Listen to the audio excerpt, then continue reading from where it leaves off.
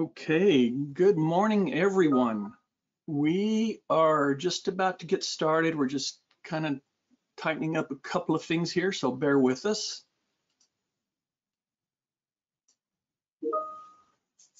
Looks like we've got a, a great attendance happening here. We got a, a, right about 100 people coming and people are still popping on, so we'll give it just another few seconds here.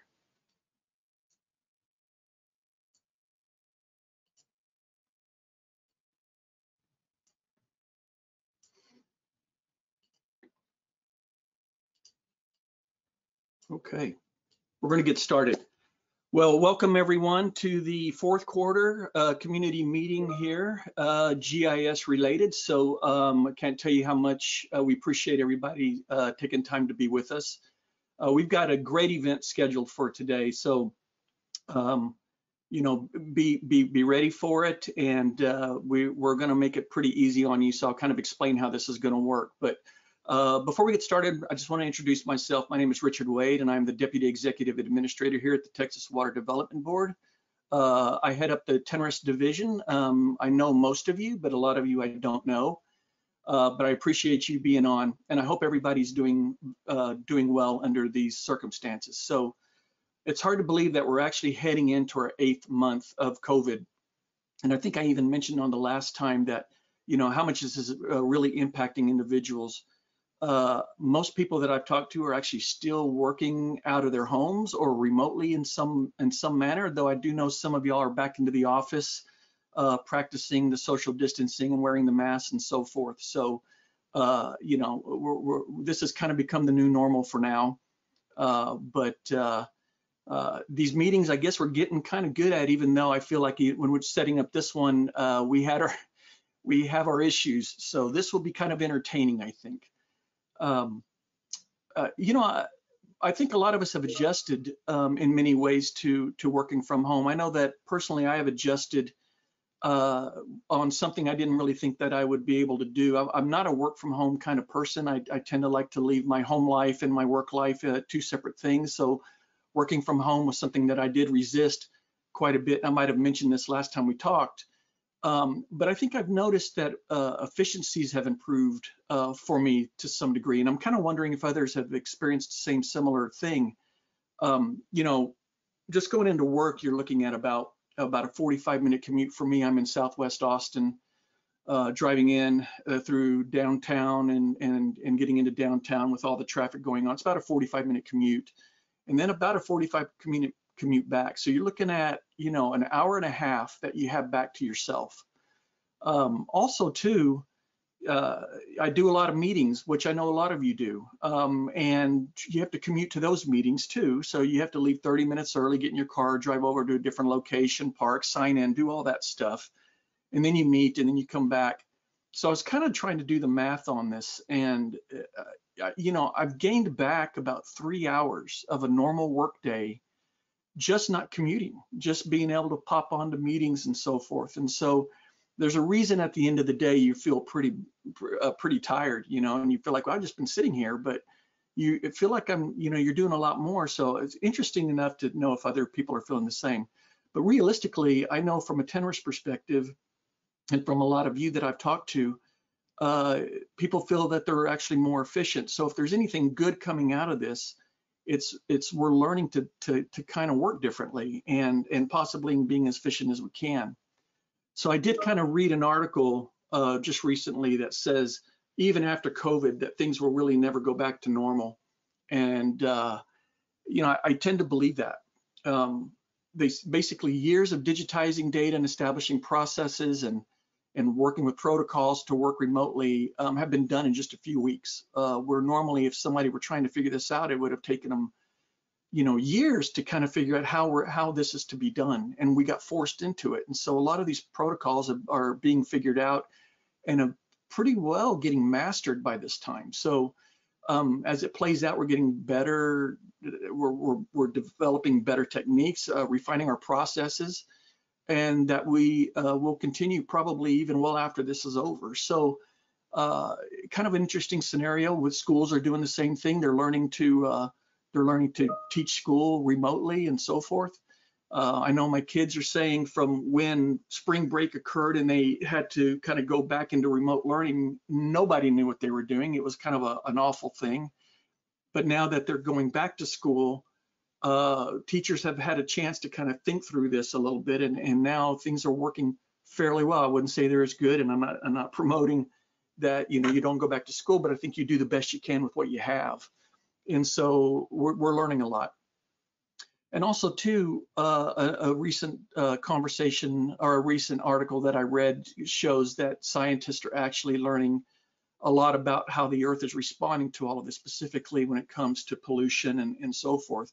And on the next slide, Joe, if you don't mind switching over, on the next slide, you'll see, um, you know, an example. I know people have seen this before, right? Um, but examples of before and after um, uh, of what things look like. Um, this is in China and to see just in the in the short time and this is really only a one month difference here the bottom picture is taken in january the top picture is taken in late february of this year when china was being affected and they were closing down um, the pollution has totally um, you know subsided and what scientists are learning is how the earth is is bouncing back to that and what and what level does it take uh, so there's a lot that they are learning in this and you can see even by the chart um, near Wuhan, uh, just how much of it, you know, from a ge geographic standpoint, how much has changed.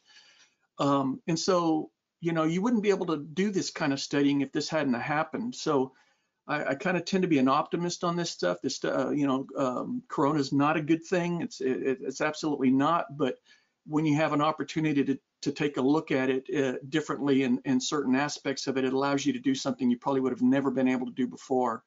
So it's kind of, you know, it's kind of where we are. And people by nature, uh, you know, we're social, we're social creatures. We like to to um, talk. So I think the downside of it, all of it is, even though we're able to chat and do everything that we normally do through video, um, there's a, still a personal aspect that we do miss. Um, the interactions with people on video calls, you kind of tend to miss the ability to to sit and brainstorm and pick up on other people's vibes and and and, and really kind of go with that. Uh, so I think we do miss that part of it. And the hope is is that you know when this is all done, we can kind of marry the two together. You, we can be more efficient in our meetings. We can be more efficient as we move forward with with with how we communicate. But at the same time, we can still get together and have these conversations that where we need that personal uh, interaction. So um, real excited about how, uh, you know, to, to see how things play out over time when all this is done. So, you know, quite interesting. So all in all, I'm really, really pleased that you've joined us today. We have a we have a great uh, we have a great turnout. Um, for from my side of things, we we look like we have about 185 people who have registered. I don't know that we're going to get necessarily that many people, uh, but we're well over 100 now. And um, it's hard to believe that last week would have been our 33rd forum. We would have had our 33rd uh, GIS annual forum that we always have, Texas GIS forum. And it's hard to believe we didn't have that. That would be one of the only years we actually missed. And so we're trying to do a little something different with this meeting, which is kind of expanded, um, you know, expanding ourselves on on what this can do. So how this is really going to work, just so you know, um, Joey, go uh, pop to the next slide. Um, how this is going to work is that uh, we are, are going to have uh, people coming on and um, and they're going to be on a specific time slot. So we're going to kind of move forward with these time slots. We're not going to go in early. If people end early, we're not going to we're not going to go early. We're just going to sit until that time slot comes in so you can come on. And I want to um, introduce uh, one of our, our board members who has been extremely supportive on allowing us to do all of this stuff. Um, with our forum, with with these types of meetings, uh, it's always been known how critical it is. And I and I say this all the time, but we couldn't be doing this if we didn't have the support of our of our board members or of our executive team and so forth, who are really uh, uh, an important integral part of uh, us making this happen. And so um, uh, I was talking to Brooke Paup, our director, or one of our board members here at the Water Board, and she wanted to come on and just do a little welcoming um, for you. So Brooke, if you're on, and if you're not, we're Can going to try to get Can you y'all on. hear me? There you go. Yeah, we can hear you. Great. Richard, thank you so much for having me. Um, I love the optimism and the positive comments this morning. I feel like I wake up every morning around five to start my day because that's kind of my new reality of trying to get up early before the kids get up to work. And all I see is um, negative news and just bad news. And it just, it kind of wears at your spirit. So I love opening up this session with some good things that this very odd era has taught us. Um, I agree with you. I think I'm a thousand times more efficient. Um, I really have had to recalibrate my schedule because I have kids that were virtual for a long time and I'm not in the office as much as I want. But that hasn't necessarily been a bad thing. Mhm. So those additional hours that I'm saving as well on the commute have really helped me. And I will tell you, we have really taken advantage of this crisis um, to really innovate and provide so many more technological solutions to each and every employee and my children. Oh my gosh. I mean, this next generation coming up, I mean, they know what they're doing around technology. Henry will come in. I mean, I don't have my great TWDB IT in person right now, um, but I bug them constantly because I am the attorney on the board and I am not savvy with this stuff. But if I can't get a hold of Randy, my young son Henry will come and help me figure stuff out, which is crazy, but so cool.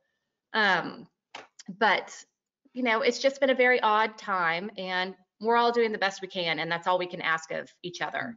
And I think extending each other a lot of grace and just showing kindness is very important right now. Um, but enough about that. I really just wanted to thank y'all for all attending and really show my gratitude to Richard and TNRIS. You know, Richard is our Geographic Information Officer, which is incredibly important to the state. He is really helping us with SB7 and SB8 implementation with our LIDAR and our BLEs, and we couldn't do it without him. And it's incredibly important that these bills are implemented with the right data. They are going to save lives and property, and he's really um, taking the lead on that. Um, I'm just always in awe of the GIS community. I am a pencil pushing attorney, so I think that what y'all do is the coolest thing in the world um, and so important. And maybe one day, if I could go back and have a second career, maybe I would be a tech person, but that ship has probably sailed for me. So I love seeing it out um, and all the, the innovative strategies you, you all are working on to give us the best data for the state. Um, so I hope y'all have a wonderful meeting. Um, I'm going to be online kind of geeking out with y'all um, and hopefully some of this will stick and my son won't have to help me with all my technology every day. But um, thank y'all for attending and have a wonderful, wonderful session. Thank you, Brooke, so much. We appreciate you being here and thank you for those words. Um, so yeah, it's kind of funny. Uh, I, I look, I look at Brooke's picture and then mine. uh, My face is all blown out, and I'm in a, I'm in a, been relegated to a back bedroom, and I have this really nice office downstairs. But since we're all working from home, I've been pushed to the bedroom while the kids have my office. So I don't quite know how that works. But you're right about technology. Um, you know, it's always changing. So if you ever decide to change your career, we can, we can show you how to do a lot of this. It's, Thank you, Richard. uh, I will say, you have seen a few of my other offices, my office in my car, my office in my kid's trampoline. I think I've, I think I've done one in um, the guest closet before. So this is odd that I am actually set up nicely. So, but only for y'all. Yeah, well, thank you so much. Thank you for that. Appreciate it. See you later. Well, so so yeah, so this is you know this is uh this is really good. We'll go to the next slide real quick, Joey, and I just want to kind of lay this out. Um, as I was kind of mentioning here, so so this is the way uh, this is breaking out, and we're going to be very very strict on our timing here, uh, so that what we really expect you guys to do is not sit around for the for the full whatever however many hours this is about six seven hours, um, is that the agenda is there out there on the website and here it is being being displayed. But i think it's important to know that uh, if there are things you want to see you can jump on at that time and watch them and if there are things that uh, maybe aren't uh, something that you're as interested in, you can pop off and go do whatever it is you need to do. But just know that these times are going to be pretty solid. Um, and that if we finish early, we'll wait around for that time to come around so you can get back on. And we're not going to start anything early or whatever. So I'm asking also the presenters to be aware of that time uh, because we will have to kind of close it up at uh, on time. Um, it's just so we can keep things, you know, running as smoothly as possible. So, so that's how that's going to work. Uh, next slide, Joey. So since we since we last um, met, you know, a lot of things have been happening. Um, remote work continues. You know, that hasn't changed. It was something we just talked about. Um, but but it, it does allow us to, you know, it, it, we're getting good at this stuff. I've been able to communicate with a lot of uh, our stakeholders um, on on many things by just simply popping up a chat window and going where normally you have to set up all kinds of meetings and so forth. So, you know, that's okay. Um, that's just how it is for now, and it seems to be working quite well.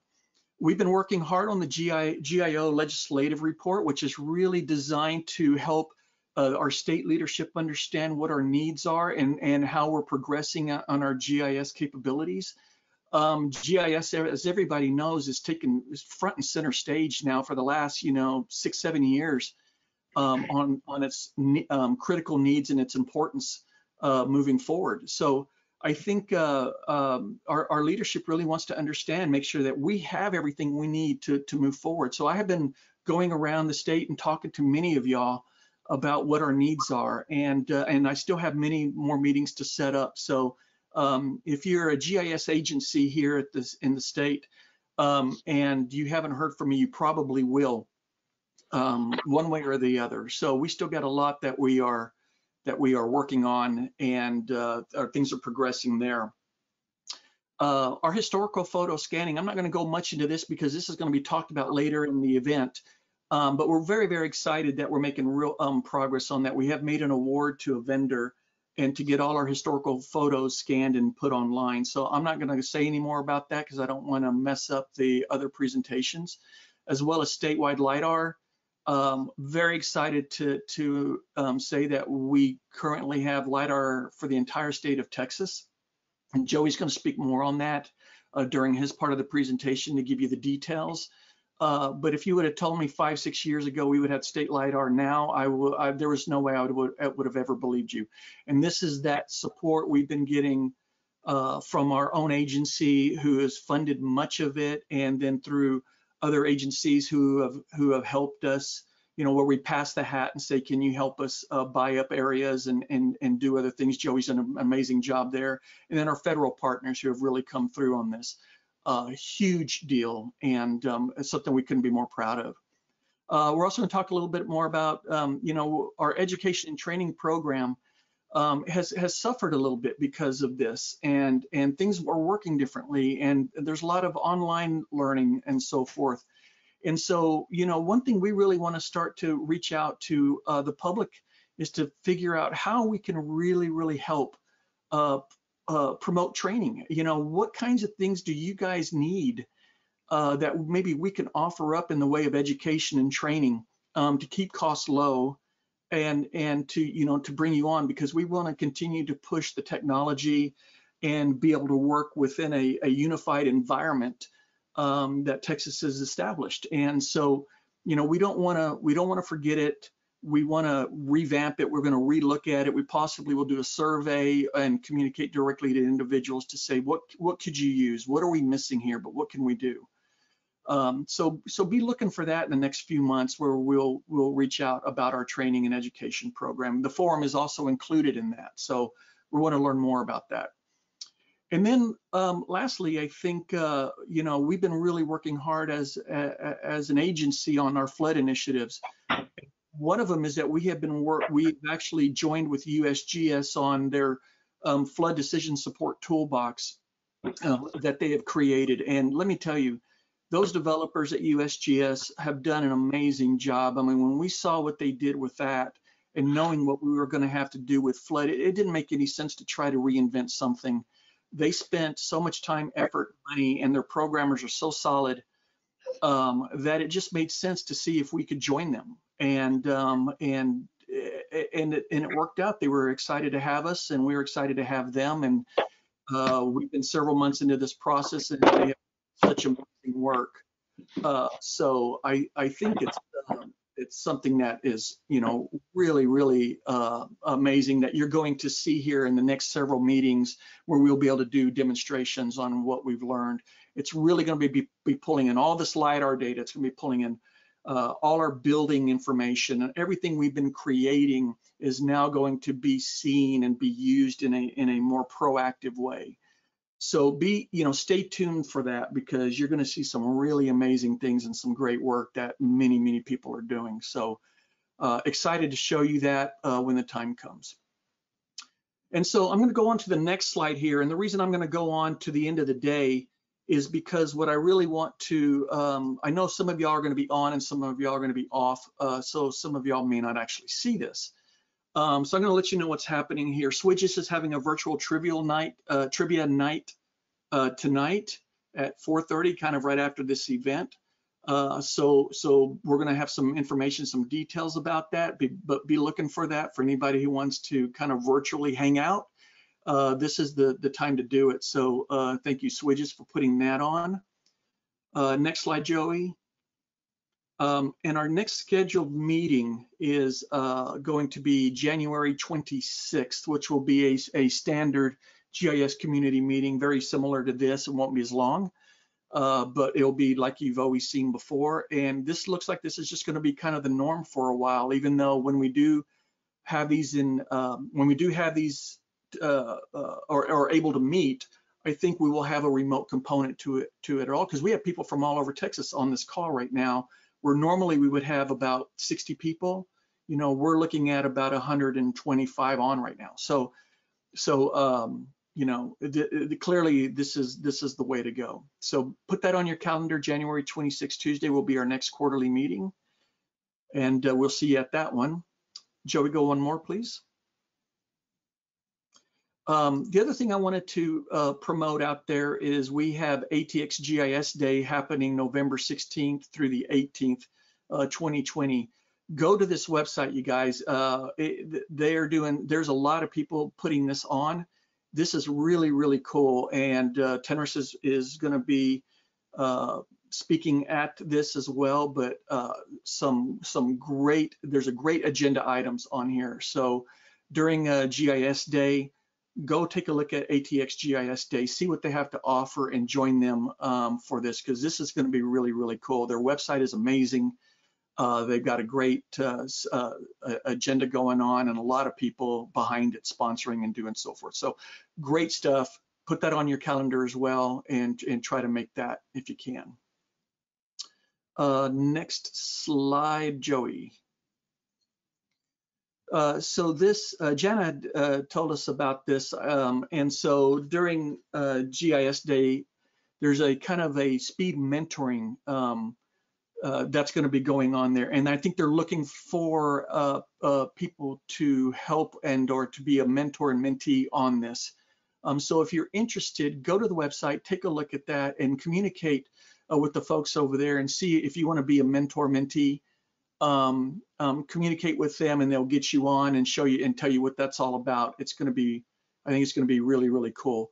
Um, the, the, the, in the chat, you'll see that there are uh, links to these, to these locations. So um, take a look at that and go there and, uh, and, and sign up. I think it would be great. I think you'll have a lot of fun. Uh, next slide, Joey. Um, so this I want to kind of bring up to people because I don't know if everybody knows this or not, but um, you know, uh, TNRIS, we have a uh, we have kind of our Texas Geographic Information Office page or GIO page. Um, and this is where we'll put a lot of things out there for people, you know, to see what's happening, um, you know, what's happening in the in the community and and what people are doing. And so we haven't really promoted it as much as we probably should, but I think what I really want to do is do that now if you have things that are, are happening at the state level or would in the GIS community, or you want to announce something, whatever, communicate with us, let us know because it's something we can put on here uh, and and try to advertise it for you. So we're going to start using this page a lot more than we have in the past. Uh, but we really want this to be a part of um, you know your your communication outward. Uh, this one this will be our kind of our outreach page. We want people to see what's going on. So if you've got anything that you want to promote, let me know, let Felicia know, or anybody on staff and uh, we'll get it, uh, we'll work with you to get it written up and we'll put it on here and we will advertise it, we'll tweet it out, do whatever we need to do to help um, support and promote your activities as well. So this isn't just a TNRIS thing. This is something we really want others to take advantage of. Um, so we're excited about that. Let us know how we can help and we definitely want to do that. Um, and the last slide, Joey so that that's really kind of it for the day. This is how this is going to work, and um, and hopefully everybody's going to have a great time. Tell us what you think. We had some great responses from the last time we had communicated and talked about people want to see more of this. They would like to see more uh, remote stuff. People can't travel the way others can and can't drive in from Austin from the outlining areas because it's just not efficient for them to do so. Again, as we talked about efficiency in remote meetings, this is this is the way that we're going to be doing these. So um, keep your comments coming. We're going to be answering questions as you uh, as you put them out here uh, on your, you know, you can actually ans answer or you know uh, ask questions here. We're going to be monitoring that and answering the best we can.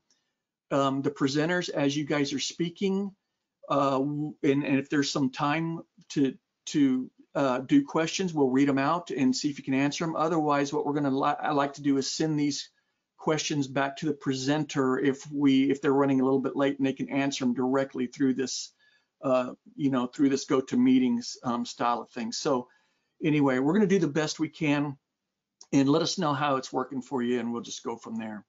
So Felicia, am I missing anything? Is there anything we need to bring up? Oh goodness, I had to unmute myself. Good morning, everyone. Uh, no, I think you covered it all. That was uh, a lot of uh, words for 30 minutes. So thank you for giving that. Uh, I'm trying to answer the questions as, as, fast as possible, and I think Joey is helping as well. So welcome everybody, and uh, uh, hopefully we'll give you a great show today. Did we have any questions that came up? We still got two minutes before we kick off the actual thing. Anything come up that we need to, to answer, or is everything good right now? I think everything's good right now. I'm answering as we uh, speak, and I am uh, posting the link to the uh, actual agenda for today. Okay. Thanks, Taylor, for asking that question. Perfect. Okay, yeah. So the full agenda link has just been is posted. So take a look at that with all the details.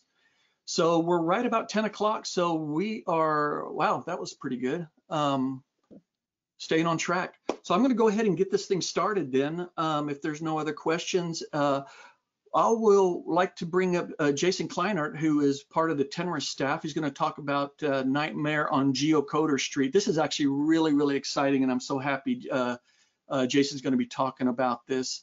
Uh, and then after that, we're going to have a data hub survey from Logan Smithson, one of our one of our new staff here at TNRIS. And then uh, rounding out the hour, we're going to have an open source scientific Python quick tour from Brendan Collins, the co-founder of MakePath. So Jason, if you're ready, I'm going to turn it over to you.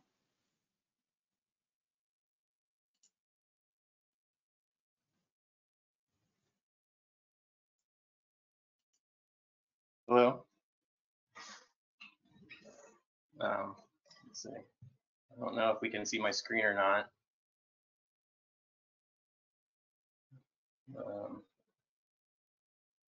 you can see yeah, we can, we can see. Okay, sorry. I don't really know how to work this thing. Uh, I don't usually do go to webinars. you're you're right, on. Good morning, everyone. Okay, I'm just gonna jump into it. Um, so I'm Jason Kleinert, and I was asked to talk today about something that we worked on this spring um, at TNRIS. I work at TNRIS. Um, let me see. I can't see my own slides, so let's see if I can do that. Okay, so let's just jump into it. So we, that's not working. All right. We have a product at TNRIS that we refer to as the Data Hub, which is to be found at data.tnris.org. and that's our new data website. We launched the site last spring in 2019. Um, the website allows us to download and order data directly from TNRIS, things like our LiDAR collections, um, different kinds of imagery. We do have some base mappy type stuff, but some of that's not there like it used to be. And that's where I wanted to highlight a couple things that we have going on in there before we get started. Um, you'll see here we we do provide links to outside entity GIS data sites. So for example, if you're looking for a road network, we have a card in there for TxDOT and it links out to their open data portal. Same thing with Texas Parks Wildlife Department. They have a really nice data site as well. So some of those kinds of things, if you were looking for the authoritative data source, we try to link you out to those um, if we're not holding that data any, any longer. Um, other big thing we're going to talk about today later on is that we're interested in user feedback. So we have gotten some feedback at this point. It's been out for about a year and a half, but um, we're really pushing harder to get some more feedback. So my colleague Logan will be talking after I finish um, about ways that you can you can help us to enhance the data hub. Um, and you'll see this last point I made is that something that a lot of people may not know is that we're actually just pushing out enhancements constantly. And a lot of that is based on some feedback we've had and just trying to kind of keep building this thing up. It was, you know, quite a lot of development took place and I still see a lot of room for, um, you know, adding new features and functionality and just sort of making things better and better. Um, to that point, so this spring, um, we, you know, had a little time. So something we decided to work on that we knew we needed was a way to look stuff up in the maps. That seems to be popular with geo people. Um, so yeah, the point of my talk was supposed to be about geocoder. So let's talk geocoder. Um, in the data hub, we have some maps. I don't know if people have seen that, but they're there. People may not realize that we can search for place names in the maps now. Um, that was the new feature that we're going to talk about. We wanted to add this geocoding ability so that we could look up a place name. For example, if I want to find Travis County, I can just type that in and it comes back. That's really common functionality that people are familiar with, but it's actually not necessarily always so simple. Um, and also being that we're like mostly GIS people, we probably think of a geocoder mostly as, you know, I want to look up, send a bunch of lat longs and I want the addresses back. That's really what's called reverse geocoding and we can do that as well. But um, the functionality we were looking for was what's a forward geocode. So I want to put in an address and I want it to take me to that location on the map. Um, and I'm going to run through these slides, but then we're going to get into some actual looking at the, the app and stuff that I'm talking about, so don't worry about that right now. Um, okay, so in designing this geocoding service that we wanted to set up to help feed these maps, we know we needed to look up, right? Like we want a search box, somebody can type in what they're looking for. We're focused on Texas.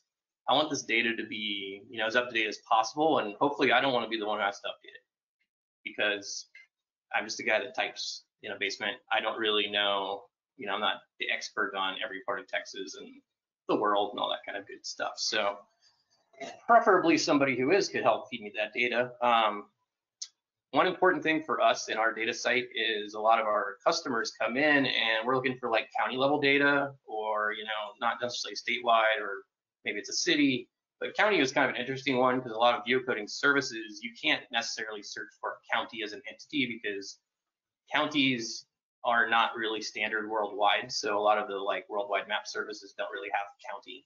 Um, so that was important for us though. So I was looking for a way to do that.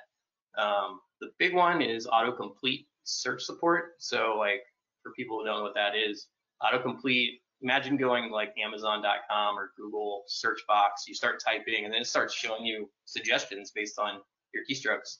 So that is pretty expensive when it comes to a geocoding service. Um, I could talk more about why that is, but that was kind of a big one because I wanted that functionality because I know that that really helps and that's what people are used to when they're working around on the web.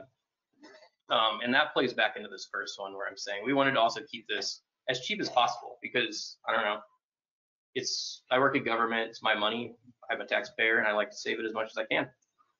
I don't really believe in that philosophy of spend it down. But anyway, the um, we're trying to keep it cheap. It still does have a cost, you know, serve running servers, all that kind of junk. We'll talk about it. But anyway, oh, last good one is we do like free and open source software as much as we can use it. Just I believe in the community and community helps us out, and that's where we want this guy. I will say a little background is I did spend about I don't know three weeks or more trying out a bunch of geocoding services just to kind of see what's out there. A lot of the ones we're all familiar with, you know, Esri being Mapbox has a nice one. There's some other open source ones called like um, GeoCage, I believe it's called. Um, so anyway, just kind of did the gamut, and then I started playing around with building my own. So I don't know. I thought that might be cool, but then I ran into this issue of like, well, how do I keep this thing up to date? Um, kind of led me back around to an old friend, OpenStreetMap. Now, a lot of people, I'm sure you're familiar with what this is, but I thought it'd be worth mentioning to those who may not really, really realize what it is. Um, it's a worldwide community-driven map. It's basically like the Wikipedia of maps. So I know that I hear a lot of people talk about it from the standpoint of, hey, that's pretty cool, but it's not really, the data is maybe not that good. Well, I don't believe that's true. The data is pretty amazing. And at this point, too, its project's been around for a long time. And so we have a lot of people who have been contributing to the project, hundreds of thousands of mappers worldwide. And so, like, the data is pretty good. It is pretty accurate. And the coolest thing about it is if it's not, then you can fix it. And there's another way you can actually contribute if you don't want to fix it is you can actually leave comments. So that's probably something people don't realize. You can go in and you can say, hey, I found a feature that I don't think is correct. This is what I think is wrong with it. And then a mapper who does have the time can pick that comment up and then look into that themselves and verify if that's correct or not. And a lot of it is based on ground truth and things of that nature. So it's pretty cool. Um, I put a little link over here on the side to help you guys out if you're interested in contributing. Um, let's see. So OpenStreetMap. So cool. We like this data. How do I use that in a geocoding service? Well, it turns out OpenStreetMap has a geocoding service. It's another community project by them. And I touched on that at the beginning, and that is called Nominatim. Nominatim is a completely separate application from the OpenStreetMap mapping application, but it uses OpenStreetMap data to um, run a search. It basically indexes it and it has geo indexes as well with geometries from OpenStreetMap so that we can do a lookup. So if you were to go to the OpenStreetMap homepage, which is just a map you're confronted with in a search box, you can look things up and behind the scenes, Nominatim is running running that lookup. Um, cool thing about it, it's open source project maintained by a bunch of different developers. Um, it is available as a software if you want to run it yourself, which is pretty cool. So this kind of got me interested. I started looking at that. Um, and here I have over on the sidebar, I thought it was kind of interesting. It's it's a Latin word that means um, by name, which is what we're doing. We're looking things up by name. Um, and I'll get into the architecture slightly. This can get kind of deep, so I won't go all the way in, but maybe, I don't know. We can go pretty far below the waves. See where the uh, Leviathan sleeps. Um, all right, so a little bit about how we built this thing. So th this is very inside of a nutshell, but I have some links that I'll show you at the end if you care about getting deeper. You can go and grab the Nominatim um, source code, and it's basically a PHP app running a Postgres database that takes in data from OpenStreetMap, indexes it, does some other spatial stuff. When it's ready, you can start sending queries. Um, there's documentation for the API, which is another reason I really liked it. It makes it standard. We're able to, um, you know, look like have that stuff documented easily, and then also other users who are interested in hitting that API can see that standard documentation and understand how to do the the lookups. Currently, our lookup is only going forward, like I mentioned at the beginning. We do have the ability to do the reverse lookup, but we'll have to build that out a little bit more. So I don't know, maybe one day in the future we'll put something out there where we could actually start doing reverse geocoding from, you know, like lists of lat longs or something. I think that would be kind of a cool um, service to offer to the community um, for Texas. That's actually good, brings me to a good point. Um, we'll start with this flow here. So we take in data from OpenStreetMap over in this side. Now, OpenStreetMap data is pretty big. So like if you were to get a file, which is a PBF format, which is the proprietary open, it's not proprietary, but it's their open streetmap format file that gets ingested by their data interoperability tool called Osmium. Um, it's big. It's like 95 gigabytes for the whole planet. And that's cool to have the whole planet. I would love to run one of these with the whole planet, but it's a giant database that gets back into costing a lot of money. So once the use case is there, I can see scaling it up, but we stuck with Texas to start because our data is Texas specific. So that's kind of where we're living now. Um, basically how it works though is we have this interesting German site over here called Geofabrik. So Geofabrik is a uh, GIS consulting firm out of Germany, and they specialize in OpenStreetMap data. Something that they do on the side, besides all their actual consulting work, is host offloads of OpenStreetMap data for the entire world sliced up into different um, regional subsets. So if anyone's ever here to try to access OpenStreetMap data, it is a few steps. You know, there's maybe some processing that you need to be aware of to be able to get down to that stuff, and especially if you're looking for just a piece of it. So it's really handy, and actually through the OpenStreetMap documentation, Geofabrik is one of the sites they recommend going to. They're pretty much in the community known as the place to go if you want these regional offloads. And what they do is, it's cool, is they they take basically the planet file that comes out every day. And so daily they take the planet file and then they chop it all up throughout the world. You can start, I'll show you guys this too when we get to the demo. Um, you can drill down and you can get down all the way to say Texas, for example, or what's really common is if you're if you're you know doing some development work and playing around with this data, a lot of people use Monaco because Monaco is you know a, a nation, small, very small nations. That data set is basically one of the smallest ones there is, and so processing times are a lot slower. Um, to load up Texas into the database that we're running here, it takes about an hour and a half um, to initialize the database. So give you kind of an idea. I believe to do the entire planet would take it's something like five days on a pretty beefy server. It's just getting all those spatial indexes initially run and everything takes takes some time. Um, so what we got going here is what's known as a container, Linux container. This little gray box. I didn't really have a good graphic to show you, but the idea is kind of a shipping container on ships here.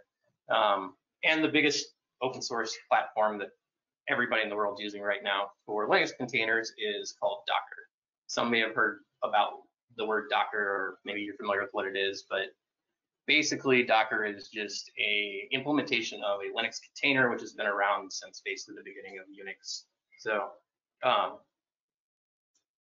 what it allows us to do though is pretty cool. We can encapsulate an entire application including the operating system needed to run it, inside of a contained unit that I can move around onto any machine I want to run it on.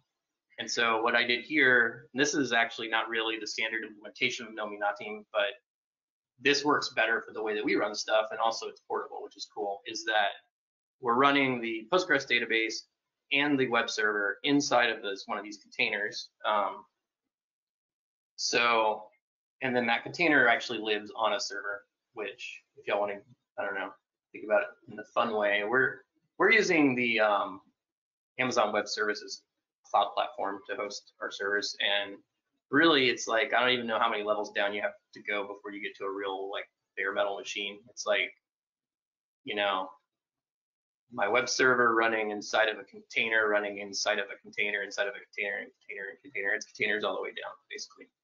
Um, but that's an aside. that might be fun. So anyway, um, this is the core of our service that we're running, and we're pulling in these daily up. We're, we're that's something I didn't mention is that Nominatim also has a pretty nice um, update mechanism that's built that runs a PHP that you can enable basically that we point it at some source files over here and so we take an initial load of the entire state, initialize the database down here, and then once we're up and running, which we are now, we're ingesting daily updates every, so every day we pull it down a file, OpenStreetMap publishes these diff files, And diff file says what's changed in the last 24 hours so you don't have to pull a whole data set every day. And so you can get the diff, diff checks the database, finds out what's different, then goes back to the source and only pulls in those changes. So we're fresh and up to date every day, which is pretty cool.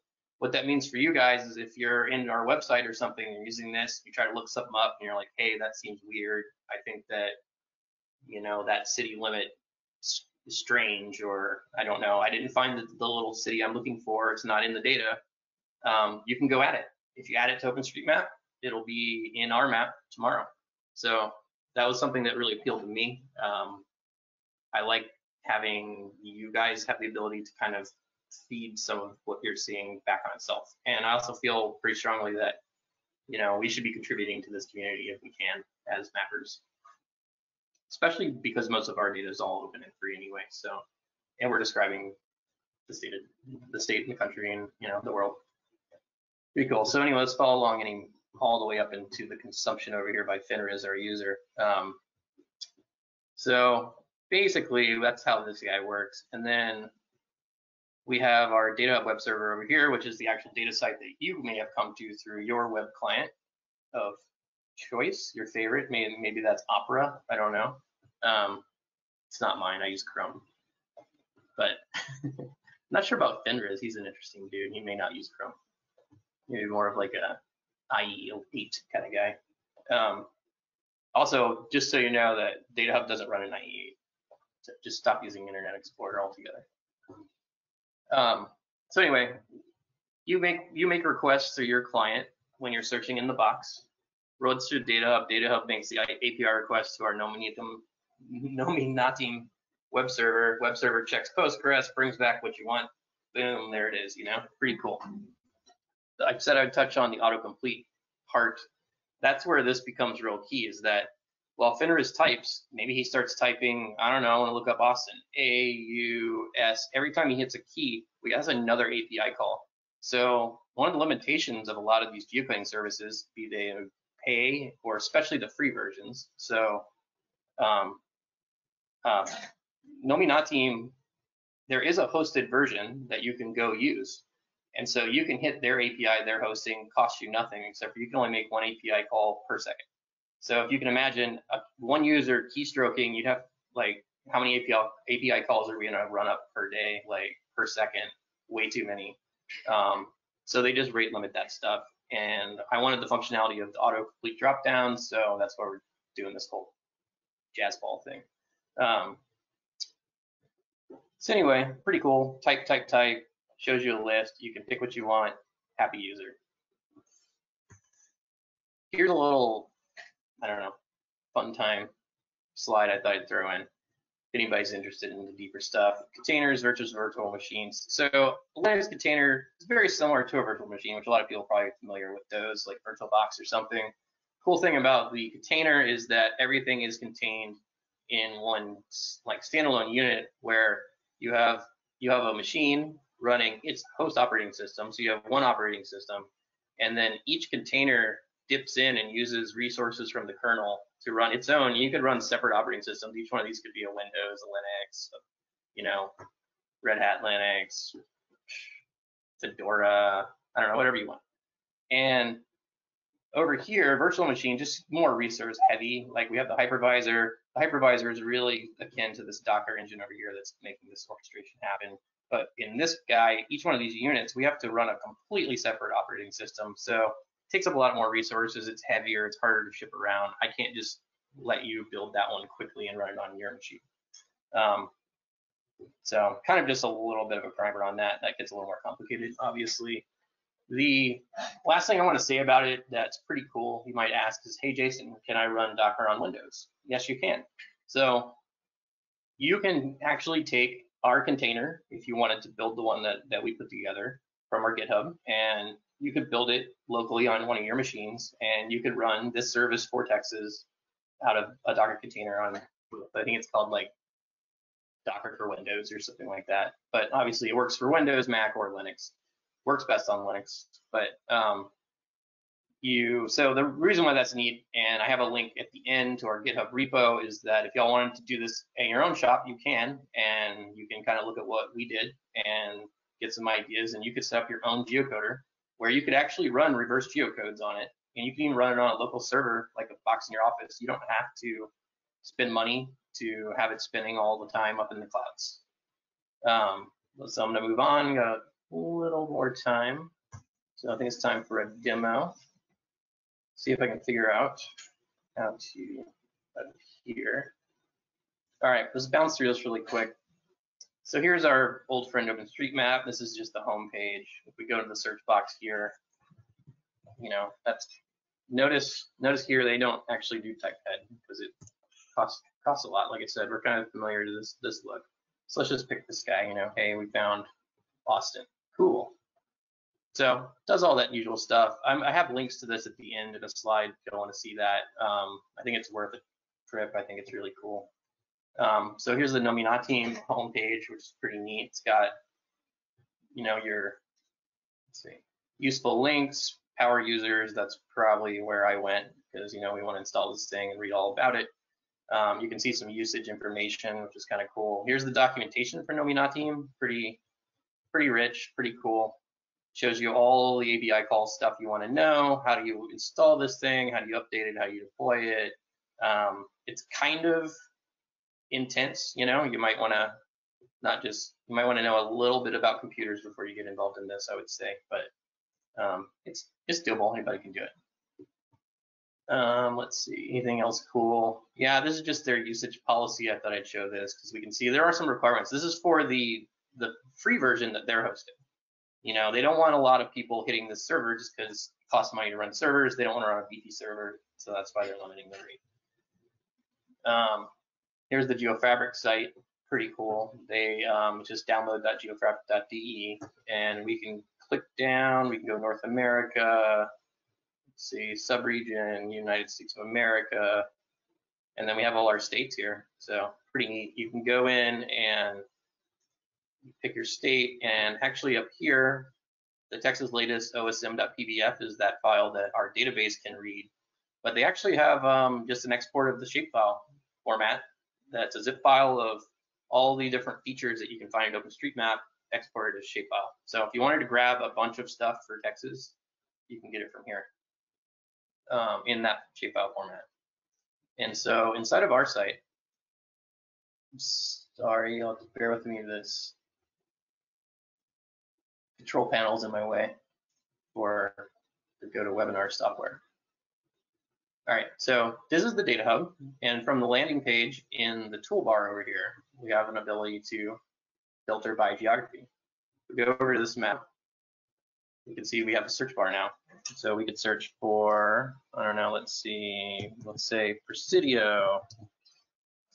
So Presidio, you'll notice we get Presidio County and Presidio, Presidio County, Texas. That's pretty cool. So one thing about OpenStreetMap data is they're ranking um, regional, like like um, what do you call it, like if my mind went blank. Jurisdictional boundaries, basically like county, city, state. They're being ranked by a hierarchy of importance. So county is more important than city in the hierarchy. So we always get our county at the top, which I thought was pretty nice. And a lot of that comes from Wikipedia, which is kind of a cool tie-in.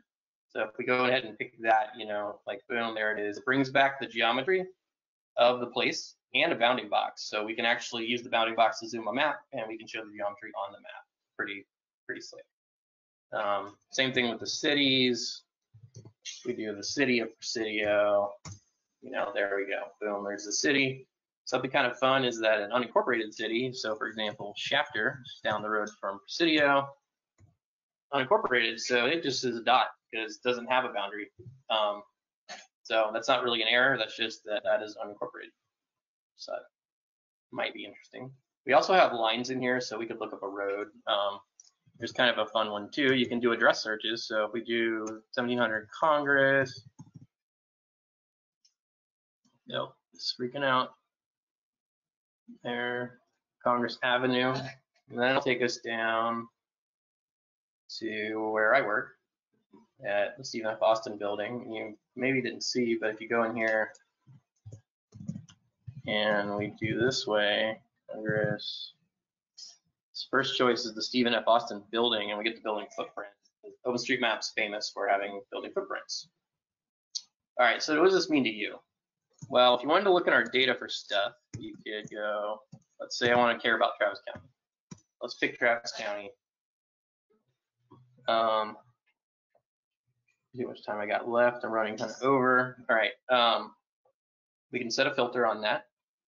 And then let's say we want some of this sweet cap area and McLennan imagery that came out for 2020. Let's go to that collection and there we go. So Travis County is now, you know, saved from our geo search, and then we can see the tiles of imagery that intersect with that county boundary. So kind of useful, I, I think. So now we can see which tiles we want for that geography. All right, let's go back. One more, one more little dip in, clear all this stuff. And if we go, eh, let's go to Balmorhea. And now let's go back here. Yeah, same kind of deal in here. We get a search and we can now search for, you know, let's say Austin, Texas, you know, city, and same kind of thing. So inside the downloads too, you can just start searching for stuff and you can find what you want. And over here, y'all probably been noticing you get that nice type ahead like I was talking about before. Sorry, I'm using the weird different computer today. Um, so anyway, that takes us back over here where I think that's happening there. Um, like I said, here are those resource links to what we looked at today. I didn't put in here, I feel kind of remiss, I should bring it up, is that um, I did steal all of this imagery from from the internet. Um, so I guess give credit where credit's due. This seems to be from Rosemary's Baby. Um, I think this thing down here, this, this is like a Scary Stories Tell in the Dark or something. I forget that artist's name, but it's pretty nice. Some of the other stuff y'all saw was some, uh, you know, like a turn of the century Norwegian artist named Theodor Kittelsen, made popular on the album covers of band Burzum. Um, also Darkthrone, got, got to mention Darkthrone. Oh, and Nightmare on Elm Street 3 Dream Warriors. I'd like to thank them as well. Um, but pretty much that's all we got um, for me. Now I'm going to set up what's coming next is my colleague Logan Smithson is going to talk about um, some ways that we want to get um, users involved with helping us enhance Data Hub and to add more cool features like this, like I was talking about today. So I guess I can look really quick to see if there's any schedules or sorry questions, but I don't know which time. But I'll try to answer the questions as I come off, um, pass it over to Logan. So at this point, I would give it to Logan. I don't know. Joey, is that? Oh, thank you.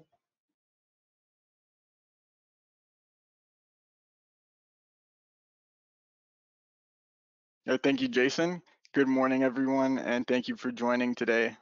My name is Logan. I'm a web administrator here with TNRIS. I'm actually fairly new to the team. I just joined about two months ago, so I'm excited to be a part of my first GIS conference you know, I never dreamed that one day I would be hosting over 100 people from the state GIS conference live from my bedroom, but here we are, and I'm glad that you all could join me. So I'm here today, as Jason mentioned, to talk about a new survey that our team has just implemented for Data Hub, and I'd like to invite all of you in the audience to come take the survey. So first, why are we doing this? Well, we want to continue to improve Data Hub and make it a better product. And the best way we can do this is to get feedback from you all to learn more about how you're using Data Hub, if there are any common problems that many of you are having, and what features and functions could we implement to create a better user experience. This survey will allow us to gather both quantitative and qualitative data that our team can analyze to inform future design and development decisions, which will allow us to prioritize features based on what would really be the most helpful to our users. So if you've ever used Data Hub or if you might in the future, we highly encourage you to come take our survey. This is the best way for you to make your voice heard so we can continue to improve Data Hub. In creating this survey, we wanted to be respectful of your time, so we designed it to be short and to the point. It should take about five minutes or less to complete. In fact, I'll probably spend longer talking about it here today than it will take most people to complete the whole survey. We have an open-ended question that allows you to go into as much detail as you'd like. So if you feel strong about anything in particular, feel free to be as descriptive as you want. The more information we have, the more useful it is to us. That being said, if you're short on time, you can give a short response here or skip that question entirely. We really value any feedback that you're able to give, so please, we hope you'll take it either way. And I'll actually share my screen here um, so I can show how you can get to the survey and uh, what type of questions you can expect. And for those of you that may be playing quarantine conference call bingo at home, here is where you may earn some points. Um, as I'm going to ask, um, can you see my screen, um, which I'm sure you would have on your board. It looks like it should be showing. So um, I'll go ahead. So here you can navigate to the Data Hub uh, by going to data.tnris.org. Um, you could also go directly to tenris.org where you could go to uh, data and maps and click the drop down and click on this first um, Data Hub tab. So once that loads, you will see a, uh, a small box pop up in the bottom right corner where it prompts you to take a survey. Um, you can either decline that or you can say sure. Um, and if you say sure, oh, one more other thing is it'll take a few seconds before that pops up. It's on a time delay, so if you don't see it instantly, that's why. So the first question that you will see is, are you finding what you're looking for? So basically, why did you come to Data Hub and are you successful in what it is that you're looking for? Um, and if you say no, partially, or not sure, still looking, then we ask you to go into more detail. That way we can figure out um, what it was specifically. And if it seems like a lot of people are having those same problems, then that'll let us know that that's something for sure that we should fix. Um, if you just say yes, then there's no open-ended response. You can just continue.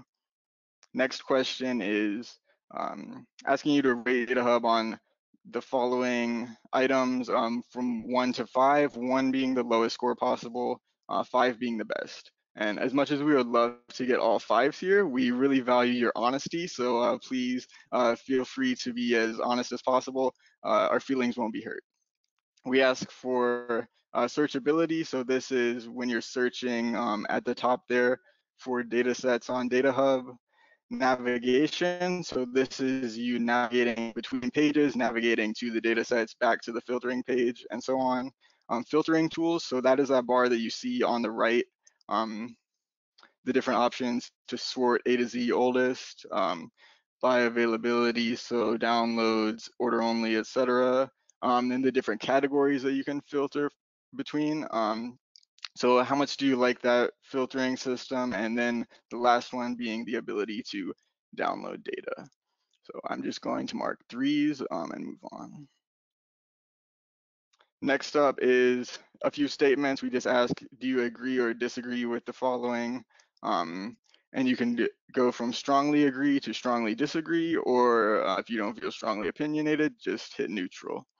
Um, and those are uh, I believe Data Hub is easy to use. I believe Data Hub has valuable data sets, and I would recommend Data Hub to others. Again, just go in the middle here and um, continue on with the survey. And so here's that open-ended question that I talked about. Um, so here is, this is your opportunity to give open-ended feedback, anything that's on your mind um, about Data Hub, anything you would like to see included, any problems that you have while using Data Hub, um, you can fill that out here. You can put as much as possible, or you can say nothing at all. Um, again, feel free to skip this question uh, if you feel like it. Next, we, we're just trying to get some demographic information, learn about who is using our data hub.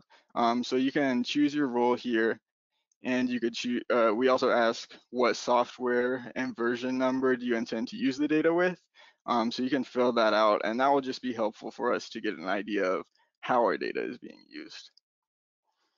And finally, the last question, um, we ask if you are willing to participate in a follow-up.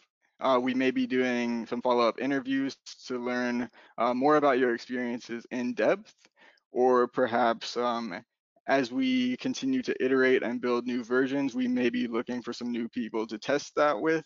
Um, so if you're willing to participate, we ask that you um, click this toggle option to yes.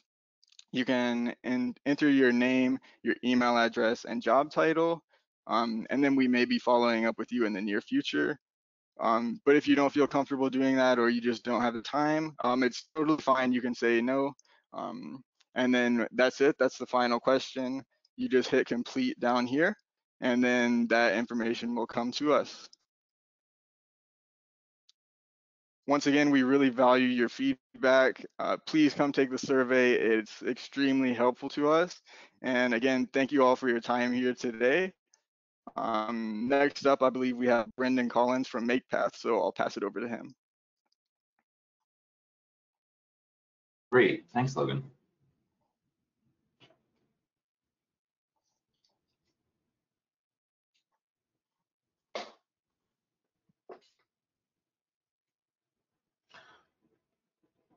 Okay, um, are folks seeing a blue presentation slide? Yeah, we see it. Okay, great, great. So um, super excited to be here. Um, thanks to Jason and Logan for those those first presentations kicking off the day. And um, thanks to Richard and Brooke, Felicia, and the TNRIS team for, for hosting this event. Um, us at MakePath are, are super excited to be here and talk a little bit about the open source GIS stack for Python.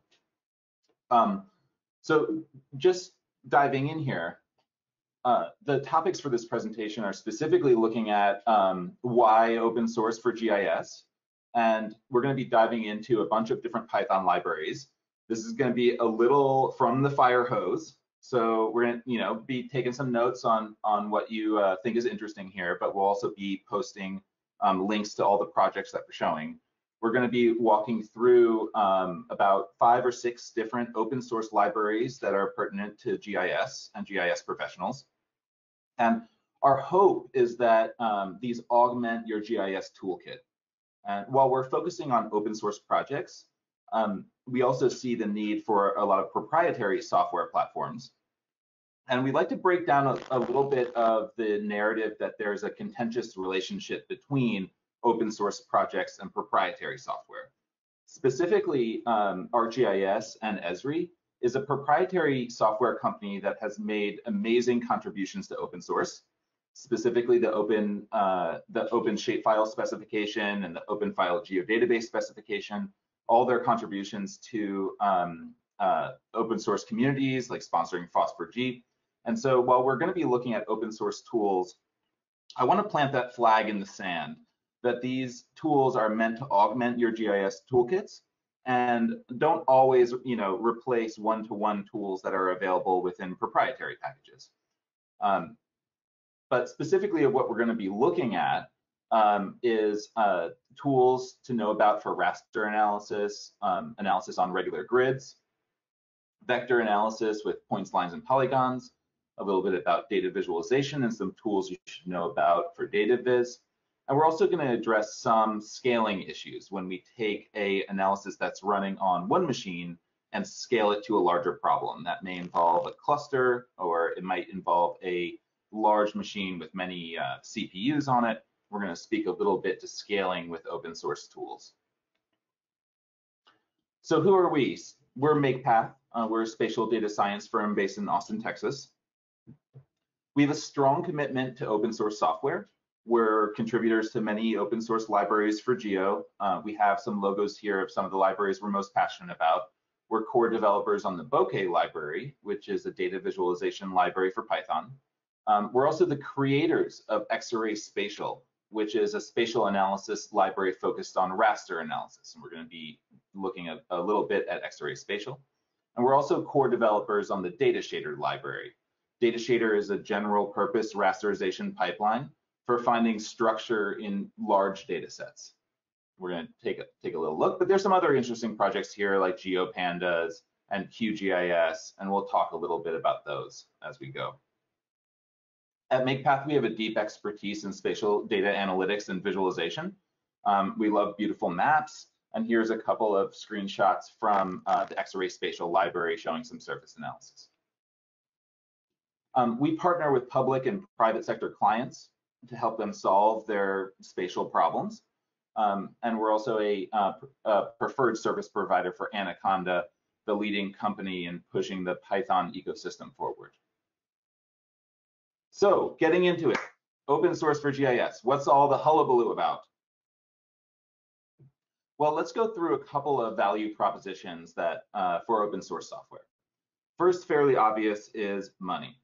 So open source tools lower your total ownership cost, and this this uh, you know relates to fixed and recurring license fees, and it also empowers your analysts and staff with uh, being part of a larger community while also limiting some budget uh, line items uh, from uh, purchasing purchasing proprietary tools. Open source tools are extensible and maintainable. So you can take open source tools with access to all of the source code and extend them for your specific use case. And you can also share your tools to reduce redundancy across groups and agencies. Um, I think that Richard was mentioning USGS and their work with floods, and that's a nice example of reducing redundancy between different organizations by sharing code and sharing common tools. Open source tools are also transparent. Since you can uh, access all the underlying source code, you can really understand what the tools are doing. And you can also influence an open source project and help to steer it um, onto topics that are most relevant to your mission. This can be done by contributing to a project for a specific, um, you know, a specific tool or feature that your group is interested in, and championing that feature within the community. Um, and also in transparency, uh, just a quote from Linus Torvalds, that given enough eyeballs, all bugs are shallow. And that's one of the major strengths of open source software is that there's a lot of eyes on the code. Having people from different domains using similar tools means that people can bring their own experience to the table and also critique other people's contributions. And that's a powerful part of maintaining um, and using open source software. We also in the in open source have the ability to scale an analysis without any of the pitfalls of licensing individual machines. If we want to take an analysis that we have running on our local machine, maybe it runs fine on a small subset of data, but we need to scale it to all the LiDAR for the state of Texas, we may want to employ a cluster of machines to do that analysis.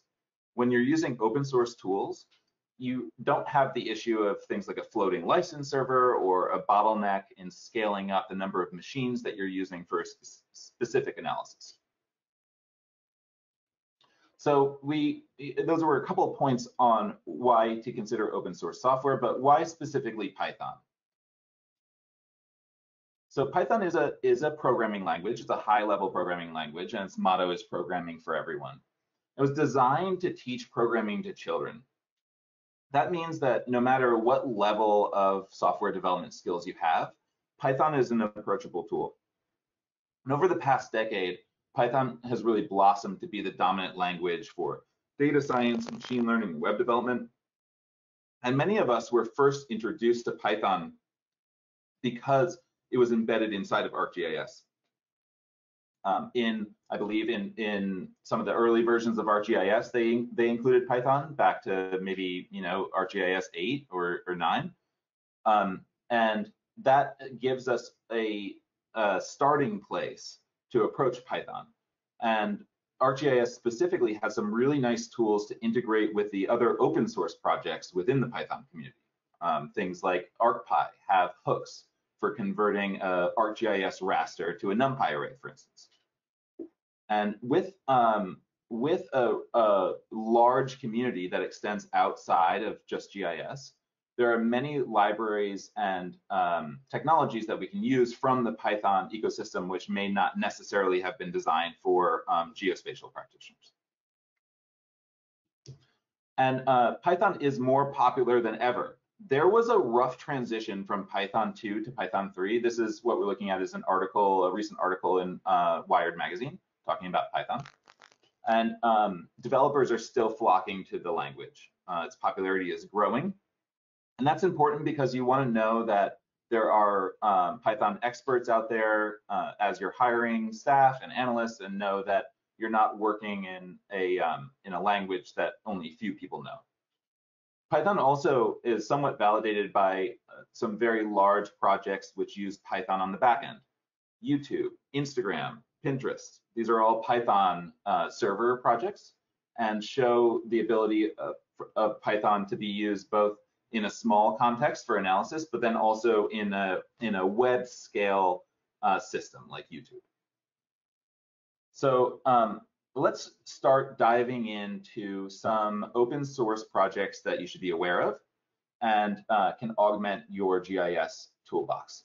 So moving over to the browser now, you should be seeing Project Jupyter homepage. Project Jupyter um, is, a, I think, a good one to start with because it's a development environment. So when you get started with Python, start by downloading Jupyter and playing around with Python in an interactive web environment. Jupyter is a development environment for the web, which allows you to compose notebooks. And these notebooks ha can have executable code, they can have text, equations, visualizations, and models, and allow us to easily share our insights or analyses with our colleagues. So you can put together a notebook that includes some semantic content about what is going on in this Lorenz system, for instance.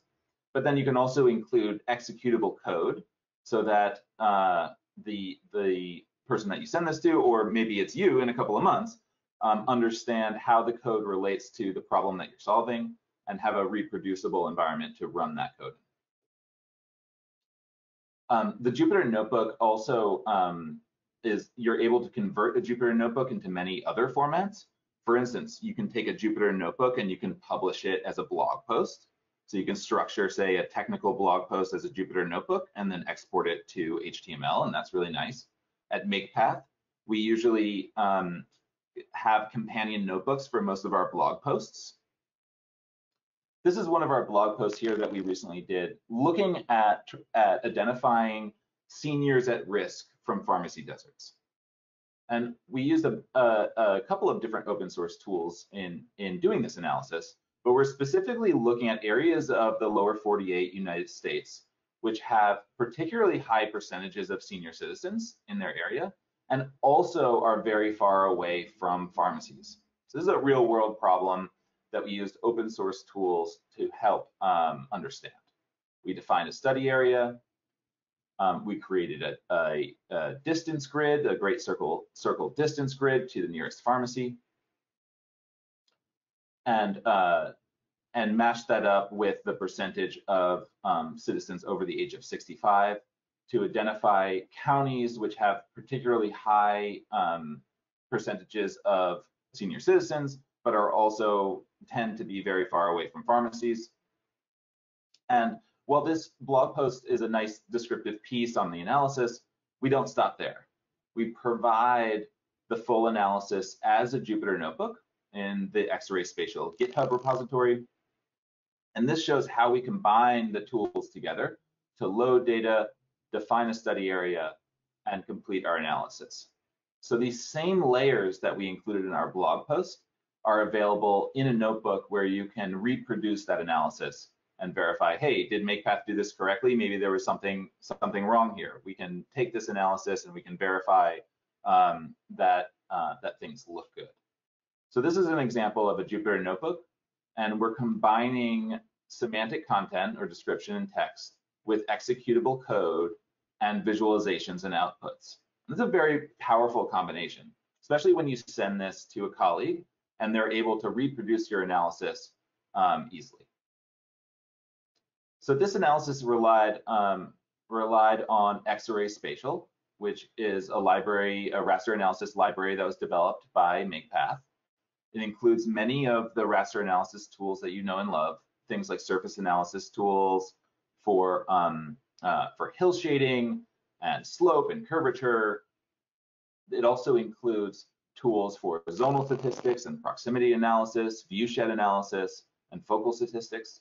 These are all contained within Xarray Spatial. And all of the code for Xarray Spatial, here we're looking at a viewshed example. So we have a, an observer point, and we have a mock uh, hill here in the middle, and we're gonna see which pixels are in direct line of sight from the observer. And so here we're using a viewshed analysis from Xarray Spatial. So Xarray Spatial is a, is a high level raster analysis library that includes um, tools that GIS practitioners know, um, named in, in appropriate ways for GIS practitioners. And so as we go, go back up to the top, we can um, go to the Xarray Spatial GitHub repo, and we can scroll down and we can see some of the, the tool areas that are available within Xarray Spatial. So this is cleanly falling within raster analysis. So when you think Xarray, when you think Xarray Spatial, think raster. And I mentioned Xarray. So Xarray Spatial is based on another library that's called Xarray. Xarray and the Xarray data array is MakePath's go-to raster format. Um, Xarray, the library, is based on the NetCDF specification. And so if you work with a lot of climate data or store data in HDF5 or NetCDF, then Xarray is going to feel very natural as you uh, as the in-memory data model for Xarray mirrors that of NetCDF. Um, another library that we uh, that we saw within the pharmacy desert example was Datashader. So Datashader is a is again falls on the raster side, but is specifically our rasterization. So what Datashader does is it allows you to um, construct a pipeline of functions that take um, either points, lines, polygons, meshes, or other rasters and rasterizes them to a common um, to a common grid. So if you're familiar, for instance, with the concept of snap raster, where you take two rasters and you can you know make their resolutions the same. Um, this is the type of, of operation that Datashader does for you. And here we're looking at a plot of the lower 48 United States, where we're plotting one point per person in the country. And uh, what we get out is a population density map. And we can uh, actually resolve some of these secondary cities, which in, in other rasterization engines might be obscured by the uh, the distribution of high populations in New York and Houston and LA. But using Datashader, we can control the color mapping so that we don't um, lose that structure as we generate images. Um, the next one down is an example of a categorical map created using Datashader. We're looking at race and ethnicity in the New York City area. And um, this is again one point per person. So we have about 16 million points in this plot using Datashader, which renders usually about uh, in under a second using Python. Um, while we have around 300 million points in this population density map. And Datashader is not specifically geo. It's it's um, a general purpose rasterization pipeline, so you can also um, create uh, beautiful images out of non-spatial data. Here we're looking at strange attractors or the probability that a particle is going to be in a certain location given a, a certain strange attractor function. So this is Datashader. This is open source, and you can install this um, using uh, common Python third-party packaging libraries like pip or conda. So moving from the, the raster side to the vector side, GeoPandas is a great library, Python-based library for doing um, vector-based analysis. So things that we're concerned about on the on the vector side would be um, geometric manipulations, um, map projections, anything dealing with points, lines, and polygons. GeoPandas is a great option to look at. I'm I'm specifically, you know, really use these set operations all the time. So this would be um, in doing an overlay analysis, we're doing a union or a difference. And also um, a common vector analysis tool would be uh, aggregation with a dissolve. So between having all your overlay tools, you can do spatial joins, you can do dissolves. This covers a good uh, number of the vector-based analysis operations you'd want to be doing uh, for GIS. So this is GeoPandas. So, so far we've looked at Xarray, Spatial, Xarray Data, Datashader, excuse me, all on the raster front, and um, GeoPandas on the vector front. And GeoPandas supports uh, plotting. So within a notebook, you can call a dot plot function and it will actually uh, render a image of the vectors that you're working with. So these are um, analysis tools, but let's just take a minute to talk a little bit about scaling. So when you scale from one machine to many machines, you need to have a, um, a strategy to do that. And our strategy at MakePath is to use a project called Dask. Dask implements many common data structures that uh, folks within the Python community are familiar with, things like NumPy arrays and pandas data frames, which are the pandas data frame is equivalent to a Excel worksheet.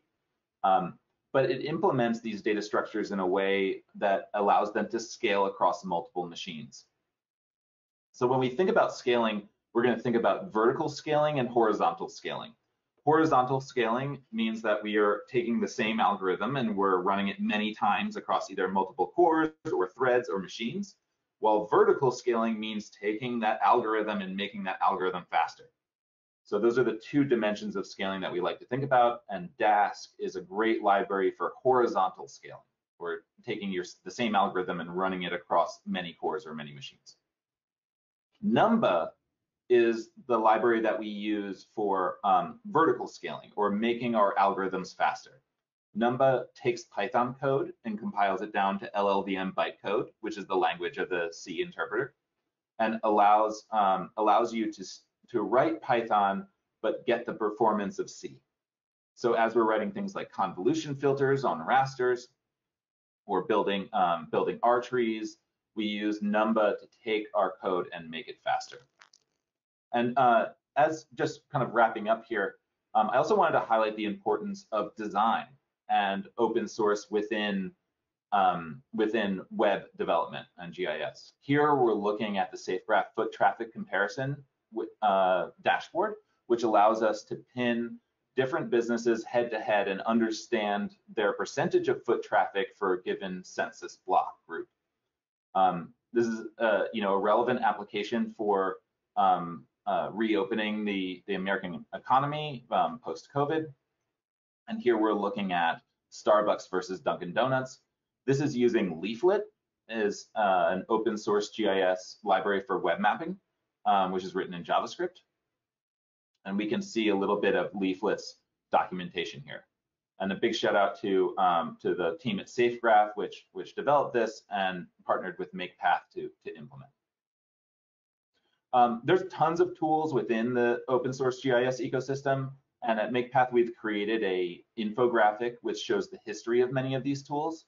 So head on over to makepath.com and check out our open source GIS infographic to learn about some additional libraries for your toolkit. Well, that um, wraps up the time with a clean two minutes for questions. Um, you're always welcome to reach out to us um, either by email or um, on um, GitHub and happy to take um, some questions uh, over, over the day about any of these libraries or any other topics that, that you're interested in. So thank you guys and thank you to um, TNRIS and Richard and, and the whole community for, um, for making this event possible. Brendan, thank you so much. And, and thank you to uh, Jason and Logan as well. Um, very fascinating um, presentations. And there is one quick question. We have one minute uh, that is from Joanna Valente. Um, do you know which of these tools that you identified work with R? Yeah, so the um, uh, R Spatial, we didn't mention R Spatial, but that's a great library that's akin to GeoPandas for vectors. I don't have a good go-to for the raster side of R, but R, I would really recommend checking out R Spatial. Really great community and great tools. Okay, great. Well, listen, thank you to to to all our presenters for this uh, track. We uh, very very much appreciate. A lot of work going into all of this stuff, and uh, and uh, uh, Brendan, I don't know if you're going to be able to stay on um, throughout the remainder of these conversations, but uh, if you are, um, you know, check some of the questions out as well. And if you can't, what I'll try to do is forward them to you so that you can answer maybe offline at a later time. But great presentation. Thank you so much. Thank you. Thank you. Um, Felicia, I'm going to turn it over to you for your session number two. Great, I'm ready. Um, hi, everyone. So happy to see so many familiar names in the window. We're hovering at around 100, 120 uh, attendees. So um, even though we have uh, almost 200 registered. So, you know, as um, Richard said in the beginning of this, please jump on and off as you see fit. And, um, uh, you know, check out whatever you uh, like to see. Um, in our next showcase, uh, in our showcase too, this next hour, you're going to see uh, presentations from Scott Friedman of GLO. Um, there are some gentlemen also, uh, Lorenzo and uh, Larry and Matt will be talking to you about some of the activities that are going on at the Railroad Commission, um, which is really kind of exciting because with all of this um, talk about evidence-based policymaking, um, I think that there's a lot of attention um, on GIS as one of those um, tools that can that can give you the evidence. And um, I think that's all great for our careers. Um, it creates lots of job opportunities for the future. Um, and then at the end of the hour, we're going to hear from Benny Patel, who's going to talk about some tools that they're creating uh, to help with flood mitigation.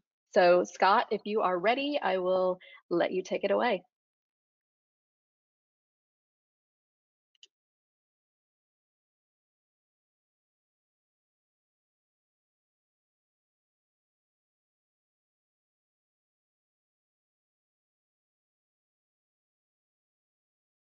Hey, good morning, everybody. This is Scott Friedman. Can you hear me?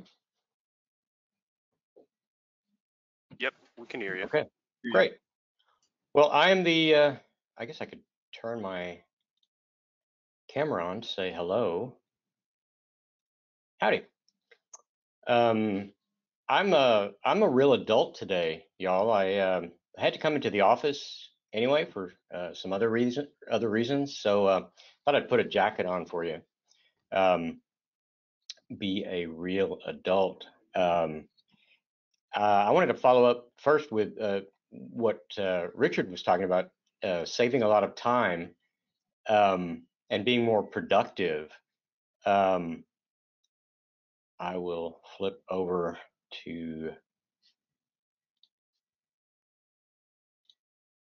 my screen. So um, you all heard of this uh, coronavirus thing. Um, we uh, we like uh, like everyone else, you know, beginning in in mid March, state uh, governmental agencies in Texas began facing new challenges. Um,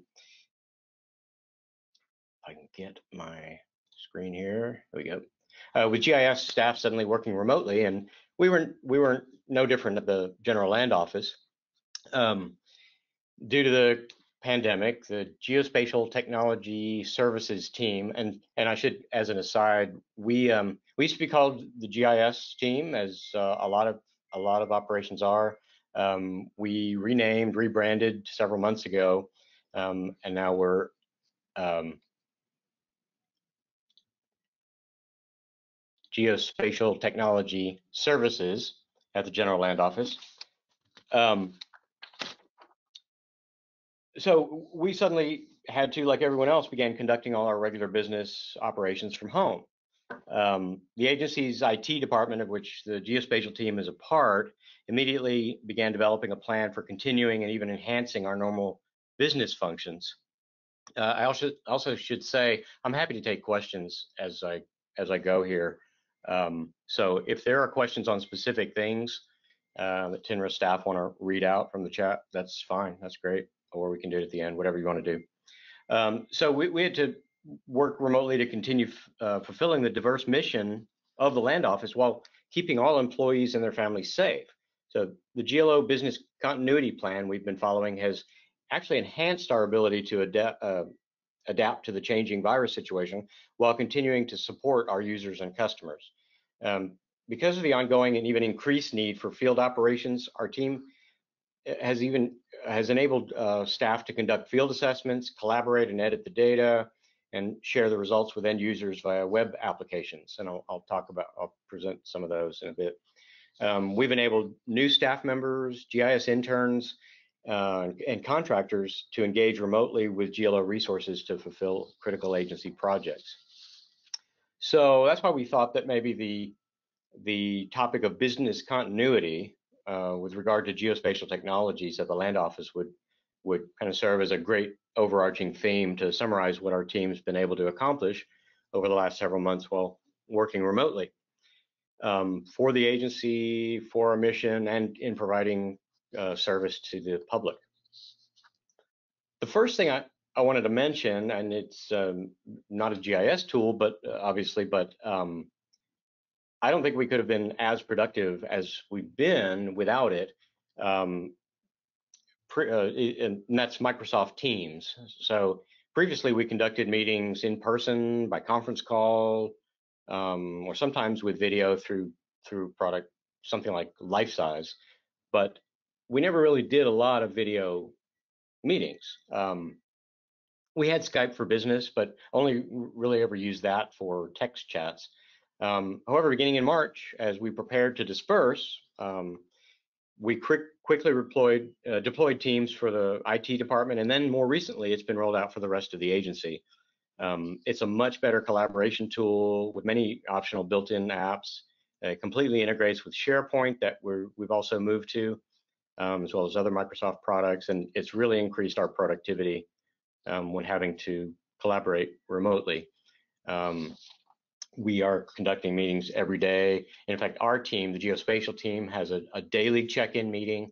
Um, we all hop on Teams and and do that. Uh, we've also been able to use that really well with our customers. So highly recommend it. Um, the second thing I'll mention is our GIS internship program. And um, we have we've had a very successful year-round uh, in, uh, GIS internship program for for many many years, um, and we were unsure about how that would go. Um, working remotely. Uh, we've always had interns come into the office to work. Um, we recruit interns, uh, student interns from many Central Texas colleges and universities, UT, ACC, Texas State, Texas A&M, uh, both the, the, the main campus as well as the the coastal campuses, Galveston and Corpus Christi. Um, our previous, our, our just previous batch of interns started started off working in the office last fall and and in the spring. Um, and then we had to make the transition, uh, or they had to make the transition work from home. And we we've been able to to utilize um, our our network, our ArcGIS Online uh, resources, um, and and other things to to enable them to do that. So that that was a that was a win. Um, and then our current batch of interns, uh, who started uh, the beginning of this fiscal year, so September, September one, um, they've only worked remotely, um, and that's that's continued being a success for us. Um, the next thing, uh, I'll hit on is um, obviously Texas has had um, a pretty active uh, hurricane season. So uh, the Texas coast has been affected by four storms so far this this season. Hurricane Hanna in July, Laura in August, and uh, Tropical Storm Beta in September and Delta in October. So combined, these storms have created significant flooding and erosion problems on the on the upper coast, um, plus damaged structures and coastal projects, and and have caused debris to be scattered all along the public beach. So our team has built multiple tools to track the data collected by by staff in the field uh, Coastal Field Operations has been performing post-storm beach inspections and damage assessments, collecting data with mobile devices and the ArcGIS collector app uh, related to damaged structures, abandoned and sunken vessels, damage to coastal, coastal leases, and debris on the public beach. Um, so these data layers are then populating the the mapping tools developed by our team in real time via the Esri Cloud and our ArcGIS Online account. Um, okay, this one's not coming. Okay, there it goes. So this, these are um, handy photo viewers that that our team has built uh, related to each each storm, and so staff can quickly pull up the points that they've collected and view the the photos uh, associated with those with those points, showing debris or damaged structures, what have you. Um, and then the data is also pushed to our, our internal storm viewer, state operations response mapper, which has all of the assets managed by our agency, um, equipment, personnel, field offices, along with the the data that that field field staff are collecting in the field. Um, currently, we have this uh, area of uh, approximate area of debris removal we've just put together and added to the viewer um, to show uh, our field operations which debris points they need to instruct contractors to to clear, um, indicating that they're on the public beach as opposed to private property.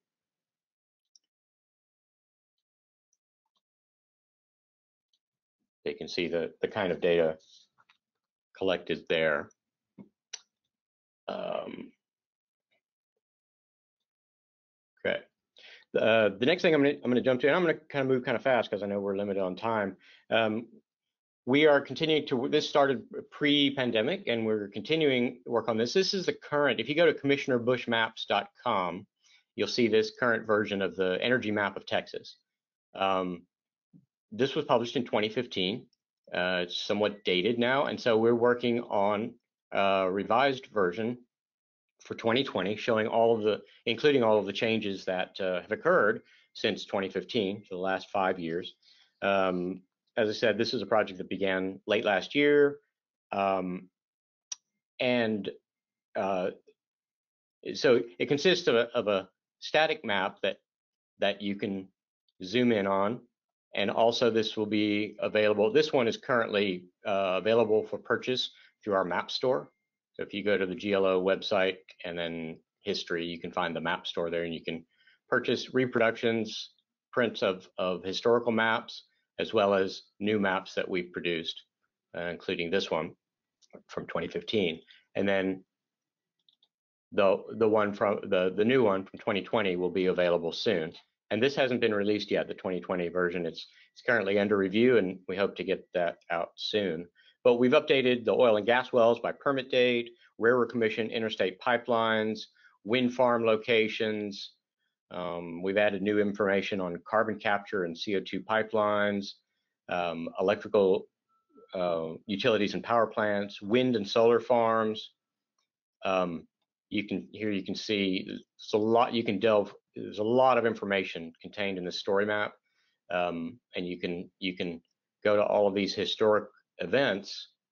Uh, click there, it zooms in on the map, and you'll be able to read about uh, that event that took place at that date. Um, a lot of his new historical uh, dates and information have been added here. As I said, we've got wind and solar information, um, submerged state lands, very large crude carriers, lots of information. You can spend hours on this on this map. Um, the next thing I'll touch on uh, quickly is um, something we're doing for our oil spill prevention and response program, uh, the, the Tarball uh, data collection effort. Um, this is used by field staff to collect tarball locations along the beach using the collector app. Um, so we're working with oil spill staff. We've developed a workflow, compiled the data schema, and created a web app for field inspectors to collect location and attribute information on tarball locations. Um, we've collabor collaborated with staff in Austin as well as from the, the five oil spill regional offices along the coast. Again, using teams um, to work through the methodology and tweak the data and web application for their purposes.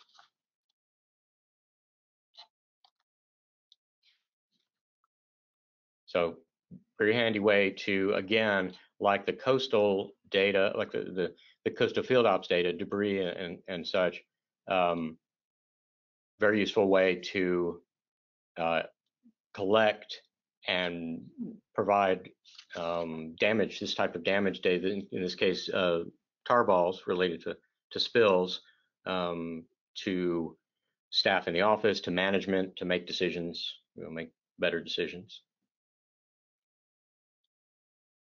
Um,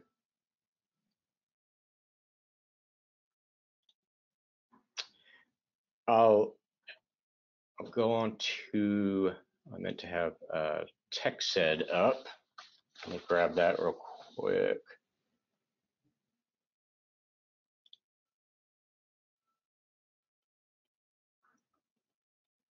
So another another project that we're working on is um, is a, an addition to the the TexSed project. TexSed is uh, uh, Texas Sediment Resources Geodatabase and Mapping Viewer. Um, we've had up for several years, um, which shows um, core and jet probe samples, uh, sediment cores all up and down the coast. So we're working on a pilot project for TexSed 3D, uh, 3D mapping project. Um, and so interns are are uh, assisting with with that uh, mapping project. It's it's the goal is to interpret from each sediment coring sample, log the thickness of beach quality sand, um, as well as gravel and fine materials, the z value together with its x and y coordinates to generate the surface and contours as a guide for sand resource extraction um, for projects all along the coast. Uh, the pilot project is is focusing just on one small area right now, and then we'll be expanding that out for the for the rest of the coast. See, we're getting short on time, so I'll move on um, to another important project. Uh, oh, there was TexSed. Oh, and that's our remote editing app. Um, that we're, we're, we've enabled interns to use to help uh, work on mapping miscellaneous easements, uh, surface leases, uh, and state real property um, polygons. The state real property uh, project is, is uh, using Esri's operations dashboard technology to track productivity on the GLO state real property program. Um, maps are created from this data set and used in reports on various properties and then submitted to the governor. Um, and as I said, interns are correcting polygons using the statewide TNRIS land parcels data set as a base map, as well as the Texas Parks and Wildlife state map and uh, WMA boundaries uh, data set when needed to align the state real properties with those boundaries. So thank you to TNRIS and uh, Texas Parks and Wildlife.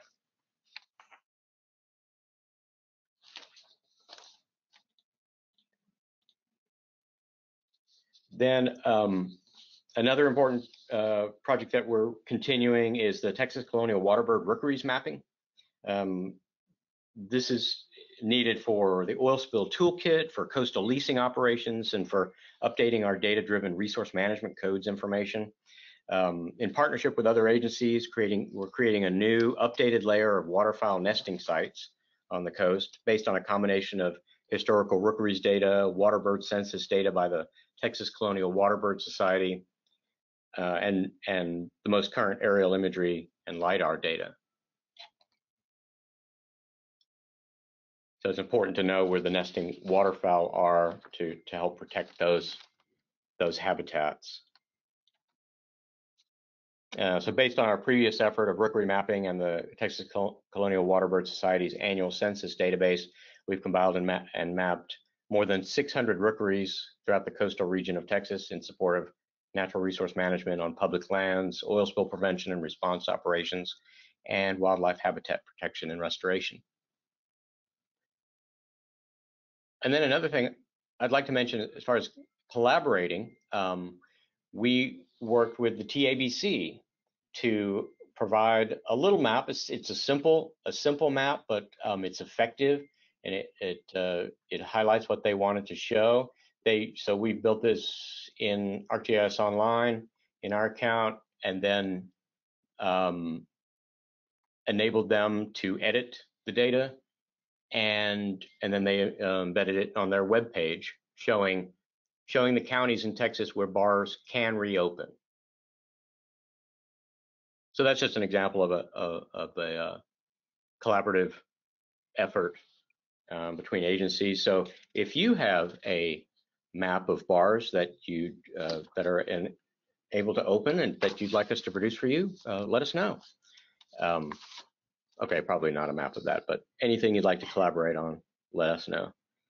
Um, I'm kind of running up against the clock, so I'll stop there. I've got a lot of other um, projects I could mention, but um, as you can see, we we've like Richard said, we I think we've been as productive or more productive um, with everyone working from home, um, and uh, we we uh, we hope to keep that up. The the last thing I'll mention is um, the uh, uh, an effort that we're we're going to be hiring Esri to do for us, which is an enterprise GIS architecture review. Um, that involves um, them them performing a, an architecture health check uh, on our entire enterprise GIS setup, and then um, providing us with the solution architecture planning. So uh, we we think we do a pretty good job with our enterprise GIS, but there's always lots of room for improvement, and we want the experts to to uh, come in and tell us, um, look at our servers, our licenses, anything else that we can improve on. Um, that's what we. That's why we're doing that. And I'll wrap up there. Thank you all very, much. Appreciate it. Thanks for the opportunity to Richard and Felicia and everybody at TNRIS. Awesome. Thank you, Scott. Uh, that is some excellent cartography uh, and visualization. So congratulations to you guys for getting all that done. So um, I thank you, and I'm now going to turn it over to Lorenzo. Take it away, Lorenzo. Oh, uh, I know, uh, Scott, there is a question for you about the internship program, and I will forward that on to you.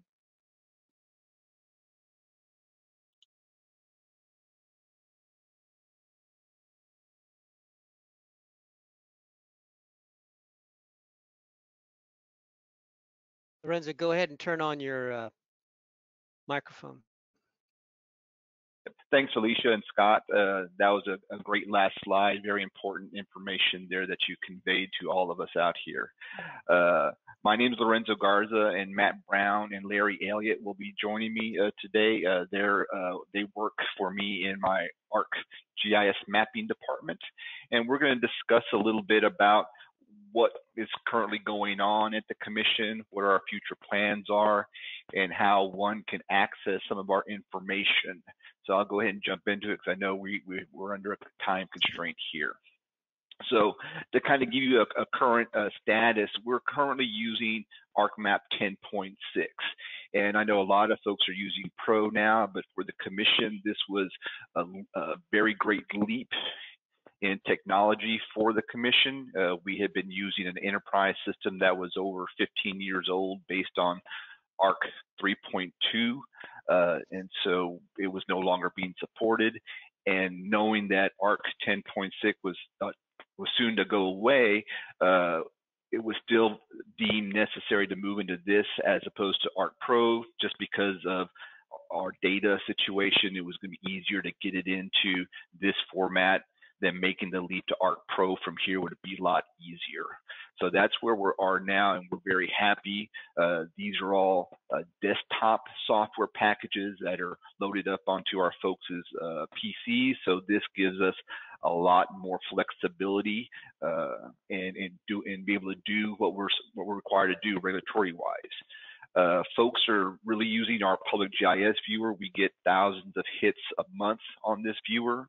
Uh, the last major upgrade we made to this was in March of 2020, and that was to include some new tools that Matt may have a chance to go over here when he speaks. Uh, we offer a lot of data on our viewer, and most of that data is updated nightly.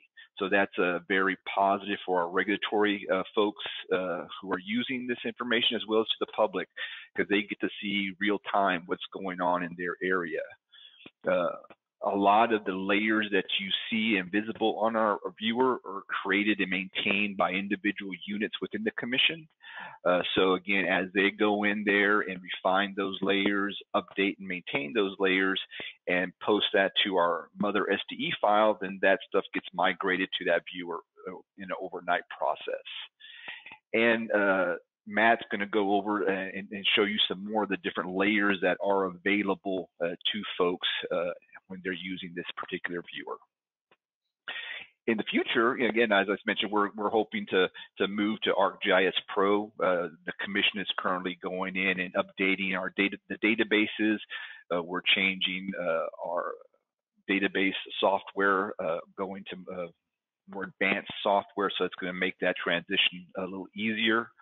Uh, we're we're undertaking a capital project right now, which is uh, very important for the commission in that we're creating a data warehouse.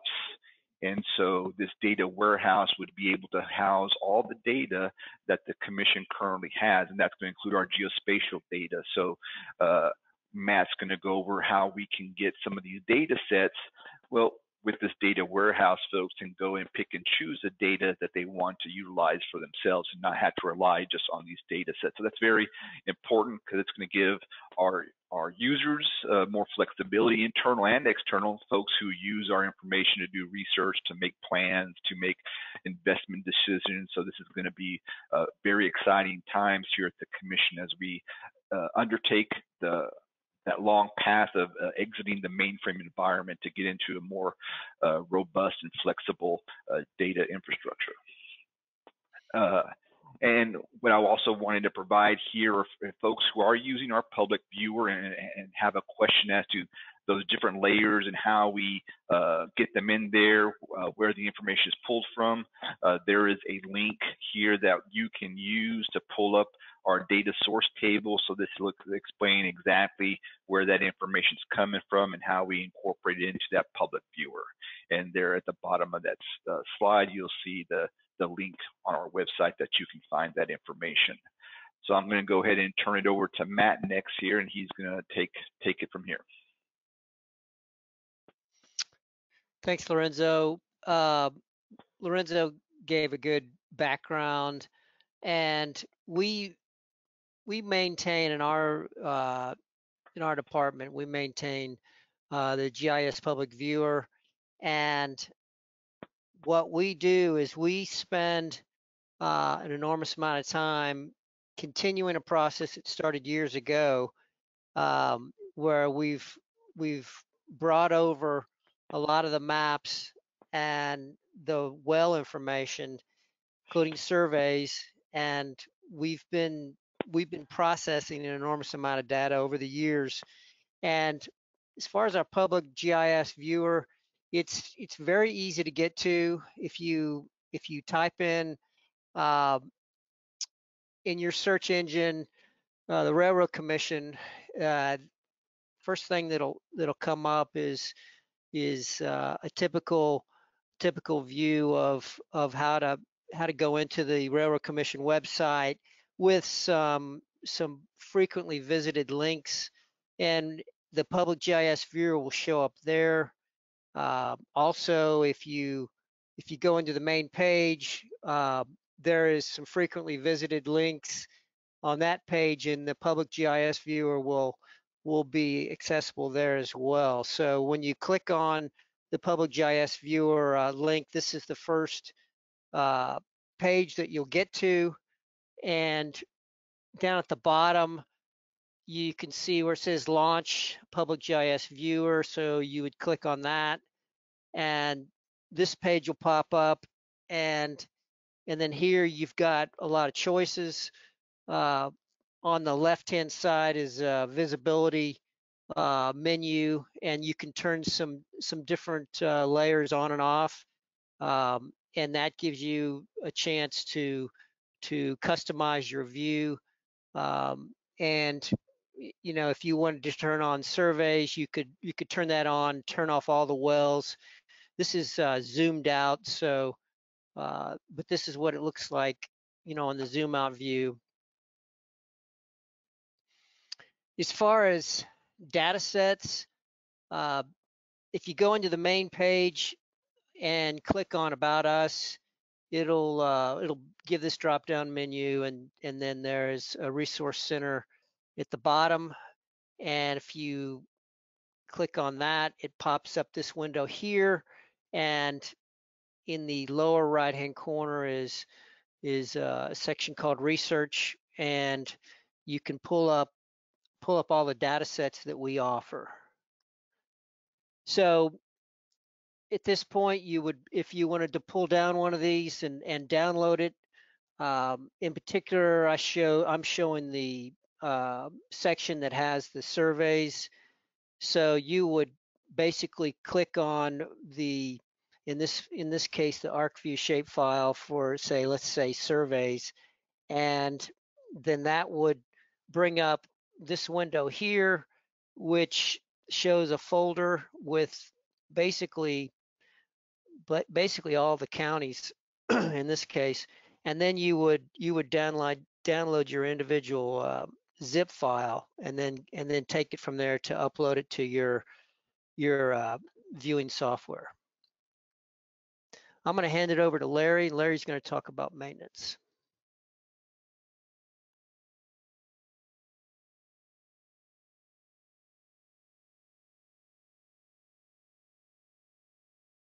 Are you okay? Yep, we hear you.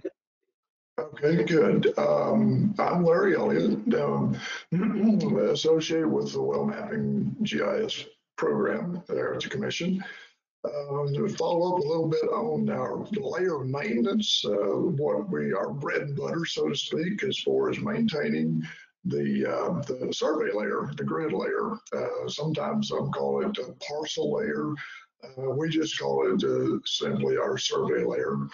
Um, it uh, our section consists of uh, two groups of people. We've got the, the base main base map maintenance folk, which is what I'm a part of, and also we also have another group. Uh, there are API research group, and that um, we've got somewhere in the neighborhood of about one and three four one and three quarter million spots out there that are representing wells all across the state, and um, those wells, those spots are identified through what is known as an API number. Some of you may know what those are. It's an American Petroleum Institute uh, that is a number that's officially assigned by the commission. It's sort of a unique identifier so that we can navigate to locate and, and uh, identify these particular well spots. Now, not every well spot out there has an API number, and that's what our API research group is in the process of doing and have been for quite some time and probably will for the foreseeable future,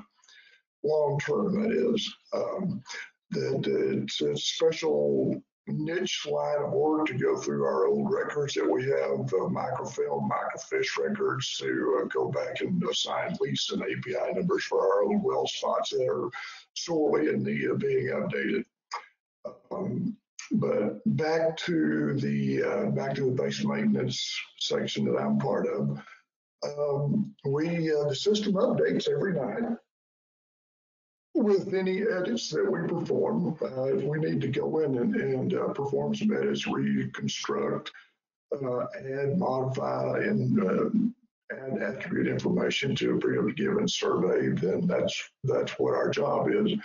Um, normally, we receive notices of, hey, there's a problem with your survey layer. Usually it comes in to us uh, from our drilling permits department. Uh, normally what happens is an operator will file a permit to drill, which will have an associated plat. And during the uh, approval process, that plat is reviewed uh, placement relative to the survey lines and coordinate information is compared to what our system is showing and uh, the uh, plat placement for, compares to the commission placement matches up, then everything's good to go. They'll be uh, stamped approved and moved on down the line. Uh, there are problems. Now, something survey construction is off or the coordinates points is not matching up, then um, that situation is forwarded to our little group and we'll take a look at it and um, go through a, um, a, process where we um, resolve it. Can you move to the next slide, Matt, please, sir? There you go. Um, so we've got a little process that we have to go through. This is pretty, um, to have as accurate of a um, OTLS or the original Texas Land Survey System representation as we can develop. Uh, we go through a pretty fine comb detailed review process to see what needs to be done, if anything at all needs to be done. Uh, we'll review, um, well, first off, we'll go back and look at, it's quite possible that edits were performed in this given area some, you know, sometime in the past. I've been doing this for quite some time now. And um, we don't want to go in and perform edits to an area that's already been edited quite some time ago. So we have a little warehouse, pardon me, that uh, maintains all the previous edits along with the uh, supporting documentation and, and why a certain area is uh, structured the way it currently is. So we'll take that information and we'll also contact, reach out, look for other sources of information, uh, surveyor plats that are provided to us through all of our well spots. Uh, we'll also utilize the GLO records, uh, archives and records section that they have, looking at the original field notes uh, that they have online, their um, their working sketches, their roll sketches that they have. We pull that data down, and the GLO did a really good job with putting some of their maps up and where you can go in and take a look at some of those work, working and roll sketches. From time to time, we have to go visit with the county, take a look at the um, the appraisal district. Usually, most or some counties have a, uh, a good parcel data layer setting out there that we can go in and visit with the, uh, staff at the county to get an idea of uh, you know construction and uh, what their take on it is and, and, discuss any discrepancies that we might have. Um, another source is just surveyors themselves from across the state. Uh, know quite a few of them.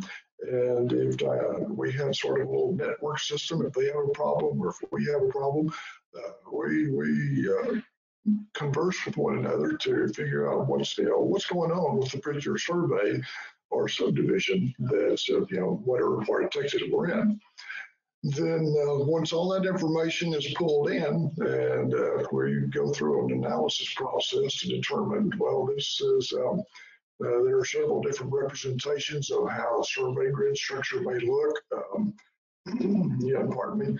Uh, we can look at the uh, the uh, accepted or recognized survey line placement. There's going to be the um, the technical or legally referred to version that, um, that we have to compare between the two. Uh, we're not the judge and jury by any means, but we have to go through and compare and see what is going to be our final process or our final construction for a given survey or subdivision in an area. Um, with the uh, with an area the size of Texas, we've got mistakes and edits that need to be made out there. I'll be the first one to stand up and say that.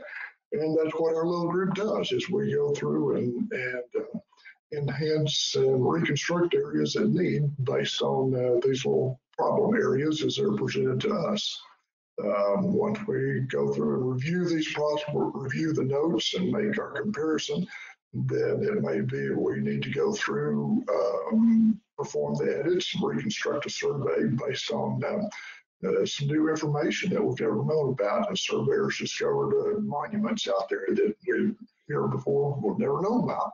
So we'll reconstruct based on that. Um, we've got well spots. Aerial photography has come in real handy in helping us locate what I call well scars out there where surfaces indicate the uh, location of a well that uh, we can use to help us uh, further refine our survey construction. And then once all that's done, if we need to move ahead and uh, modify an area, we'll do that once we've completed the edits and posted, then it goes through, uh, we go through a QC as one of my fundamental rules is that once somebody performs an edit, that uh, it is reviewed by another person on our staff. To make sure I like to see the more eyes that have a chance to look an area over, uh, the more thoroughly it can be reviewed and much more comfortable in coming out with or the, the end result of the survey construction or subdivision in that given area. Uh, once that's done, then it goes through uh, the second QC step is it's posted to uh, what we call our QC layer. which is goes up into the the load before it goes into our SDE. And once it goes through the various QC steps, then then we load to this, pardon me, we load through to the SDE, which is what the GIS viewer is tied into. Uh, whatever updates occur today that we make with the survey, subdivision, and well locations, um, once they're posted to the SDE, then SDE will will turn over that night, and those edits will show up on the viewer the next day. Um, once the edits are done, we're finished. Then um, you know, to make sure that we document those edits and support what we did and why we did it, uh, we have a ever-growing archive of uh, problem resolution reports, if you will. Yes, ma'am, I see you on there. I'm revving up. um, and then uh, we, we uh, archive that and house it in, in a separate standalone uh, filing system so that uh, when the situation develops in the future, you know, whether it's through us or the next generation of GIS folks at the commission, need to come back and look at an area to see, you know, why we did what we did. So um, uh, that pretty well wraps up whatever I've got to say. So if there are any questions or comments, please feel free to contact us. Uh, we're willing to discuss or uh, go over, you know, other avenues that we pursue, data sources that we use and come up with. Uh, we'll be happy to discuss any items with anybody. So with that, we'll conclude and turn it back over.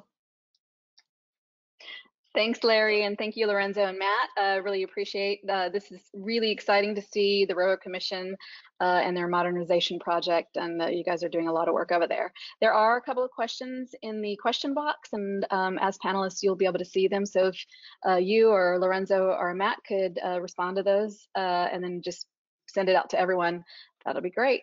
So thank Sounds you again. Good. Sounds appreciate good. It. Okay, thank you. So Benny, thank you. So Benny, you are up next and um, I will let you take it away.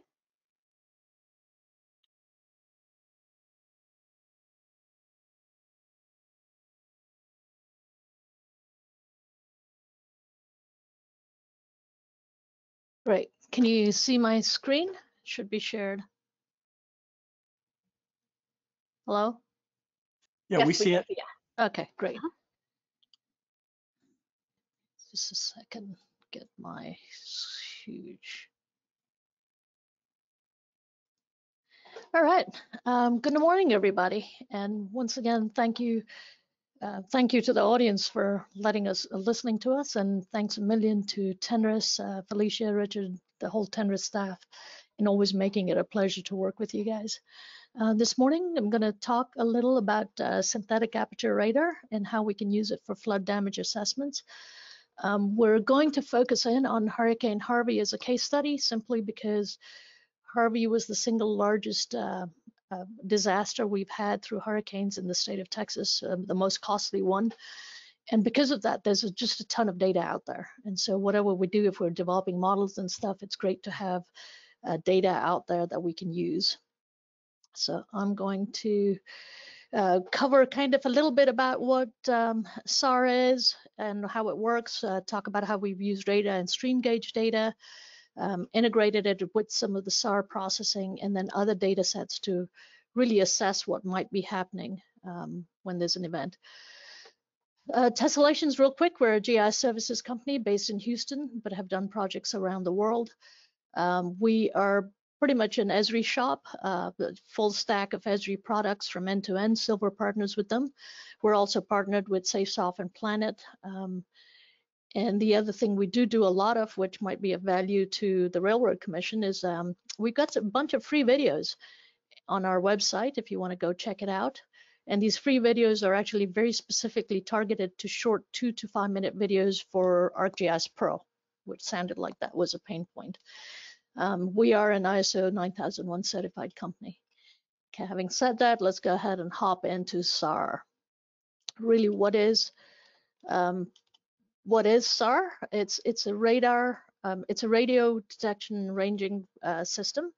Essentially, uh, it, you know, launch it on satellites, get data back. And in this case, the SAR is actually um, the radar sensor. It's an active sensor, which means it emits its own energy, throws it out, collects the data uh, from from that whatever comes back, as opposed to our standard optical systems, which generally are passive systems. They don't emit any energy of their own. They're just passively listening and looking at reflectances coming back from objects. Hence, the difference between the two allows the SAR to collect data at night. Because it's emitting its own energy, it can continue collecting data at night, whereas reflectance optical images, night is dark, objects aren't reflecting anything, you're gonna see nice black, gray images, right? Um, so uh, pros about the SAR is you can collect day or night. Um, the other pro about a SAR image is it penetrates clouds. Uh, the wavelength it uses is a much longer wavelength than the optical visible spectrum and the electromagnetic spectrum. And this longer wavelength lets you penetrate clouds and smoke, uh, which optical images, of course, can't. Um, the cons are there's a couple cons. One is, you know, it's hard to interpret. It's it's kind of a it gives you an image. Here's a low res one, and here's a high res one example, and this is an optical image of the same area. Um, it gives you kind of a panchromatic image, but it's not quite uh, a panchromatic image. So there's some some learning curves associated with processing SAR imagery. Um, and the other con is is limited availability. We have lots of uh, optical sensors out there. We can pretty much get anything anywhere, anytime we want. Um, SAR is not quite there yet. Um, here's another example of some of the challenges or advantages you know, here's an image from an optical cloud covered area. Uh, SAR will actually penetrate and give you this panchromatic looking image. Um, it is a side looking sensor, and so there's some, some geometric issues with processing that data. Um, the exciting thing is this little guy here. Um, I'm hoping, hang on, you should be able to see my cursor now. So this little guy here, what this is, is it's a microsatellite and it's the, you know, it's a tiny little cube. Before we used to put um, satellites up, you know, one rocket, one satellite uh, payload, and then it, it releases a satellite. Well, now we've got these microsatellites, and what's happening is one rocket cluster of satellites go up and they release these satellites as a cluster and so you're getting an immediate constellation um, these microsatellites tend to be a lot lower in orbit which means generally means higher resolution data can be collected and because they can put a cluster out, you can actually get much wider coverage because there's many of them sensing at the same time as opposed to one at a time.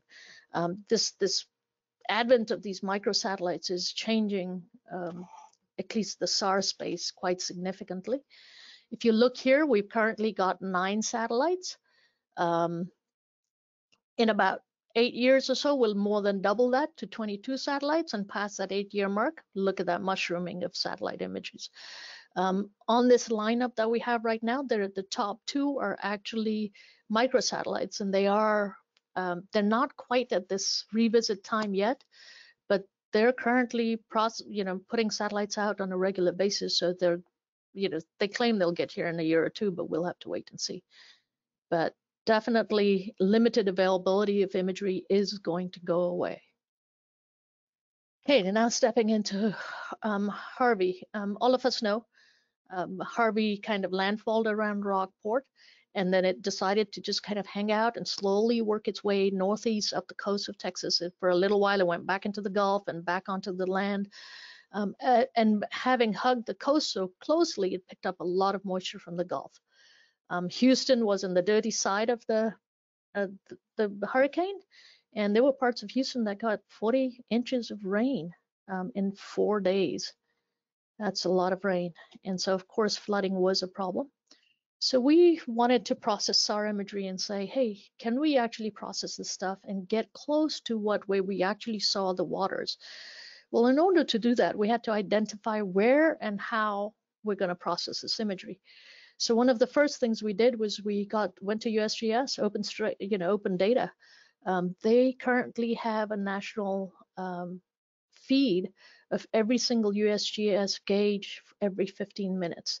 So we went backwards in history and grabbed July, August, and September of 2017, and then tried to identify, you know, where is this water coming around the Houston area?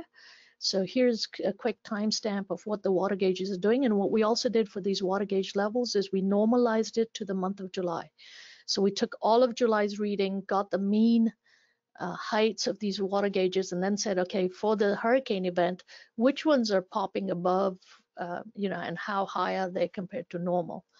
So Monday, everything looks kind of decent. Tuesday, something's happening. Rain is definitely reached. We got a lot of gauges kind of going high very quickly. And I do want you to focus in on this little pocket here. You'll notice that these reds, you know, pop up very quickly early. And as we go through each day, you know, some of the gauges, some of the water is going back down. But this area seems to consistently stay red. Um, there's that area and there's a few others. So we've studied several areas around Houston.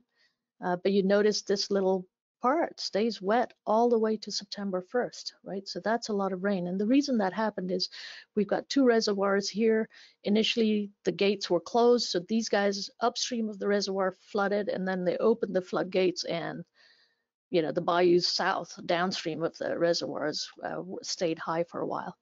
The other thing we also wanted to do is, you know, when these stream gauges are going up and down, can we look at radar and can we look at process the radar data to find those pockets of high high water you know where's the high water coming down? And so we we did it for several timestamps in different areas and we've kind of come up with a process that generates these blue polygons for us. So this blue polygon is essentially the area of interest at a given time um, so once we've identified that, we take that polygon. So we're calling this, you know, derive areas of interest of high, high risk based on stream and radar. So based on some real metrics and take that and process the SAR imagery in those pockets to see what's going on. Um, and ideally, this is this can happen while the event is going on because SAR imagery will continue to collect data while it's raining, even though it's cloudy. So we can process while the event is going on. Uh, we take these these areas of interest into Google Earth Engine, which is essentially just a large computing uh, framework for computing for large data sets. Um, as a part of their environment, they have several imagery um, sources in there, and one of them was the Sentinel-1 SAR imagery. So we basically use Google Earth Engine to take our areas of interest, process it using some of the imagery that's already there, and it is mind-boggling you can process areas within seconds of, of pro, you know, once you've got your model set up to run it, it takes literally under a minute. Um, so it's, it's pretty exciting environment. Um, just to show you some examples of what we're getting back, um, here's just a, an area around Kingwood. Here's another optical image of it after the floods, but recognize that this image was taken after the clouds had cleared. So you're actually seeing after the event picture. So some of the water has already receded. And this is our blue areas are kind of the flooded areas we're getting out of our SAR model um, that shows where we think the water was at a given time.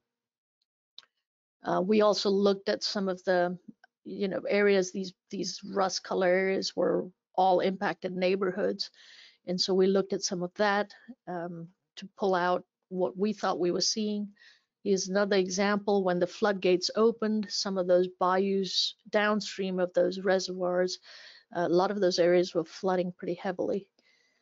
Okay, so now in theory, we've defined where the water is, right? Once we've got this SAR image processed, well, um, you know, on its own, it's not worth a whole lot you know, where do we need help and how do we get those resources out there quickly?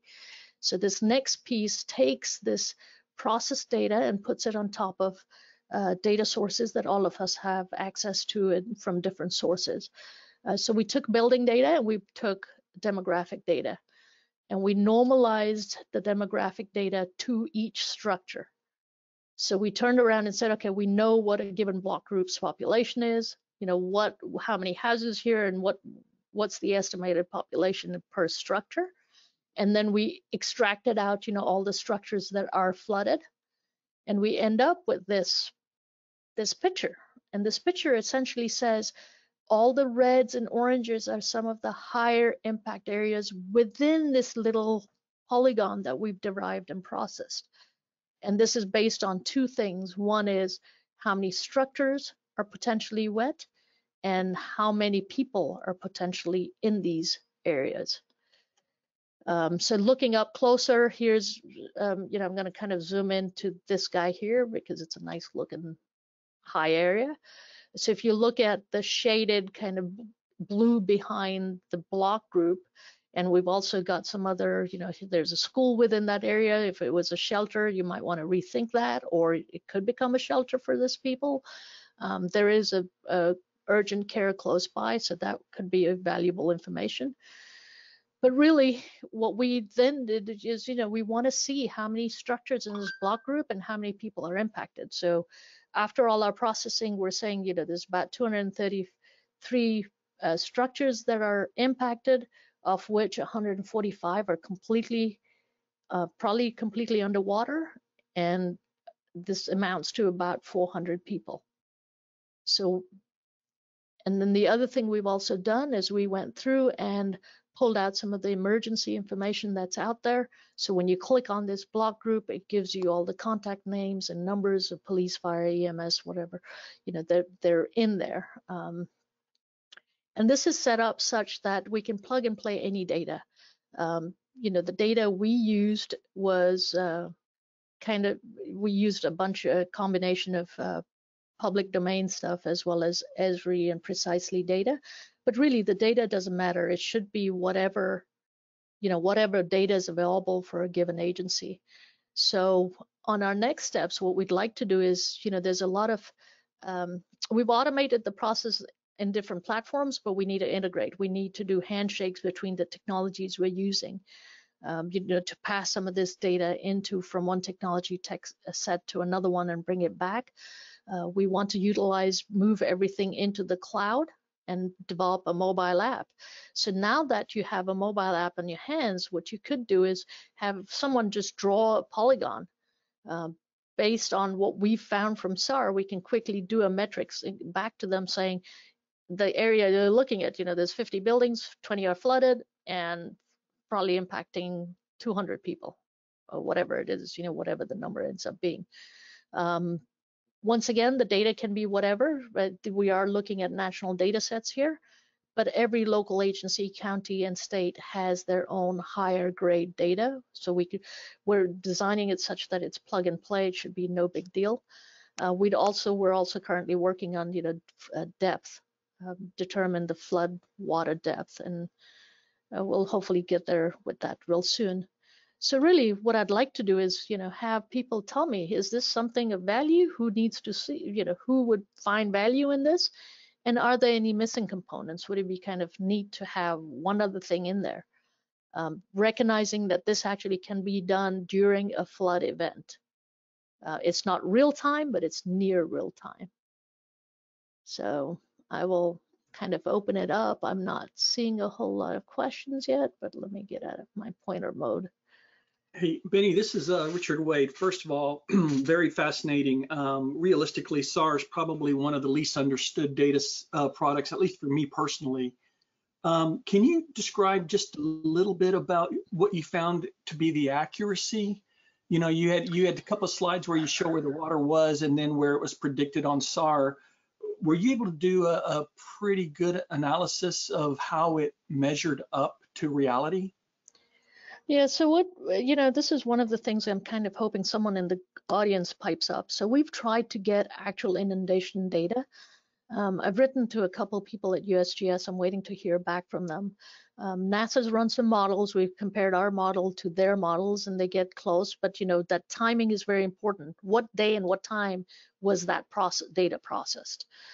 Um, what we would love is, I know people like the flood control districts, right, have actual inundation data. We haven't managed to get our hands on it. We'd love to compare to ground truth.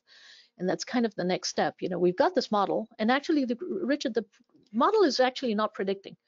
All mm-hmm. it's saying is process this image right now and tell me where the water is. I'm not predicting where it's going to be in a minute.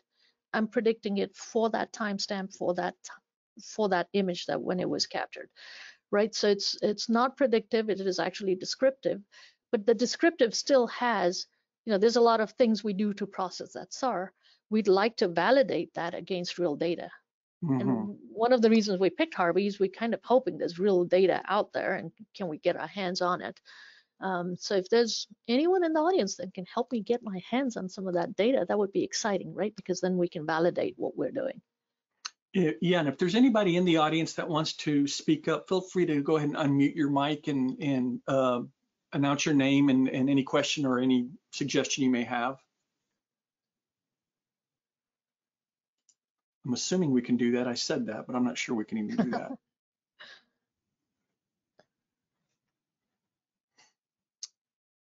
I'm perusing the questions right now. So uh, uh while that's happening, Benny, um, first of all, again, thank you for that. But you know, from from um, the water board's perspective and the fact that we are highly embedded into doing a lot of things relating to flood, I think I would like to have a, a sidebar conversation with you after afterwards sure. to maybe talk a little bit about how uh, SAR can be implemented and some of the things we are trying to do um, from a flood perspective. So uh, um, yeah, I, I, will definitely reach out to you after this. Great, great. Um, that would be great. And you know, if uh, anyone in the audience has thoughts, I would love to hear from yeah, you. So please call us. So if if you have a question for us to unmute you, you're going to have to raise your hand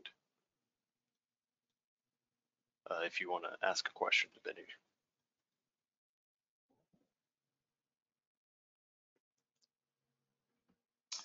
Okay. Well, people Benny, are hungry, I think, I think. You did a you did a good job explaining it all. All right. Well, hey, thank you. Thank you, everyone. Thank you so much. And I want to thank uh, uh, Lorenzo, Matt, Larry, and Scott um, for, for their participation in this session. Um, this is really good stuff, and y'all been amazing to stay on time uh, with all of this. So I hope you can join us back. We're going to take an hour and a half uh, break, uh, and I think we're coming back about 1.30, and we're going to do 1.30 sharp. So swing on back when you can and uh, we look forward to seeing you. I think we're just going to keep this meeting active, right? Is that right, Joey? And uh, we're going to just kind of keep it going and just join back up at 1.30. Is that right? Uh, that is correct. Okay. All right. Well, thanks again, everyone. We'll see you back in an hour and a half. Okay.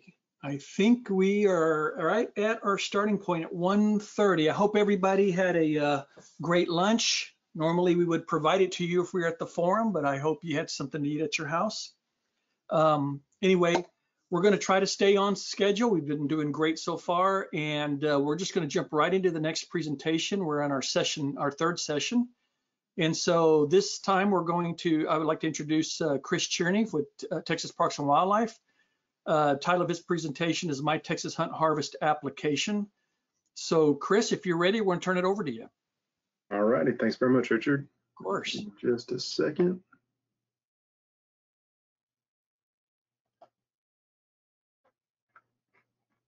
Okay. Uh, Richard, could you confirm you're seeing this presentation screen? I am. It looks great. Okay, excellent. Well, hi, everybody. Uh, my name is Chris Cerny, and I'm with Texas Parks and Wildlife Department. Um, my official title is business analyst, and so that's my first disclaimer of this talk is to share that I am not a GIS specialist but I know some. I know some very talented specialists, and really, I'm here to share uh, a project that I've collaborated with with several specialists, uh, including a mobile app developer, uh, specifically to deliver mobile maps to our public hunters for use in the field.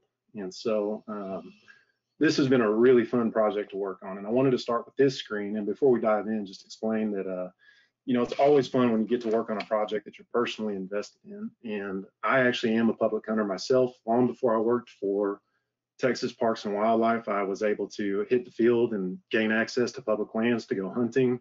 And so I, I know the the kind of I guess intimidation factor that comes with showing up to a spot you've never been to to go hunting uh, and try to find your way around. And so it was fun to work on a project uh, to deliver a tool to our customers, our public hunters, to to help them get out in the field and enjoy the activity we're seeing here. Uh, get your kids out, your family, your friends, and have fun in the field. So with that, we'll dive in.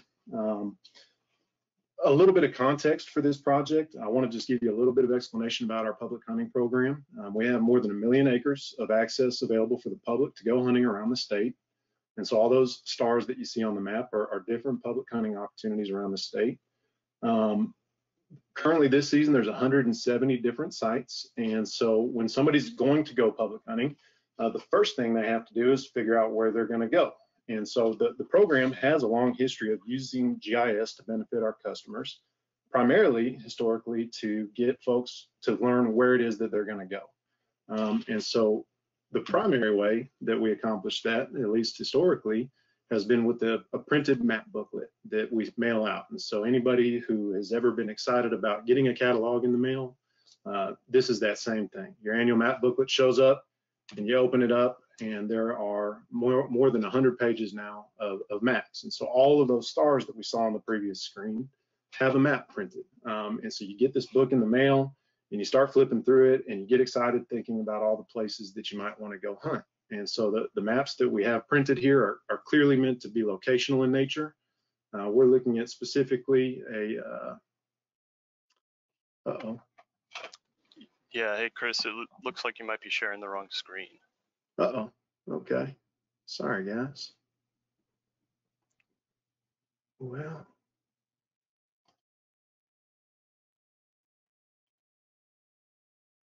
I'm not doing this right. Bear with me. I thought I had this all set, guys.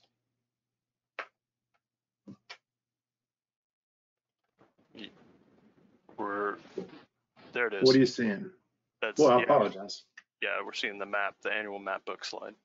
Okay, good deal. Sorry about that, everybody. Um, here we go. Thanks for the heads up. So, anyways, you get your public map book in the mail and, and you open it up, and, and here are all these uh, uh, you know, printed maps of, of all these different hunting opportunities around the state. And so uh, clearly these maps are designed to help you locate where it is that you can go hunting and what you can do once you're on site there. Uh, but obviously this isn't meant to take into the field with you, especially at a site like Granger Lake here that's more than 10,000 acres in size. This isn't meant to help you actually navigate it once you're in the field. Um, and so our, our, staff has worked over the years. Well, is it not advancing? now? to provide additional tools to customers. Um, so uh, Nancy Hager, the GIS specialist who's responsible for creating and delivering all these maps, has worked to create an interactive web map uh, that should be shown on your screen, hopefully, if I've got this working right. Uh, and so customers who have decided they want to go to a particular spot can then get online here with this interactive web map viewer uh, and start researching their area a little more. Um, so again, trying to get customers comfortable with where it is that they're going to go, uh, so that when they get to the field, they're confident that they know where they're supposed to be, and importantly, where they're not supposed to be. So, you know, the green boundary representing the hunt area boundary, these red dashes representing areas that you can't hunt. Um, this is a really phenomenal tool, but it's one that does require a web connection. It's also not something that lends itself to being able to be used for navigation in the field, even if you do have web connectivity in the field. You're not going to see your location dot on here uh, but still a very good tool that, that's helped customers get comfortable with where it is they're trying to go hunting. So the, the project that we wanted to undertake is to just use these existing products that we had. We're not trying to reinvent the wheel. Uh, Nancy does a phenomenal amount of work every year to deliver these maps for our hunters. We just wanted to package them up in, in a way that they could be used out in the field by our public hunters. Um, so keep this symbology in particular in mind with that, that concept in mind that we're just trying to repackage everything. And, and the last little bit about background is, so we've described, you know, finding where it is that you're going to go hunt, uh, and then figuring out a little bit about the area you're going. The impetus for this project actually was spurred by a desire to modernize what you do once you're actually on site. So we asked all of our public hunters to uh, register once they're on, on premise. And so that tells us who's using the site, so how much utilization are we getting, and then what's the success rate. So a lot of those sites that we saw on the map some are owned by the state, some are wildlife management areas that we operate and intensively manage, but many are actually owned by private landowners and we make a lease agreement them. We pay them money uh, to provide access to that site. So they sign a lease agreement that they'll receive a certain amount of dollars. In exchange, the land is opened up for public access. And so we certainly want to be able to gauge um, how successful customers are being on those properties and whether those properties properties are being used at all. And so this on-site registration process is historically how we've, we've taken care of that or, or checked on that, that progress for these sites. And so this has been a paper-based manual process. Often when, for most of these sites, when you show up, there's an information station near the entrance gate and you'll find a board there with a, a box on it and you fill out one of these paper forms, you drop it in the box and then our staff are responsible for gathering up these forms and mailing them back to Austin headquarters, where we have a data entry specialist who still manually punches these these forms into a database for analysis. And so it's it's a very manual and time-consuming process. And so our public hunting program uh, a couple years ago requested a project to modernize this process, and and that was the impetus for this mobile map package process or, or project as well. So we have an existing app, a mobile app called My Texas Hunt Harvest. As the name implies, has historically been used for uh, allowing hunters to check game harvest. So specifically for mandatory reporting of eastern turkey and white-tailed deer in several counties now, but we recognized that we could use this existing app uh, and add in additional functionality to allow hunters to perform on-site registration. And with that came an opportunity to provide additional service to our customers related to delivering those maps that we've already looked at that Nancy produces in a mobile platform, something that they could get on their phone and take with them into the field uh, so that regardless of whether they had cellular data service or not, they would have a tool with them to help them locate where they are on site and be confident that they're where they're supposed to be and that if they get a little turned around, which trust me, as somebody who has done that on several different spots, it's pretty easy to do, uh, that they can find their way back to the truck or off the property safely. Um, and so it was that desire to modernize the registration process that really gave us the ability to work on delivering these mobile maps as well.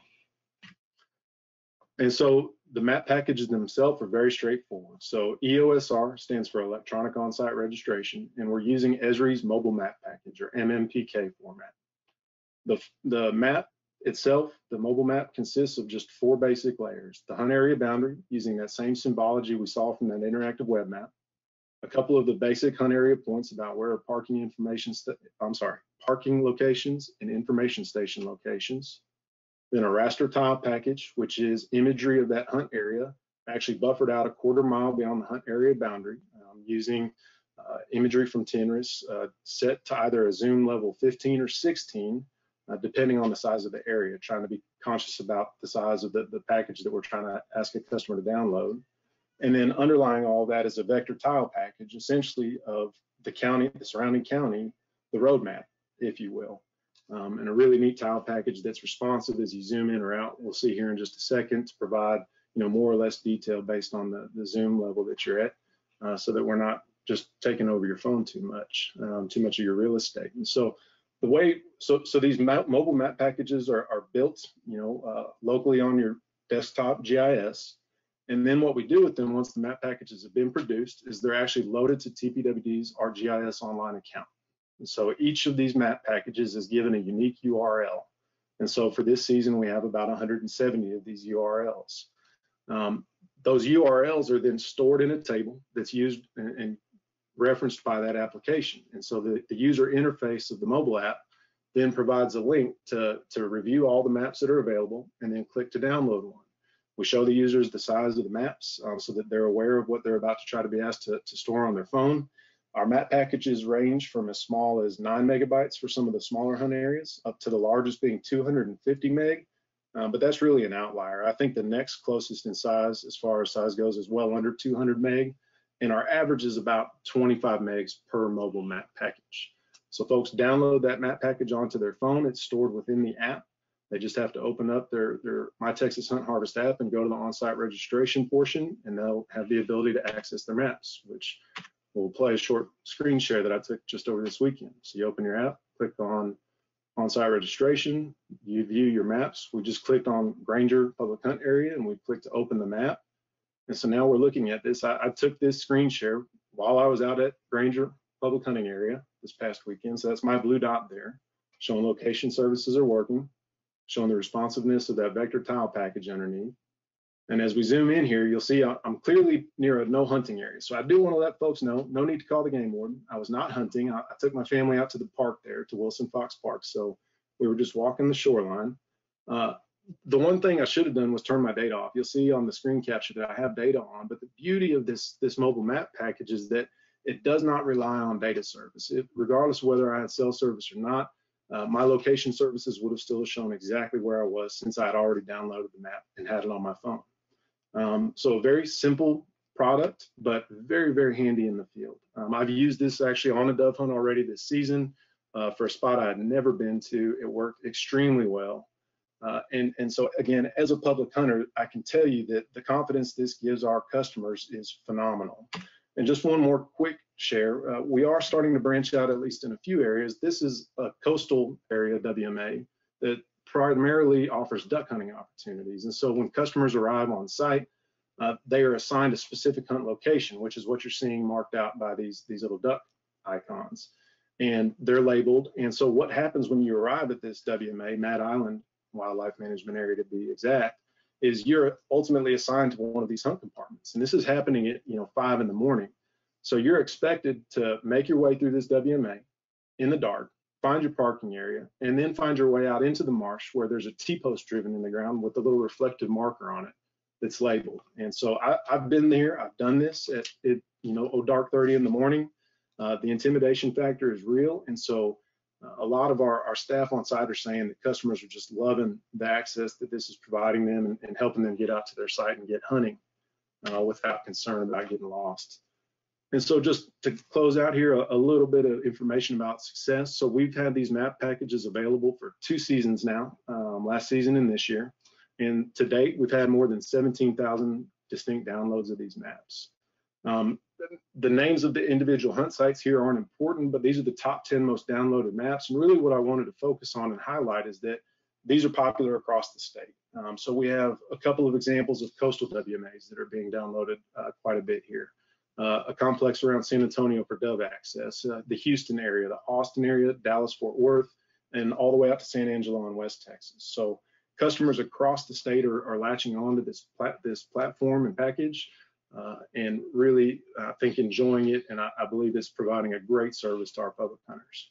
Uh, and we really want them to get out in the field. And so uh, that's a that's it. That's a short presentation. So thank you for your time today. I do need to acknowledge a couple of folks. I mentioned Nancy Hager. Uh, she's responsible for all the boundary files and, and, the map books that go out every year and maintaining all this information about these public sites.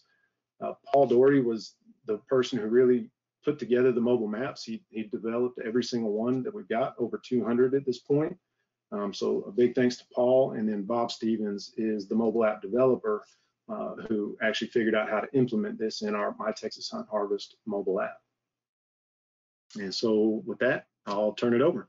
Yeah, Chris, uh, we we got uh, about five more minutes, and I have a I have a question for you, real fast. Um, are are you uh, so first of all, the maps, are they public lands that, that you have the images? Uh, in other words, the areas that you have up there that are available, are they on public lands or can a private citizen offer up their property to be on this site? Yeah, good question. So uh, it's a combination, Richard. So there are, this is a public lands here. This is owned by the Corps of Engineers and we have an agreement with them to operate it as a wildlife management area. Um, our public hunting program does lease from private landowners. So uh, we would not randomly ask a private, or we would never randomly publish or take a request from a private landowner to develop one of these and publish it unless they have a lease agreement with our public hunting program to offer public hunting access. And that is common. We have about 120 or so uh, sites, primarily small game for things like dove, where we actually have a lease agreement where we pay that private landowner to provide public hunting access and opportunity. And in that case, yes, we do create a, a mobile map package for that private landowner uh, that shows the boundaries of their property and make sure that folks know where they're supposed to be on that property and where they're not supposed to be in terms of either no hunt areas or getting onto a neighbor's place. Okay, and and so um, how and and I saw what you had license. I saw a button that said licenses. Um, are all licenses kept online now where you or do you still have to carry uh, proof of it with you or can you show an app and then pull your license up in front of a warden or you know those kinds of things how how, how robust does that does that get yeah we actually just had legislation passed this last session that allows uh, a customer to provide an electronic copy of their license and so uh, this app you actually can access your license it shows your current license holdings um, to be on these public lands, I should have mentioned, you do have to buy an annual public hunting permit. It's $48 in addition to your hunting license. Um, or there's a limited public use permit as well. But you have to have one of those two permits to legally be on these properties. Um, and so a game warden who came to check you in the field, you could open up your app. Uh, you could click on the licenses tab and show them your current holdings. They could check you right there and uh, you're good to go. Or you can always, of course, go with the traditional route of having your license in your pocket. And, and can you also pay for your licenses through the app itself? Not through the app. There are links that will take you to our website where you can purchase licenses. So we, will get you there, but no, we don't have the ability to pay for licenses through the My Texas Hunt Harvest app. Okay, okay. Very, very uh, fascinating. It's it's kind of good to see things happening like this. So very, very um, interesting presentation. Appreciate that. Does anybody have? We still have about two or three minutes. Anybody have any other questions? I'm kind of perusing the list here. if anybody's curious, the app itself is built in the, the Xamarin Forms platform. Um, and, and, I believe this is where I had to make the disclaimer, I'm not a GIS specialist or a programmer, but uh, Esri has a plugin of some sort that, that works within that mobile environment. And so hmm. uh, that's what we're using to deliver these mobile maps uh, to this app. Perfect, perfect. Uh, I think this might be, um, there's one question here uh, from Matt Highland. Um, I, I, think it's similar to what I asked, but let me, I'm gonna read it out to you just in case. Um, has it been difficult to get hunters to adapt to a modern technology given that, and I'm sorry, Matt, your question actually cuts off here. Uh, given that modern technology, given that most are older, has it been difficult to get hunters to adapt to modern technology given that most uh, hunters are older? You know, surprisingly, no. And the reason I say that, um, we have gone with our public hunting program knew that this could be a potentially difficult shift for some folks. Uh, you know, it's been decades that you've done paper on-site registration. So we actually have a, a two-year period. We're in the second year of those two years now, where you can still register on-site using either the electronic version. Uh, I'm sorry, using either the paper version or the new electronic registration process. So last year, in our first season of voluntary use, uh, I believe it was two thirds, 66 or right around there percent of the registrations were completed through the app. So within the first year, the majority of our users had already shifted to the app. Um, you know, surprisingly, I think a lot of hunters, especially those folks who are, are accessing public lands, are used to getting online and searching out their opportunities. Um, so I think that there's an interesting dynamic where these hunters actually may be fairly tech savvy and they appear to really be latching onto it uh, very quickly. Well, congratulations. What a great what a great application, and it's good to see yeah. it getting pulled into the 21st century. So great job. Um, thank you, Chris, Thank for you. for that. Thanks for putting um, up with the tech difficulties. I had that. Somebody had to do it today. No, you did good. That's just part of it, I guess. Thank you, sir. Right. Do I need to right. pass privileges to anybody or? Yeah, let's see. Well, I guess uh, your colleague is probably next. Uh, Joanna Valenta, are you are you available? I am. Thanks, Chris. That was fantastic. I'm getting yeah, on video thanks. right now. All right. Oh, okay. Wonderful. All right, let's get the right screen going. I believe you're seeing something. It probably says uh, Texas Cultivated Oyster Mariculture website. That's it. All right. All right. Well, then I'm going to shock you and change it over to a PowerPoint presentation. Can you see that one? Yes.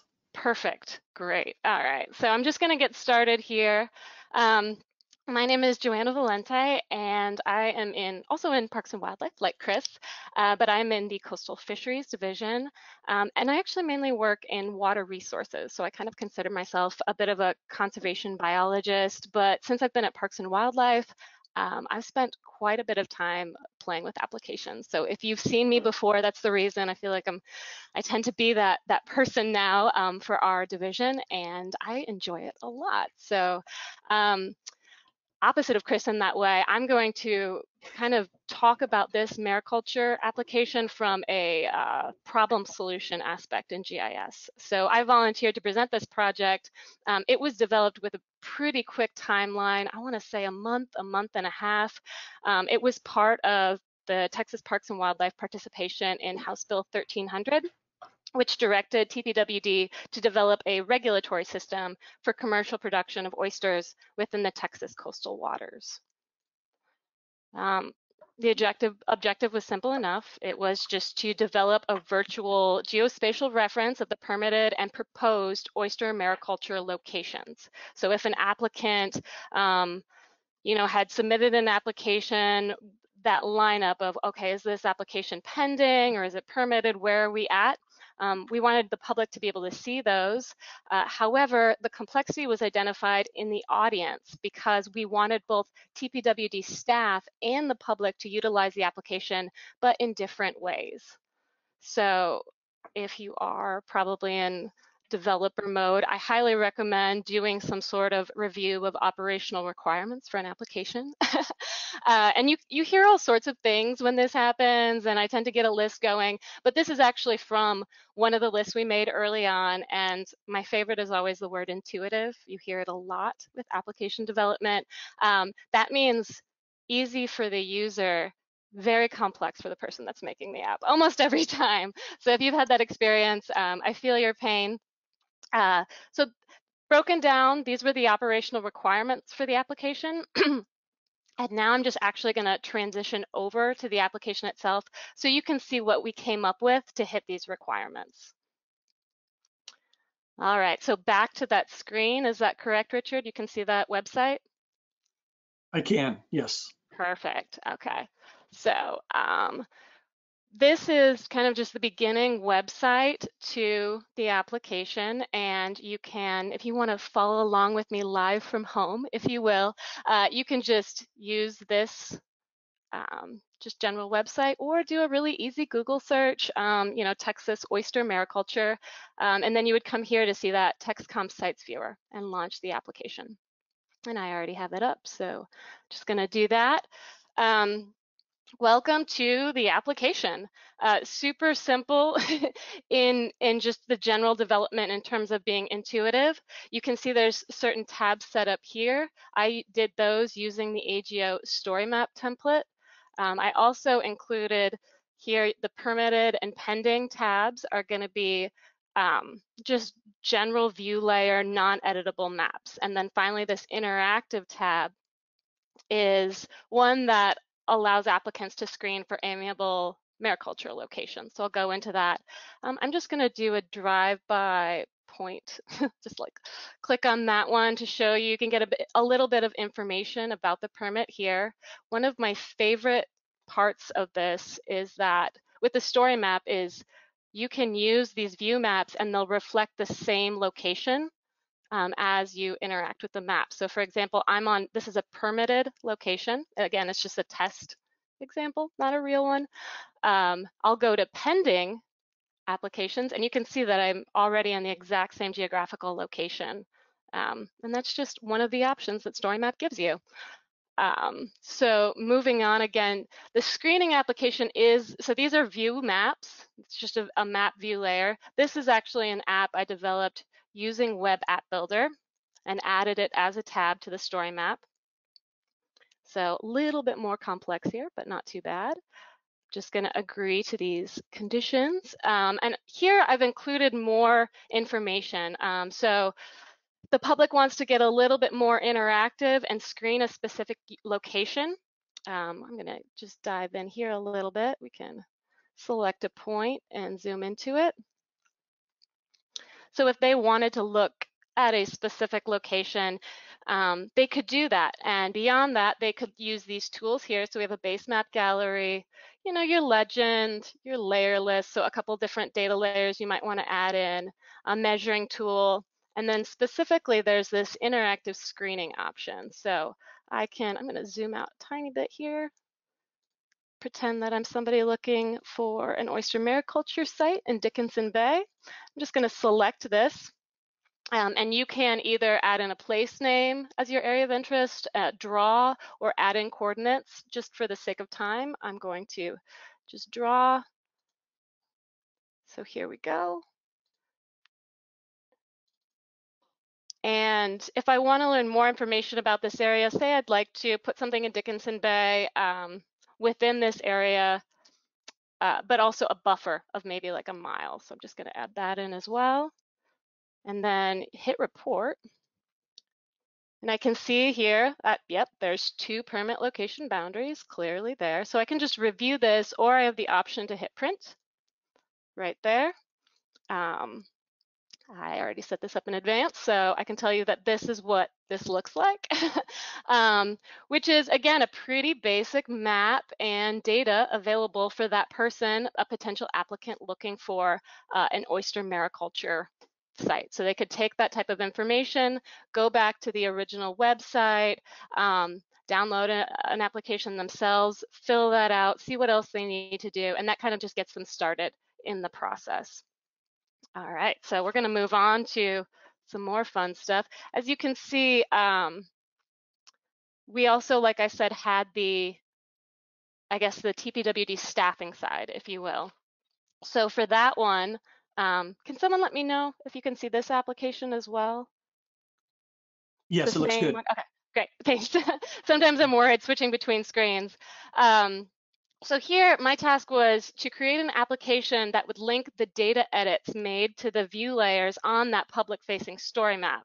And while the staff did have the option to use the AGO group access for this application, um, I also made it available within the banner of the public-facing interactive application. So it's just at the bottom. Only you know employees could really go in there, but that just made it one step easier for them. So once they clicked on that, they were able to go into this um, commercial oyster mariculture employee um, application side. So another application.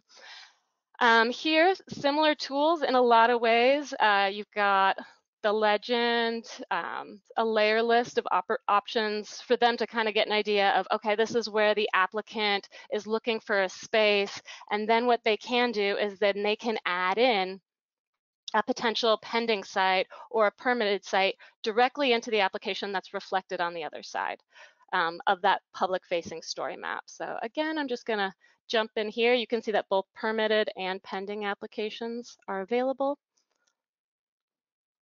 Um, you also have options like, you know, the base map gallery. This grid can be really helpful to a lot of people that are, especially when they're drawing out their polygons.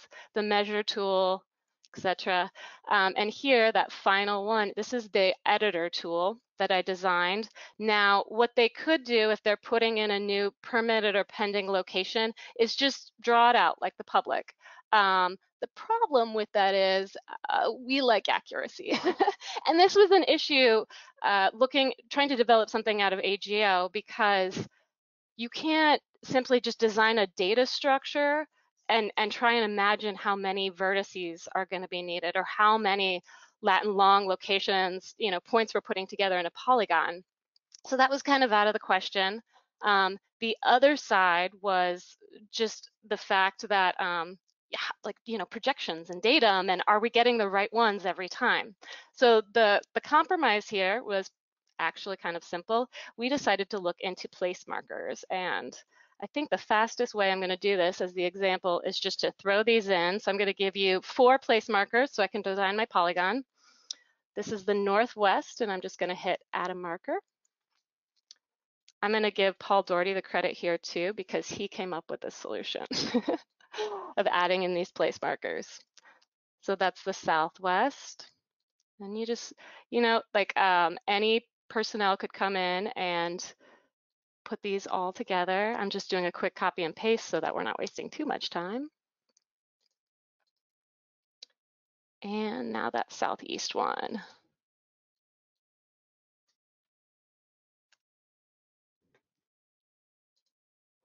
And then I'll just zoom out a little bit so you can see what I did, where we're going with this. And then here, I'm just gonna select my new selection and tie these together.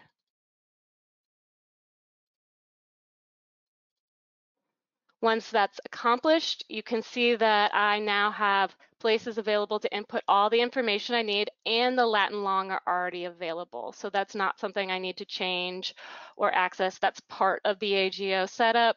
Um, I'm just gonna do a quick pretend test. I actually developed the data structure in um, ArcCatalog, so I was able to create these domains for a dropdown.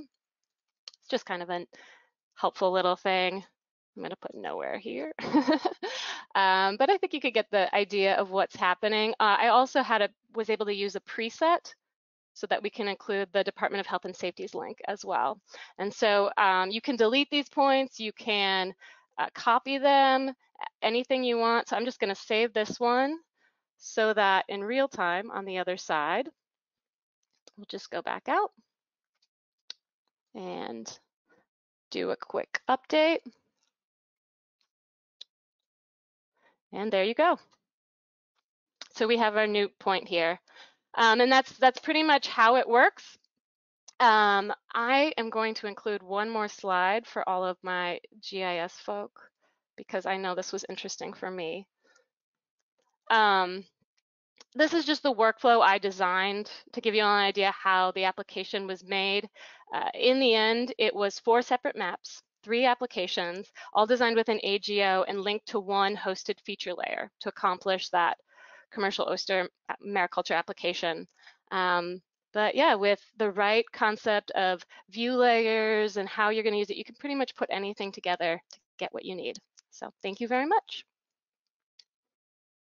Wonderful. That that's fantastic. And I, I got a quick question. We got a little time here. Um, so I was actually kind of scoping out how you did the app. Is that just done through an Azure app builder, or did you guys really? It's just yep. an app Wow. Yep. I know, right? Esri is, yeah. this is not, so I, I'm telling you, the turnaround was a month and a half. Sometimes I joke about it because I'm like, you know, man, I can, I don't want to tell people I can do these in a couple days.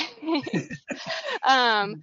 because there are always things that you kind of find like, oh man, I can't just add in, um, you know the coordinates. You think it might be as simple as that but there, it is complex and and that problem solving is just the brilliance of gis and and how you use data. So it's exciting. well that's fantastic. No i mean you know i have a whole uh, new um, respect for the app builder stuff. I know internally um, those are the kinds of things that we're kind of thinking about is uh, we're so used to building our own things, you know, and then all of a sudden App Builder comes around and is matured and modified uh, itself into a really realistic type of application creator. And I was just happened to be noticing what you were doing. I thought that is fantastic. That is fantastic. So good job, you guys. Congratulations. I think it's real neat too, you know, from from my standpoint to just see all the great things that the state agencies are really doing. And um, and we're so caught up in some TNRIS activities, we kind of forget what everybody else is doing. So that's why I love these meetings. Um, Thank you again, Joanna. I really appreciate it. Does anybody have any questions uh, that they want to throw out in a uh, in the chat box for Joanna? We still have about six minutes. Anyone? Anyone? There is a there's a general question here, um, and uh, Dr. Alduri, it's good to good to see you here. I appreciate that. The question, and I don't know if we brought this up, the uh, presentations, everything you're seeing here is being recorded and we are going to uh, post it. We do have to get it uh, closed caption before we can do that. Um, so it's going to be probably about four weeks or so before we can get it out there. But yes, we are planning on posting this entire um, this entire thing. So uh, thank you for the question. Anybody else have any any thoughts, any questions? Okay. Joanne, thank you so much. Appreciate it. We'll get uh, here to Laura Chapa. And Laura, if you don't mind, we're going to probably just delay for about five minutes, um, just so like we were promising other people, we're going to stay true to the schedule so people can jump on when they want. And uh, we'll just go from there. Um, we can get you set up though. Sure. Okay, it looks like you're looks like you're good. I see everything. Is it my actual presentation or is it the notes? I'm uh, seeing the notes and the presentation, it looks like. How about that? Is that better now? Just yeah, the presentation? Yeah, that, that good. That's okay. good. Richard, Richard, this is John Doherty. Wanted to keep this at a Parks and Wildlife um, staff and alumni hour. So that's why Laura's doing the hub presentation. uh, that's no, that's fantastic. Uh, no, this is this is going to be good, and we're looking forward to your presentation. So appreciate y'all being here. Let's give it about four more minutes, and then we'll get started. If sure anybody thing. needs to run down the hall or go fill up their water jar, this would be a good time to go do that.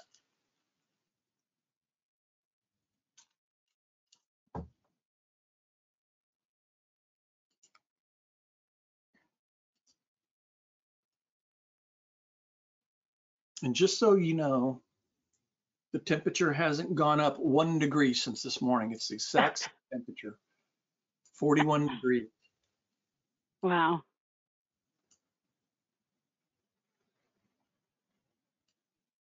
Uh, we could get Scott Friedman to come up and uh, do some um, impressions. Scott, just kidding. he was doing them earlier.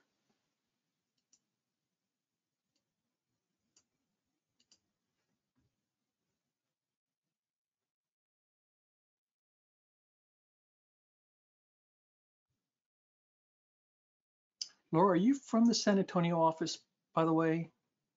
Yes. Yes, Okay. I'm based out of the San Antonio office. I wasn't 100% sure if you were in San Antonio or not. Yes, I, I mean, well, I, I live right in the middle between Okay. um, Austin and San Antonio. Got it. So that's where I am now. Um, but yes, that, you know, it's a nice thing about being in the middle geographically is, you know, opens up the door for opportunities, right? Mm -hmm. Uh, or being able to visit both big cities that have so much to offer. Right. Well, very, very good strategic decision you made. Well, I kind of uh, I came to Texas State and San Marcos for school and um, basically never left. Um, so it's not a bad place to be. Yeah. Well, good, good. Uh, I I was about to say something stupid, like, did you drive, how was your drive down here? But we're virtual, so uh, I It was about 10 seconds. yeah. uh, I don't know. I don't know.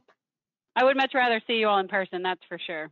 Yeah. Um, Well, than be at the forum right now, but I know it's, you know, it is what it is right now, right? we will, we will, uh, yeah, we will do it. We'll, we'll try to do it with some grandeur next time. You know, we'll, we'll, uh, maybe do something fun for the next forum and make up for the one we missed. That So- sounds great. We always always need, a good time. we always need Ed, Esri's help on it too. So uh, Well, we are here for your support, no doubt. appreciate that. East, is that say East Tennessee, Sam Moffat, you're at 73 degrees? That is crazy, actually. Yeah, um, I was. I think there was someone I was on a call with earlier today that was in um, North Carolina, and they said that they haven't gotten the cold front yet, so it's still quite warm there. Yeah. Well, hopefully, um, hopefully something can happen with this, these snows that put out some of those fires. Though oh yeah, true. Seems to me if you look at it. Anyway, okay, uh, enough small talk from us. It looks like we're about to turn to 210. So uh, Laura, I'm going to go ahead and just turn it all over to you. Let's do it. Um, I'm hoping I can squeeze it all in there. I'll be honest. Um, okay, everyone. So my name is Laura Chapa, and I will be. I'm not John. I will be presenting instead of John, as it states in the agenda. And um, I'm a new solution engineer to Esri State and Local Government team based out of the San Antonio Regional Office. And my role as a solution engineer is to work with uh, Texas state agencies and local governments to help you get the most out of our technology. So I'm excited to tell you today about ArcGIS Hub and how you can get started and uh, how you can use this platform to uh, connect with your citizens with your government initiatives. So I'm just going to do a quick overview of what Hub is so we can jump into a demonstration. But um, if you're not familiar, ArcGIS Hub, in its most basic sense, is the gives you this ability to make a website. So, for instance, um, enhance your public information site, or perhaps specifically your geospatial data site, so that your users have a simple, interactive, and engaging experience. Um, it's not going to be a static website, which we're so often more used to. It's interactive, like I mentioned, and engaging, and it also provides this way for you to not only pro provide information from your organization to your users, but also for users to provide information to you. So it kind of creates this two-way road of information. So ArcGIS Hub is a cloud-based platform that helps organizations and communities work together more effectively. And since it is cloud-based, it is a part of your ArcGIS Online organization. So there are two levels of ArcGIS Hub. There's Hub Basic, and then there's Hub Premium. So with Hub Basic, um, everybody has access to this right now in their ArcGIS Online organization. And then Hub Premium comes with some additional functionality, um, and there is an annual subscription um, to upgrade to Hub Premium as well. So I'm going to touch on what you get with Hub Basic and then also what comes with Hub Premium. So um, all in all, Hub is a way to bring people in your organization and outside of your organization together to create transparency, to share content and data. And I like to think of it as sort of this one-stop shop for users to get the information they need. So Hub is this way to take your work and engage with your staff, your collaborators, and with the public. You know, as a volunteer or a citizen, it's really energizing when you feel like your efforts make a difference or your voice is being heard. So there's a big value that comes with an informed public. You know, if um, if a, if the public is informed with transparent transparent information, then they're able to let you know upfront if they're on board with a project or if there are certain projects that are non-starters for them, which can save you time and money. So how do you bring all these people together and get them on the same page? Well, we know that can be difficult, but ArcGIS Hub is a way to do that. So just briefly, I want to touch on these four main components of Hub. So first is are the sites. So the Hub site itself. So like I mentioned, in its most basic sense, Hub is a way to build a website, but it provides so much more. So you get these sites where you can provide, um, you can embed apps and maps in it. You can use those dashboards you've already created or create a dashboard and embed it there. You can embed story maps and create this overall experience for your users. Uh, you also get the search tool. So you can embed a search tool in your hub site so that users can search for specific content on your site. And then there's also the data catalog. So maybe some of you are more familiar with open data. Um, Hub Basic is, or Hub in general, is the evolution of uh, Hub Basic. I'm sorry, Hub is the evolution of open data. So you still have this ability to uh, search for data, apps, or documentation that you've shared and that your users can find that pretty easily. Um, and so that's what you get. Sites and the search tool and data catalog is what you get with Hub Basic. And for that additional annual subscription, you get community identities in this initiative framework. And so um, for that, I think that the community identities is extremely powerful, which I'll, I'll talk on that in more in more depth in just a minute. Um, but it allows you to get those members of your community more involved and engaged. Um, and with this initiative framework, you get access to um, the ability to create teams for specific initiatives that you've created. Um, you can do uh, perform one-click emailing to your followers or your team members. You also have the ability to create and manage events that are found on your hub site. And then, you know, tying that back into the community identities, if you have someone in your community that maybe is the event manager for a specific event, then they can become a member of um, you know, your hub and you can tie them into a team so that they can also edit and um, share information and help you manage that. And you also have this ability to, um, for people to follow your initiative and become members, and they can contribute content and edit data if you allow them to. So again, just to reiterate with Hub Basic, you all have access to that right now in your ArcGIS Online organization. You get sites and this search tool and data catalog. And then with Hub Premium, with that additional subscription, you get the community identities and the initiative framework, which I'll get into more depth about those.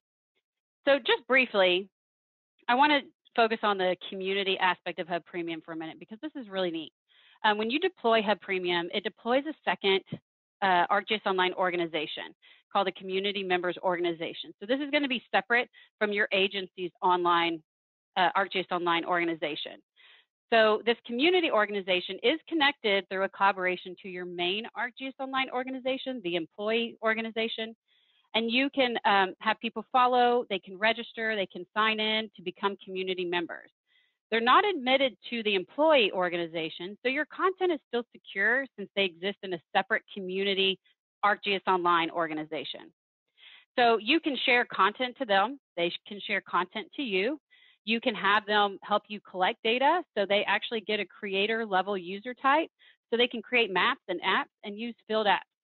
All of those capabilities that you get with a traditional creator user type. So with this community aspect of Hub Premium, you've now gone from people just visiting your website to actively participating in info gathering, content creation, and projects within your, um, helping with projects within your agency. So let's take a look. So now I'm going to pull up my browser. So just give me a confirmation that y'all can see that. My browser now, my ArcGIS Online. Yep, we see it. Okay, okay, great. Uh, so um, I'm going to briefly show you how you can get started. If I click on the app launcher in the top right, and this is where I can find Hub. So this is my ArcGIS Online organization with Esri. So this is Hub Premium that I'm going to demonstrate for y'all. Um, so now you can go through the app launcher to get to Hub or uh, go to hub.arcgis.com are the two ways to get there. So I'm going to go ahead and walk y'all through the steps of just getting started. So if I go ahead and I want to start a new initiative, click new, I can put in the name here and just create initiative, but I'm going to take a moment and browse these templates. So with Hub Premium, uh, Esri has created ready to use templates and there are currently 18. So I'm actually going to filter my search by published Esri templates. Um, and so I can find these 18 templates that are ready to use, published by Esri um, here. And if I wanted to search for a specific template, I could do that. Now, I also want to mention that um, in Hub Basic, there are three templates that come with Hub Basic, and they're all COVID related to help you navigate through, um, I know the difficulty that's come with COVID. So I'm actually going to use this project site template to walk y'all through how you can get started with Hub. So I'm actually going to call this um, my Texas Flood Project. And I've already created that. So let me just add a number on the end here. I don't know if it's going to like that. Oh, it did. Okay, good. So what's also nice, you know, nice is if you've ever managed a website, then you know how important it is to understand how your users are um, interacting with your site. So um, what did they click on? How long did they stay there? So you get that ability to to see those metrics for your site. So what it just did is it deployed this new initiative into my ArcGIS Online organization. And so now I have access to, um, I've created an initiative site, that dashboard that allows you to see those metrics for your hub site. I now have the ability um, to create and manage my team so that I can invite people to be on a core team to help me manage and maintain um, and edit this hub site. Um, I also have the ability with Hub Premium to create and um, edit and manage events. I also have the ability to um, get feedback from the people who are coming and visiting my site through uh, surveys with Survey123. Again, I mentioned that community aspect that comes with Hub Premium, so you can get people in your community involved and engaged and, and helping you with all of this content creation. Um, and then the content library. So um, that's going to be all of the content that, as it implies, all of the content that your hub site points to. And then groups manager. So this allows you to manage um, your ArcGIS Online groups or open data groups that you have um, so they can, um, you know, maybe maybe there's certain things on your hub site you want certain groups to have access to or certain groups to be able to see. So you can actually even more fine tune the accessibility of your uh, hub site. All right, so I just launched this template and here we are right at the beginning. The first thing I want to point out in the top left is just like the, all of those main points that you get um, with Hub Premium, they're all found here in this top menu. So now I can go to the dashboards if I want to see those metrics. metrics. Go into my Teams Manager, manage my events. Um, I can jump into feedback and start building out a survey one, two, three so that I can use that in my Hub site. I can go into my community um, now, you know, I just created this initiative, so I don't have any community members yet. I don't have anyone following this event or anyone that's registered or signed in. Um, but that's where I could go. I could click into the community, see who all my members are, all my followers, and by the click of a button, I could send all of them an email right away to uh, get some messaging out. Again, this is going to, the content library links out to all the content that your hub site is pointing to, and then the groups manager, um, again, going to manage those groups in ArcGIS Online um, that feed into the hub. Okay, so let's walk through how you could get set up here. Um, I'm just going to point out these these main settings. So um, before I forget, I want to say that um, Hub is device responsive. So regardless of which device you're on, it will modify and change the look so that it can fit on that device. Um, so we first let's point out the settings tab up at the top. So this is where I could go in and adjust the name. If I had a um, a summary that I wanted to grab, for this hub site, I could grab that and drop it in here. Um, let's say you already have a domain set for your uh, organization and you wanted to use the domain. Um, so maybe it didn't have this domain up, uh, this uh, URL up here at the top. You can specify a certain domain that, you know, to have that branding for your organization. Um, you can uh, adjust the type of interactions that your users have with the site. You have a couple of data options as well. And you also have the ability to turn on the beta capabilities so you can test out these new features that are coming out. All right, so there's a few of the settings to get started. Next would be the header settings. So you have the ability to have sort of the shorter, more concise header at the top, or maybe you want a more prominent header up at the top. Um, one thing I failed to mention so far is that Hub is a way to build this interactive site without knowing any HTML or CSS, CSS coding. So, um, however, with that being said, even though you don't need to know how to code to get the site going, you you still have the ability to do some custom coding. So if I wanted to open up that HTML or CSS coding, I can enter that code right there to get it more customized for the look and feel that I want for the header. Uh, but so yeah, that's what that's going to look like if I wanted to jump into that HTML code editor. But I'm actually just going to stick with the standard for now. All right, the next one is the theme. So this is really where you can um, more configure and customize the look, um, the colors that you want for your hub site. So the background navigation color, the text, um, also uh, the body background color. Maybe you want uh, body links to be a certain color, so those hyperlinks you've included in there. Um, even specifying the type of color that you want your buttons to be throughout your hub site, and then the text that lays on that button. You also have the ability to um, adjust the base font and then the heading font as well. So if I click on the gear icon, um, I can import, if there's a specific font that maybe my organization uses, I can add that and import it here. So I think that's really neat. So this is where you would go if you really wanted to um, give it those colors to give it the branding, or, or maybe not just branding for your organization, but maybe branding for a specific project. All right, so next is layout. So this is getting into really the meat of uh, building out the hub site. So since I did use a template, it has brought in a lot of what we call these cards. It has brought in all, uh, it already has cards configured in it um, that I can go in and, and change and edit with information I would like. Um, but I just want to point out here, you, you're able, these are just drag and drop. So it's really easy to get started. So if I wanted to add in a new row here, just drag and drop it in. I can adjust the text color, decide if I want the background to be transparent. I can upload an image or just go snag an image from the internet um, using the URL. So um, let's say there with, with this particular row, I didn't want everybody to be able to see that. I only wanted certain groups to be able to see it. I can even limit that here and select which groups in my ArcGIS Online that I want to be able to see that content, which is really nice as well. All right. I just, I'm not going to go through all of these, but I just kind of want to point out some of the different options you have here with these different cards. You can add an image. Maybe you want to add a specific application. So again, this is fully integrated with uh, all of Esri's, um, Esri's other products like dashboards and story maps. Um, so that that way you can tie all this in together. Again, like that one-stop shop I had mentioned. Uh, maybe you want to add a spacer in on your page so that way to just give it a cleaner look to space things out a bit. And then the text card. So I want to spend just a moment going over that. So I have a row here, um, and I can click on the gear icon for that entire row. And you see there's an image that came with this. So I actually found um, an image I could snag off the internet. So I'm going to grab that URL, go back to my hub site. I'm going to change this to my uh, the image that I found. So what's kind of nice about um, the row uh, card and being able to add an image. You could also upload an image if you have it on your computer. I can fix the background where um, it stays fixed as I scroll up and down, or I can just turn that off. I can adjust the uh, transparency and also the focal point. Um, and then again, I can limit that to a group if I'd like to do that as well. So now that I've updated that to be more of the image that I want, and I want to look, edit this text card.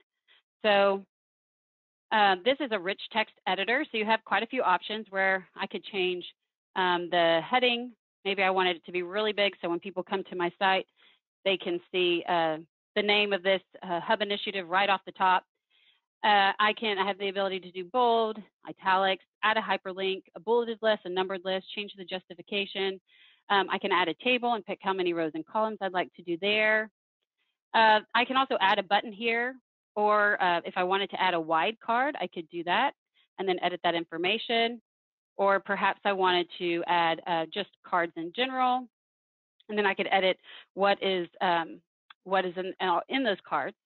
And then also this is a new feature in Hub. So Hub is constantly being updated. So maybe you have a section on your Hub site where you wanted to have a, you know, frequently asked questions. So you could use this accordion where you could type the question in the title and then have the answer down below and then have that in the drop down where it can um, hide it or make it appear, you know, for the user's experience. So I'm going to go ahead and not do that.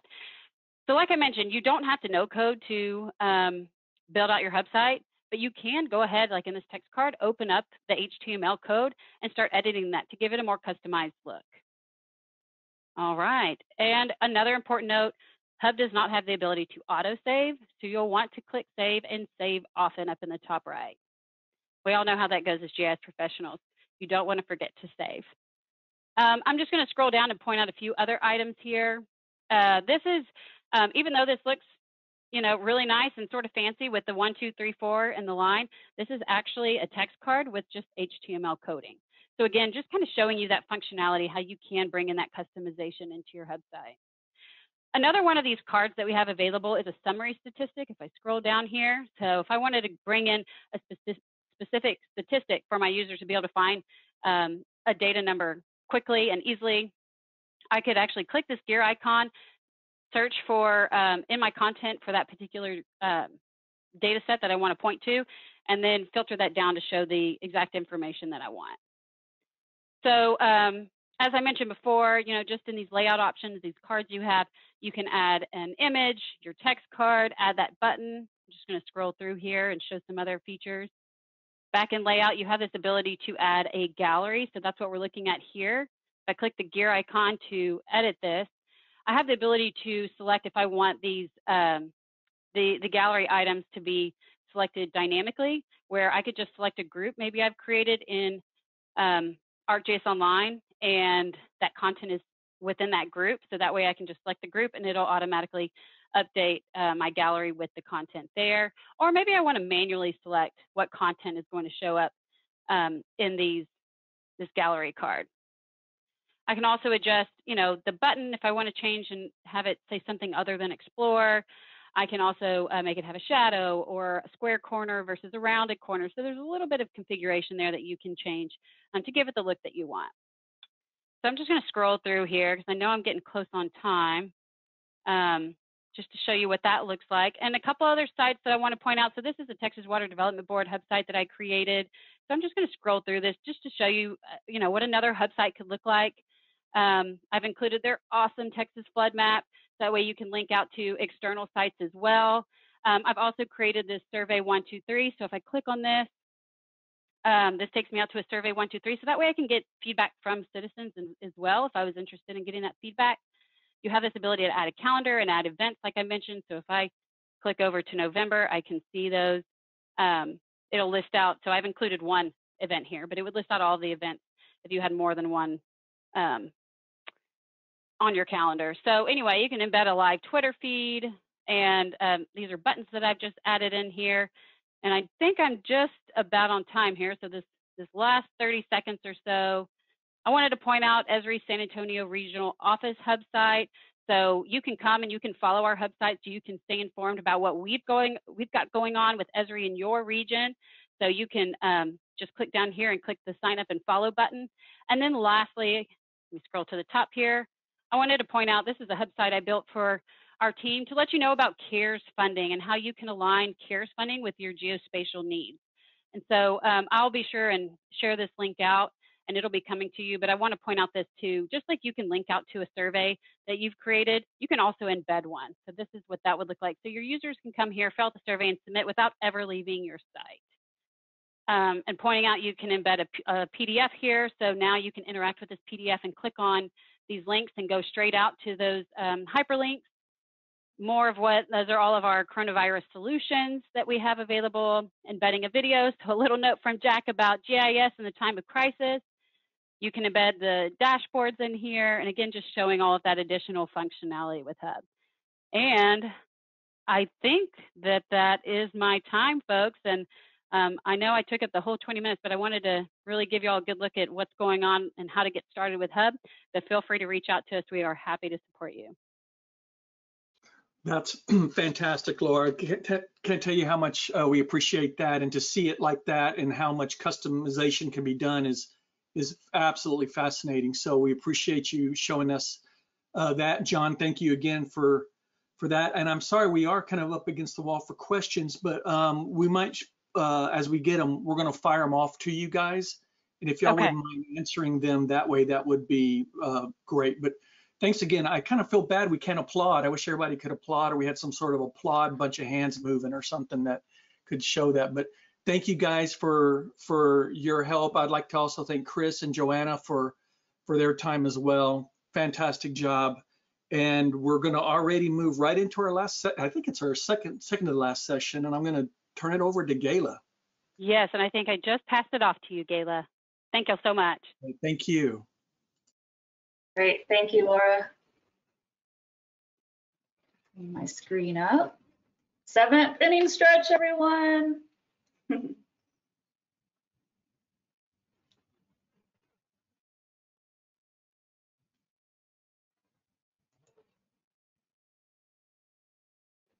Okay.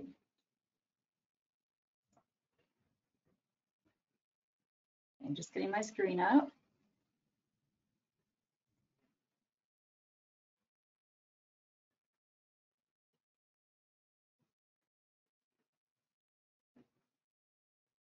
Okay, can you see the StratMap slide? Yes, it's your PowerPoint. Yeah. Okay, great. Okay, well, we'll go ahead and get started with the next session. Um, my name is Gayla Mullins. I can't see myself right now, um, so if I look over to the side awkwardly, that's that's what I'm doing. um, but I can see my slides. Um, I am with TNRIS, and I am the manager of our strategic mapping program, or StratMap for short. I'm most definitely missing the Texas GIS Forum this year. I hate that I can't see all of your faces. One of my favorite things about the forum is connecting with all of you and seeing you and getting updates on your work and your families and learning from each other and making those connections. So hopefully next year we can have a, a big party. Um, so for those that uh, may not know, the StratMap program at TNRIS is our arm that does the acquisition of statewide geospatial data sets. So we work with myriad of partners in order to get this um, uh, get this done and available um, over to our IS group uh, to make available on our website. So we work with um, folks from federal, from state, from regional and, and local partners in order to cost share um, for our big base layer um, data sets uh, in Texas. So um, for this session, we have five presenters, including myself, and um, those include Joey Thomas. He has been um, gracefully running uh, the GoToWebinar today, so you'll get to see and hear from him. And uh, also with StratMap is Lauren Kirk, our new data coordinator, and she is responsible for our statewide land parcels and address points. So she will have a quick update about those for you today. Um, and Joey's going to speak about LIDAR as well as bathymetry. Bathymetry is a new uh, data type that we are um, learning about and getting into, especially um, as we have covered the entire state with LIDAR now. Um, that doesn't mean we're finished. Uh, we do have uh, areas that will need to be refreshed with LIDAR, but now we're going to be going underwater to look at the surface underwater. So we're very excited about that. Um, with him, with helping um, uh, demonstrate a need for bathymetry data, we are very excited to have our colleague at the Texas Water Development Board, Kami Schoenbachler, with us today, and she is going to provide the information about how bathymetry can help her area, which is the coastal science um, area of the Texas Water Development Board. And then finally, we have Chelsea um, Seidenblad and today, and she is going to give the update on our big uh, air photo scanning project. It's not simply give these uh, paper documents to a, a, scanning vendor and we're done. A ton of organization has gone into um, getting our archive um, ready to be scanned and then organized when it comes back um, to us in a digital sense. And so um, she will give you a brief update on that. I'm going to talk about imagery as always, our, our update for statewide imagery, and then I will also give you an update on our StratMap GIS uh, DIR contracts. Um, so uh, without further ado, I'm going to hand it over to Joey. And um, we are gonna, I think, reserve questions for the end. Um, so we have a little bit of time set aside to hopefully answer your questions. And if not, all of our email addresses are um, on our last slide, so feel free to contact us. Thanks. Hey, can you guys hear me okay, Gayla? Yes. Okay, good. Hey, I'm uh, Joey Thomas. I'm the uh, I'm a project manager for the strategic mapping program uh, and the elevation specialist managing the lidar acquisitions for the state. Um, and just to uh, begin with, with the talk a little bit about the bathymetry data. You go to the next slide. Yeah. Okay. So you know, part of you know the great achievement that is the statewide lidar data is we started looking at you know what data sets are the highest need and would provide the most benefit to the state. Um, and what we found was that bathymetry data was increasingly becoming you know a higher priority data set. Um, the technology as well has been you know there's a lot more uh, you know software packages and better technology much as the lidar has been progressing. So you know getting getting this data at a uh, more reasonable prices you know, within our reach now. It's still a very expensive data set to acquire, um, more expensive than the LiDAR is on most occasions. Um, can you go to the next slide, please? So what is bathymetry data? So for anybody that isn't familiar with it, um, it's basically the underwater equivalent of topography. So it's the study of the beds and the floors of the water bodies, including the oceans, rivers, streams, and lakes. Um, and you know, for for Texas, the bathymetry data that we're interested in is all of it. You know, our rivers, the lakes, um, as well as the coastal bays and the uh, offshore areas. So, and uh, so they're they're collected predominantly through acoustic systems or some of the lidar systems, either the bathymetric type laser or a topobathy laser. And so, over there on the right, you can see a, a uh, topobathy uh, image there where it's collecting data on the land as well as in the shallow areas of the water. Um, and then below that is the different types of acoustic. Um, the main ones that we've been interested in looking at are the single beam and the multi-beam for the waters in Texas. Um, they, you know, much like how LIDAR and the elevation data that we get from the topography um, has a multitude of uses. A lot of the same uses can be applied to bathymetry data from, you know, the flood inundation mapping to, you know, biological research. Next slide.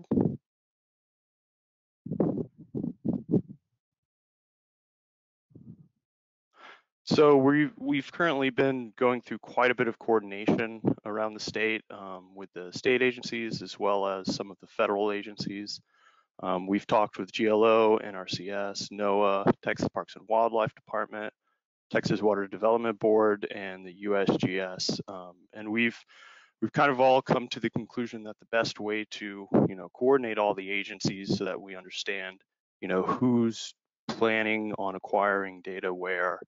Um, you know, the last thing we want to do, especially with the data being so expensive to procure, is to you know survey the same area um, so, and I mean, it, the other aspect of that is Texas is very large, and so the only way we're going to be able to acquire all the bathymetry data that we need is through coordination and cooperation with each other. So we've been using this ski SeaSketch app um, that NOAA has created. Uh, they didn't create the app, but they created this map um, within it where everybody puts their planned and proposed and ongoing bathymetric surveys.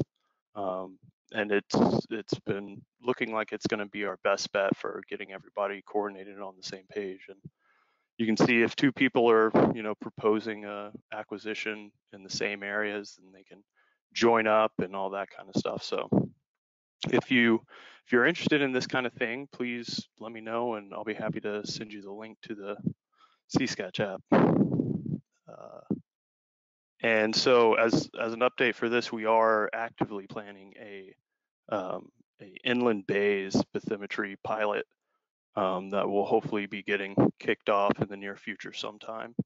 Um, and to talk kind of about what the TWDB coastal science aspect of that is, I'll pass it over to Kami. Yeah. Thank you, Joey. Can y'all hear me okay? We can hear you. Great. Yep.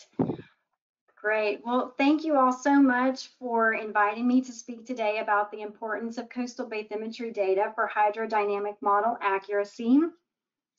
Um, in the spirit of full disclosure, I am not a hydrodynamic modeler. Rather, I'm, I'm, a manager of the coastal science program. I actually have a background in ecology and ecosystem science. So if you have any hardball questions for me, I might have to consult with the modelers and then get back to you. I wanted to first start off with just telling you a little bit about our coastal science program, since probably some of you are not familiar. Our Bays and Estuaries program was created actually in 1975 to provide data, modeling, and analytical services for evaluating the freshwater inflow requirements necessary to support healthy Texas estuaries. Now, over the years, we developed three primary services, including a continuous data collection program for monitoring estuary conditions and also for verifying model simulations. As well, coastal hydrology data sets for understanding the quantity of freshwater inflow flowing to the coast and for driving the hydrodynamic models. And then finally, hydrodynamic modeling. And we use a combinate, the combination of data, models, and analyses to assist with water resources planning and management, as well as environmental impact assessments, oil spill response, and coastal ecosystem restoration. Last year, the 86th Texas legislature passed several key pieces of legislation which greatly expanded the Water Development Board's role in flood science planning and financing. Our program was rebranded as Coastal Science to broaden the range of program functions to include coastal flood modeling and storm surge modeling to support flood mitigation planning. Next slide, please.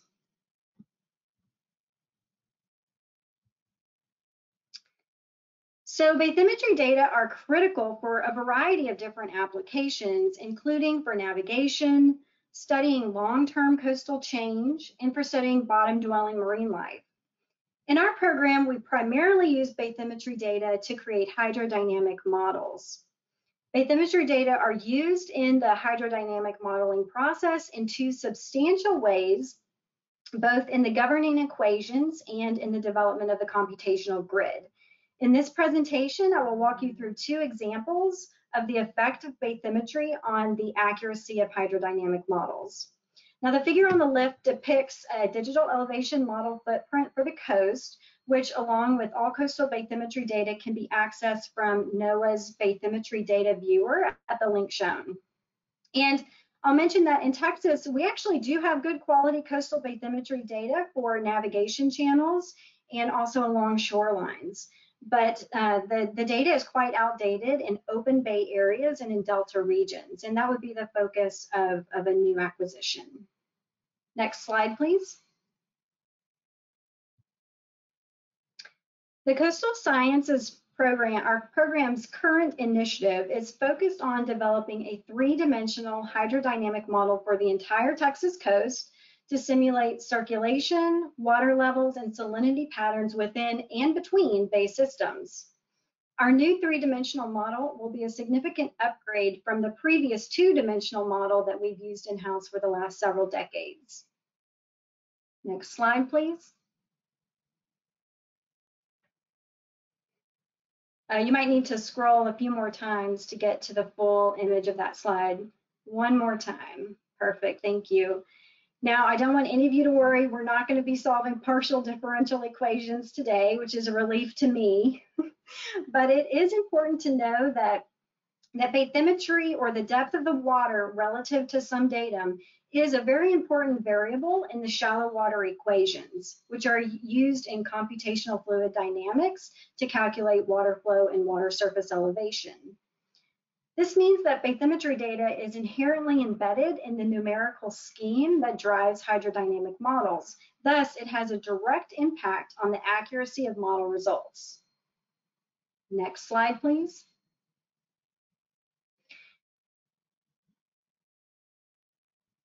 In addition to the governing equations, such as the shallow water equations I just mentioned, bathymetry is also critical in the grid generation process.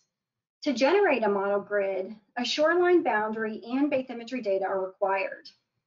We use the Surface Water Modeling System, or SMS, um, to first generate a horizontal grid. And this grid typically varies in resolution from about 10 meters at ship channels to over 3,000 meters at offshore boundaries. After the horizontal grid is generated, the digital elevation models are then interpolated onto the computational grid.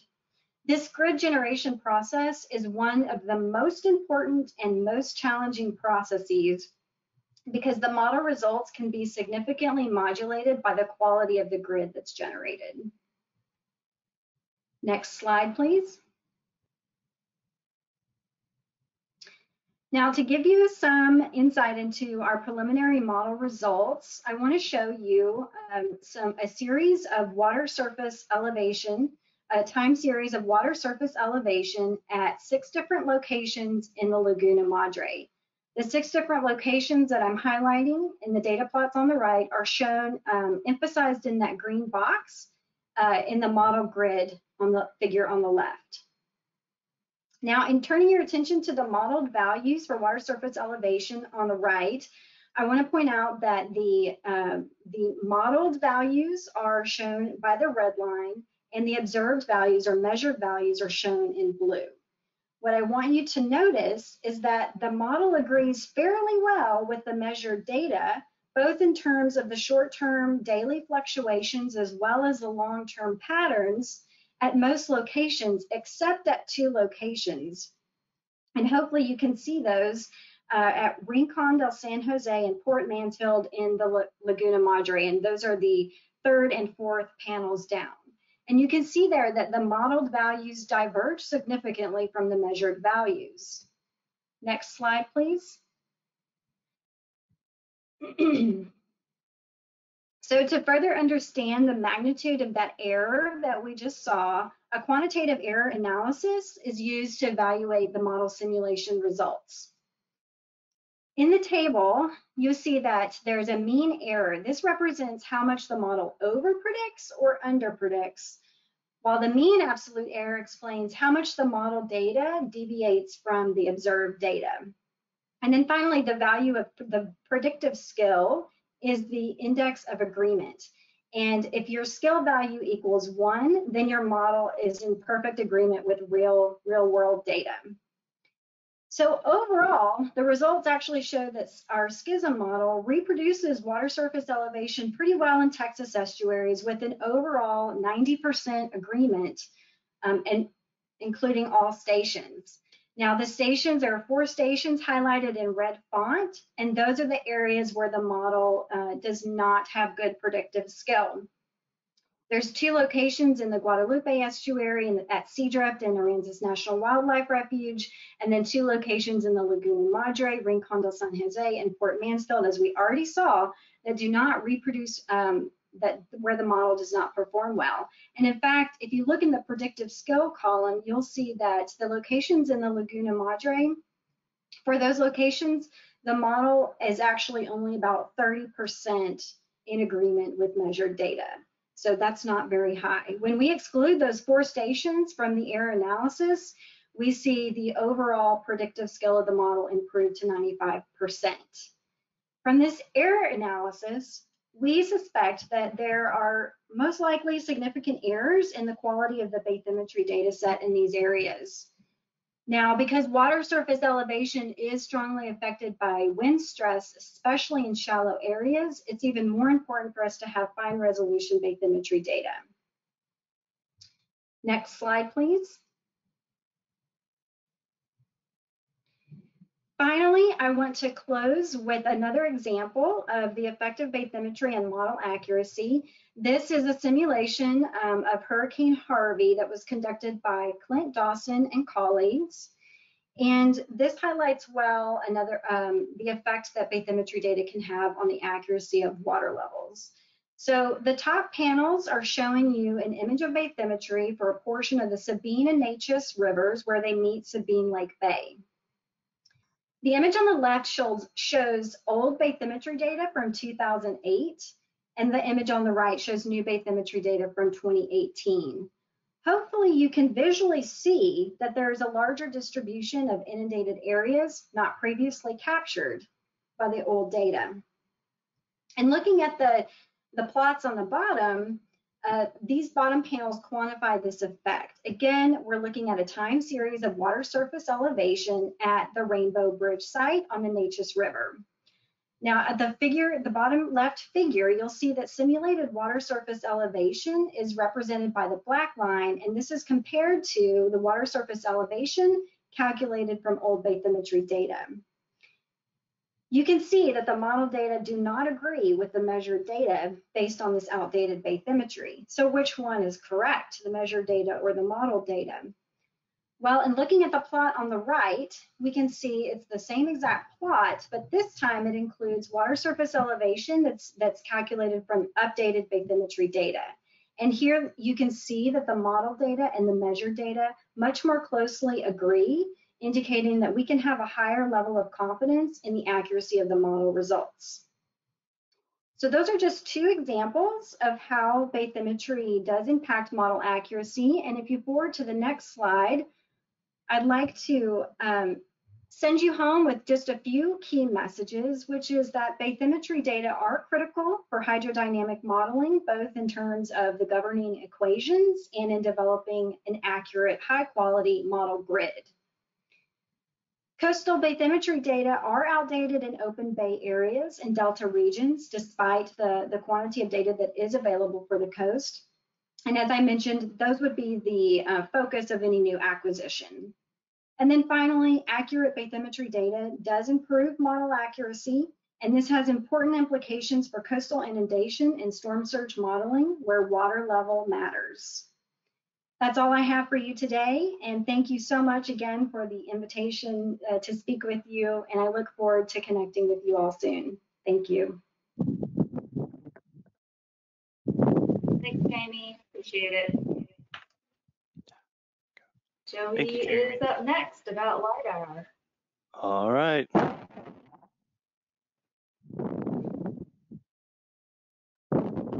Uh, all right. Uh, can you go to the next slide? All right, so just to give everybody a update, statewide LiDAR coverage is complete, hooray. Um, we still, we have received the remaining data sets from the USGS um, and are working to put them online. This would be the USGS West Texas and the USGS Desert Mountain. Um, I believe that the other remaining one, the Dallas Pecos, was posted um, for download just the other day. So you can go check that one out. It's uh, parts of the Metroplex. And I think there's some other parts in East Texas and then out in West Texas as well.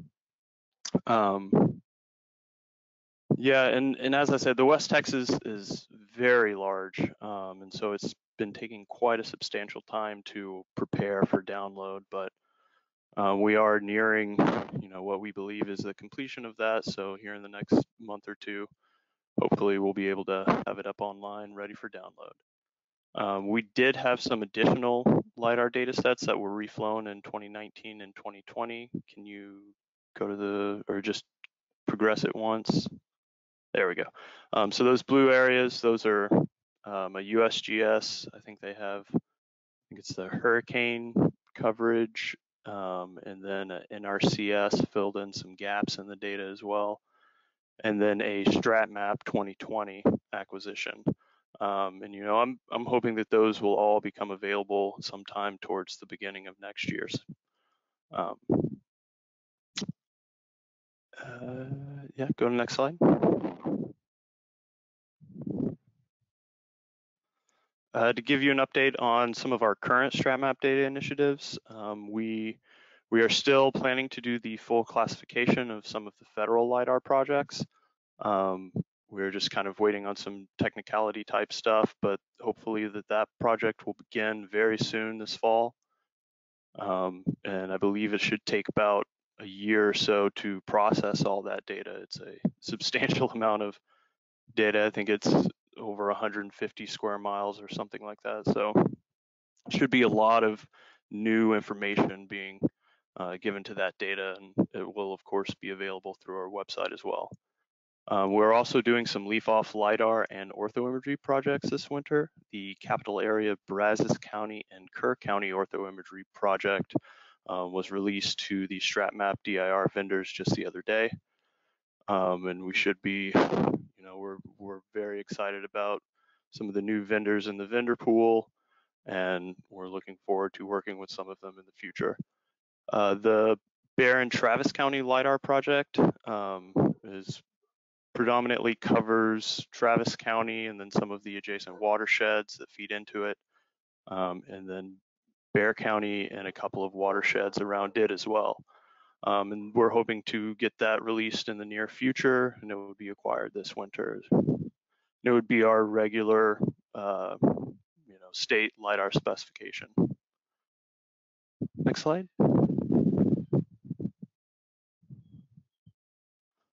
Uh, so also some exciting news, uh, the USGS has decided to do a national terrain model pilot in Texas. Um, it's in southeast uh, Texas. It's an eight county study area. Um, and so they're, they're in the process of you know, combining all the topographic and the topobathymetric LiDAR and bathymetric data. Um, so that's that kind of lends to another reason why we're so interested in pursuing these bathymetry data sets um, because they will support this type of work where we, you know, create these, you know, fully representative surface water uh, features, and we can use them to support a, a multitude of applications. Um, but uh, so yeah, they're they're going to be in the process of combining all of those terrain models, which you know I'm, I'm very interested in because of the time gaps between all of the data sets and the different datums and geoids that they might be in. So it should be, hopefully they'll, you know, share guidance with that so that we can have those resources moving forward. Um, and so the other thing they're doing is they're going to target areas where they don't have bathymetric data, the inland bathymetry, and then those would become high priority areas for them to go and collect data in. Um, and it's it's a you know, a big effort from a lot of different uh, entities, Lamar University, University of Texas, uh, Texas Department of Transportation, Texas Department of Energy Manage or Emergency Management, Texas Department of Public Safety, uh, the U.S. Army Corps, and then the local drainage districts and the local floodplain managers. So it's it's great to see that everybody's getting involved in this, and it's you know I'm really looking forward to seeing the data that comes from this. And down there on the bottom right, you can kind of see they take the elevation data um, and then they combine it with all the other data sets and then they're able to derive these elevation uh, derived uh, surface water features. So, you know, they'll accurately know where the center line for the rivers and the streams are and what the depth is. So should be a lot of great information to support work in Texas. And I think, uh, do I have another slide? Nope. Okay, then I'll pass it back to Gayla. Okay, thanks, thanks Joey. Gayla. Yeah. And uh, I think you said 150 miles for the square miles for the LiDAR classification, but isn't that 150,000? Oh. I just wanted Correct. the audience to know the yeah, magnitude yeah, of that I, project. I misspoke that. That's not very um, big. yeah. 150,000 is a large chunk that we're going to be getting classified. So we're yeah, really excited about that and um, these new data types that Joey has been exploring. Um, next, I have your. Oh, um, go ahead. Uh, uh, we I did have one question uh, okay. from Raj about the classification level. Uh, so we would we would be trying to match the classification of our program. So it would be additional classifications of low, medium, and high vegetation buildings, um, and then we'd hopefully get culverts as well. And then that would supplement the USGS data to match the StratMap program classification scheme. Yeah, the data classified, you can do a whole whole lot um, with it, a oh, yeah. lot more than um, than just the base elevations.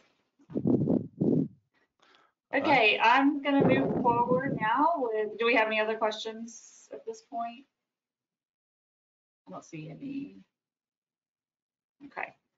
Um, for statewide imagery, I'll give you an update on the Texas Imagery Service. So this is our um, licensed imagery service that provides six inch, six inch pixel resolution imagery for the entire state.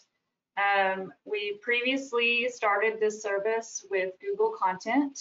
We have now switched over to Hexagon and their um, imagery content program. So we are very excited that we have successfully made that switch over to their content as of September 1. Um, and we are maintaining the same host for the services, which is AppGeo. So with this switch over, um, this we have brand new 2018 imagery statewide, and that refreshes a lot of our rural areas that were getting kind of stale with the Google imagery. So we're very excited about that.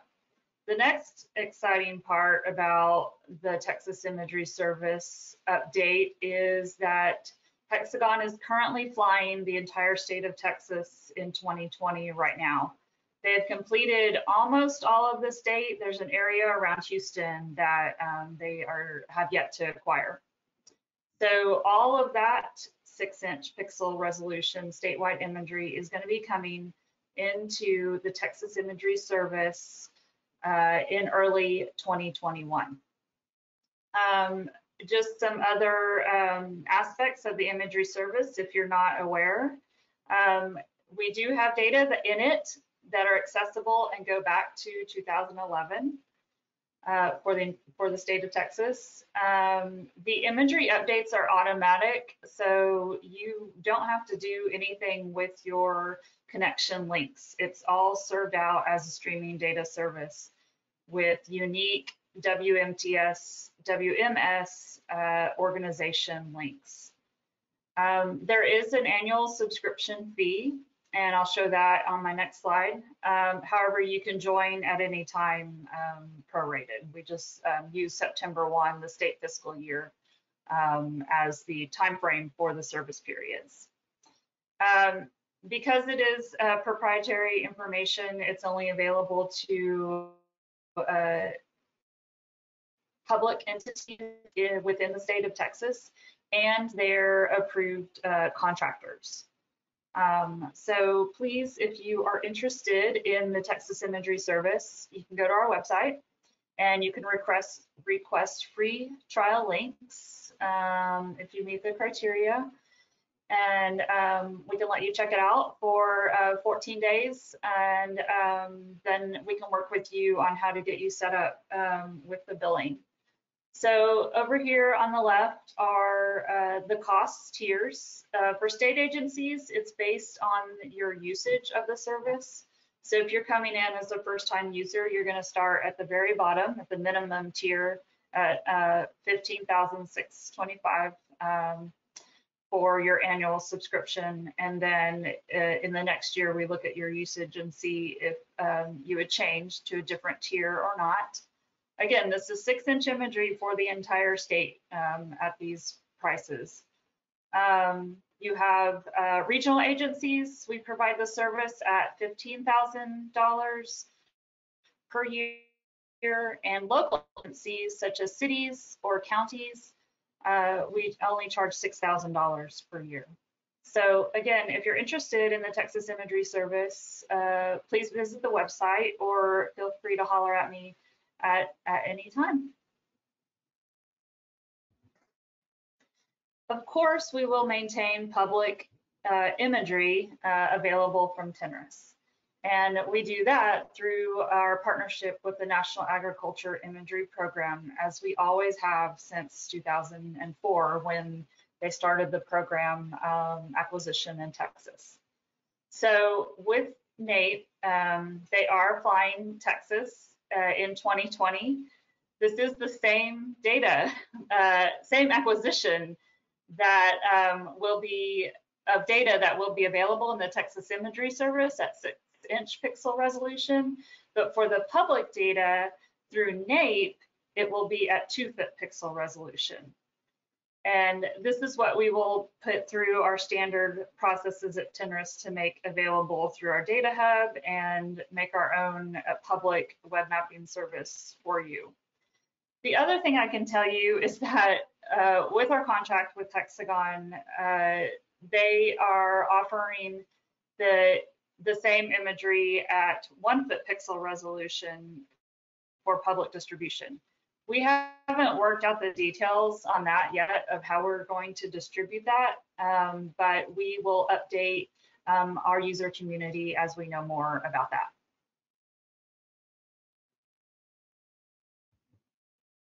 Okay, and that's all I have about statewide imagery. Again, let me know if you have any questions about it, and I will um, get back to you. Next, we have Lauren Kirk who is our StratMap data coordinator for TNRIS, and she's going to talk about our land parcels and address points. Hi everyone, can y'all hear me? We can hear you. Awesome. Can hear you. Awesome. Cool. Uh, sorry, webcam decided to be on the fritz, so I'm just going to go ahead. Uh, so go ahead, Gayla, next slide.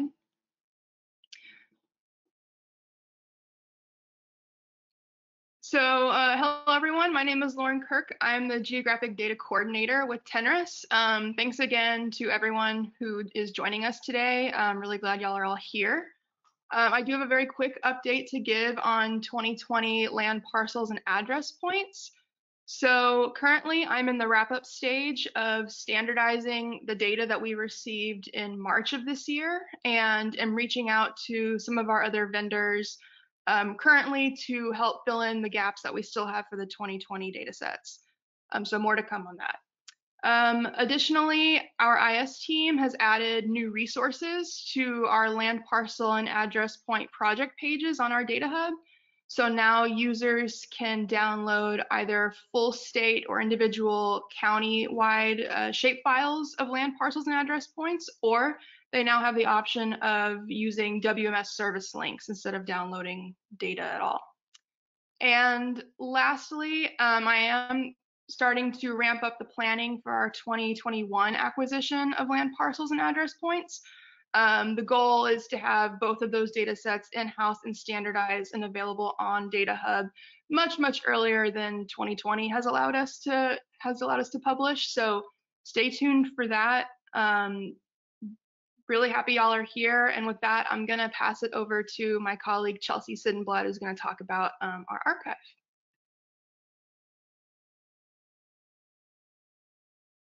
Thanks, Lauren. Hello, everyone. My name is Chelsea Sittenblatt. I'm a GIS specialist with the uh, Research Distribution Center uh, inside TNRIS. Um, Gayla, do you mind going to the next slide? So right now, um, the RDC is uh, in the uh, midst of a big project. We actually sent out a third of our archive to a vendor, uh, Dr. eFile, um, to embark on a bulk scanning project. Um, we're getting 100,000 frames um, scanned and digitized. Um, we've set specific uh, specifications for all of the naming conventions and things like that so that we can seamlessly add those digital uh, scans to our existing um, digital archive. Um, the 100,000 scans is going to equate to about 500 additional collections that will be available for bulk uh, ordering, which is a, a reduced price um, to order full collections of imagery. Um, and that um, is listed on the data hub. Um, inside uh, each collection card, there's a scan status that'll show you which collections are fully scanned and available at that bulk pricing. Um, having 100,000 frames scanned for us is huge. Uh, that's going to equate to about 50% of the physical frames within the archive being scanned, but it's actually 100% of the photo frames that are unique to the TNRIS uh. So photos and collections from USDA, TxDOT, GLO, uh, Texas Forestry Service, um, those uh, statewide agencies, we will have uh, fully scanned collections. Um, and we reserved, uh, we, we tried to not include a lot of the uh, photos that are already available online, um, like USGS, Army Mapping Service.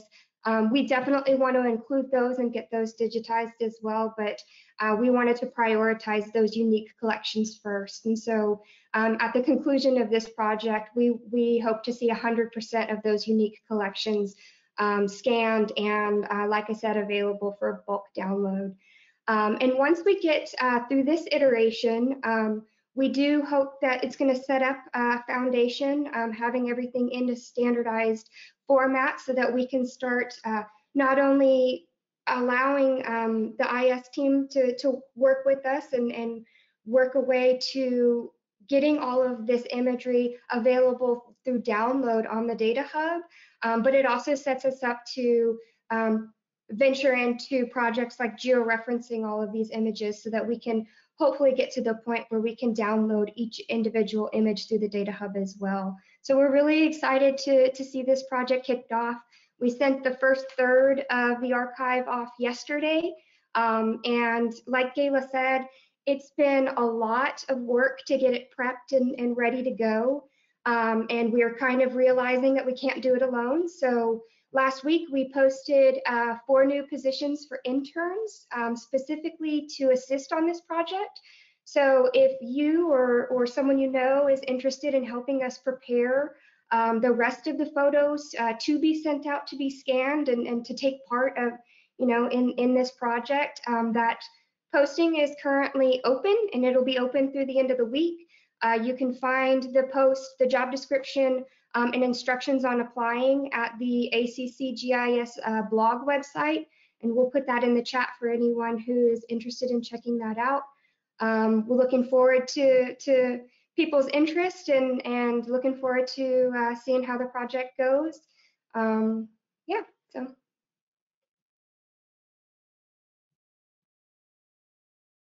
That's all I have, Gayla. Thank you. okay, sure.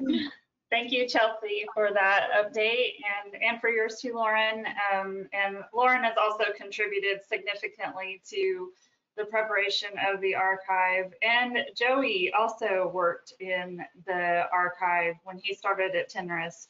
So this has been a long time coming for us. Um, I'm sure watching those boxes go out the door on Monday is almost like a piece of TNRIS walking away. uh, but we know that the photos are in good hands and um, we are very excited to make those available eventually online to, to you all in the community. Um, so next I have the update on our StratMap contracts.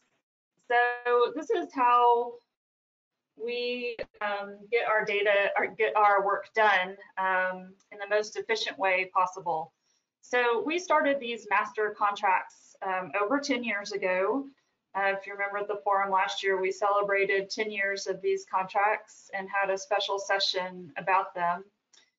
Um, we wouldn't be able to get our work done um, without being able to partner with our contributing agencies and then be able to um, hire the work that we need done, such as new aerial imagery or LIDAR or scanning or, or software that we need um, without our uh, commercial uh, vendor community.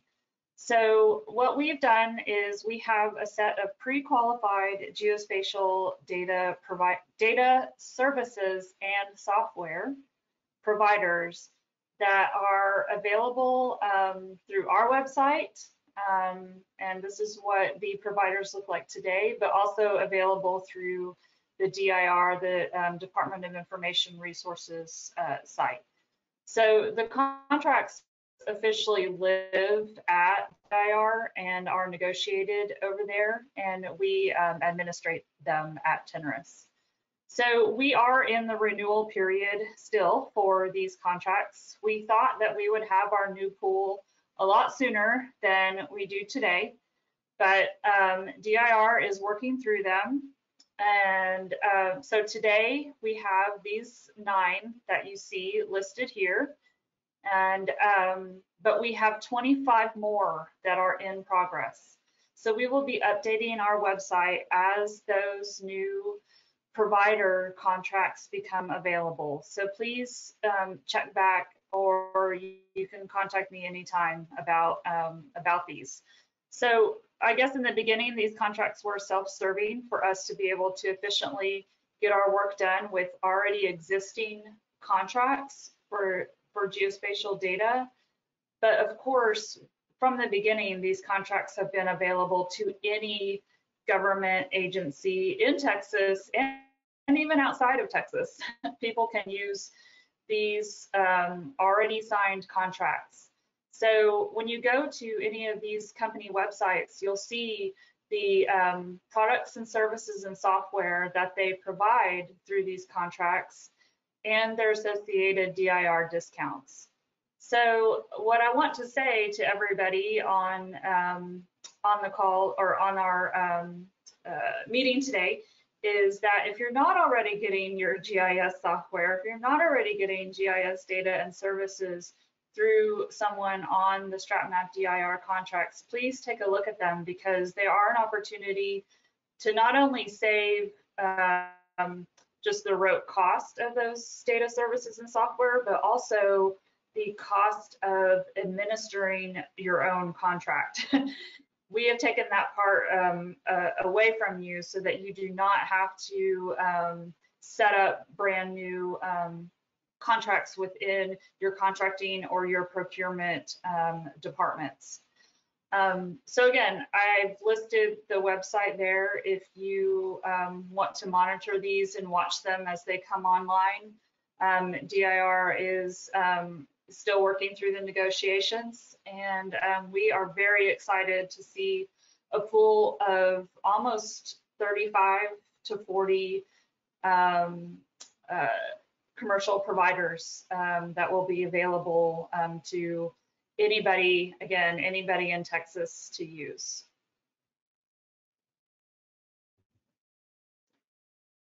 Okay, I think uh, we're a little ahead of time. Um, I did want to provide our um, contact information here. You're welcome to contact us at any time.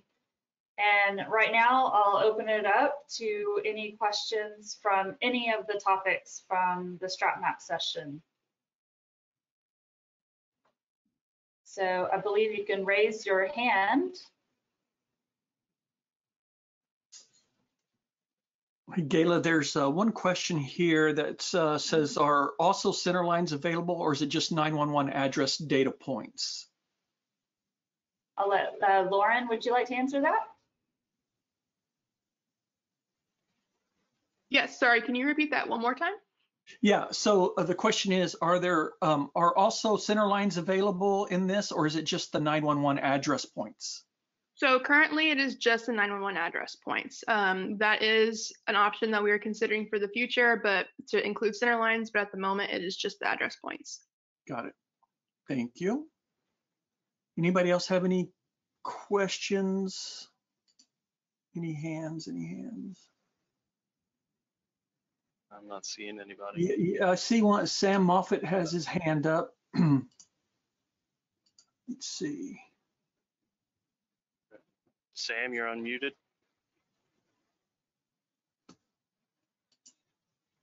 Maybe he has his hand up from a previous time. I think he just raised it.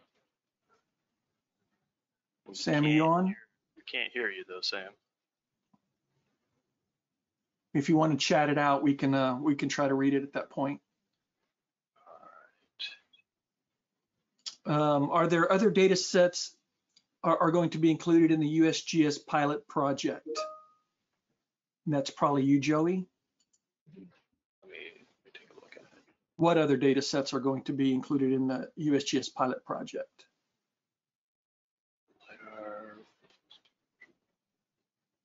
Uh, so the pilot project that the the national terrain model that they're doing, um, to my knowledge, that's at the moment they're just compiling all the existing elevation and bathymetry data um, to you know formulate a way to create the one big mosaic for these watersheds that they're going to build the elevation derived hydro for. Um, I think that there are going to be areas where they find there isn't any data, um, and I think that they they've you know stated that their intention is to fill those uh, gaps. Um, uh, and you know, it's if if it's uh, something that we can help out with, um, you know, in the coming years, then that's definitely you know definitely be a priority for us to help out with that project. Perfect. Uh, let's see here. So Sam says for the eight county pilot project, as the bathymetric has the bathymetric data already been collected? Yeah, I, th I think that there are uh, there is a good representation of bathymetry data over in those areas. Um, I don't think it's as complete as it needs to be, and I think they'll definitely probably end up picking some more. But you know, that's you know, this was something that they only just recently announced, so um, you know, I don't have the you know all the details. Um, I wonder if Claire is on and she might have more details. Who she is. Ooh, all right. Claire raised her hand, so.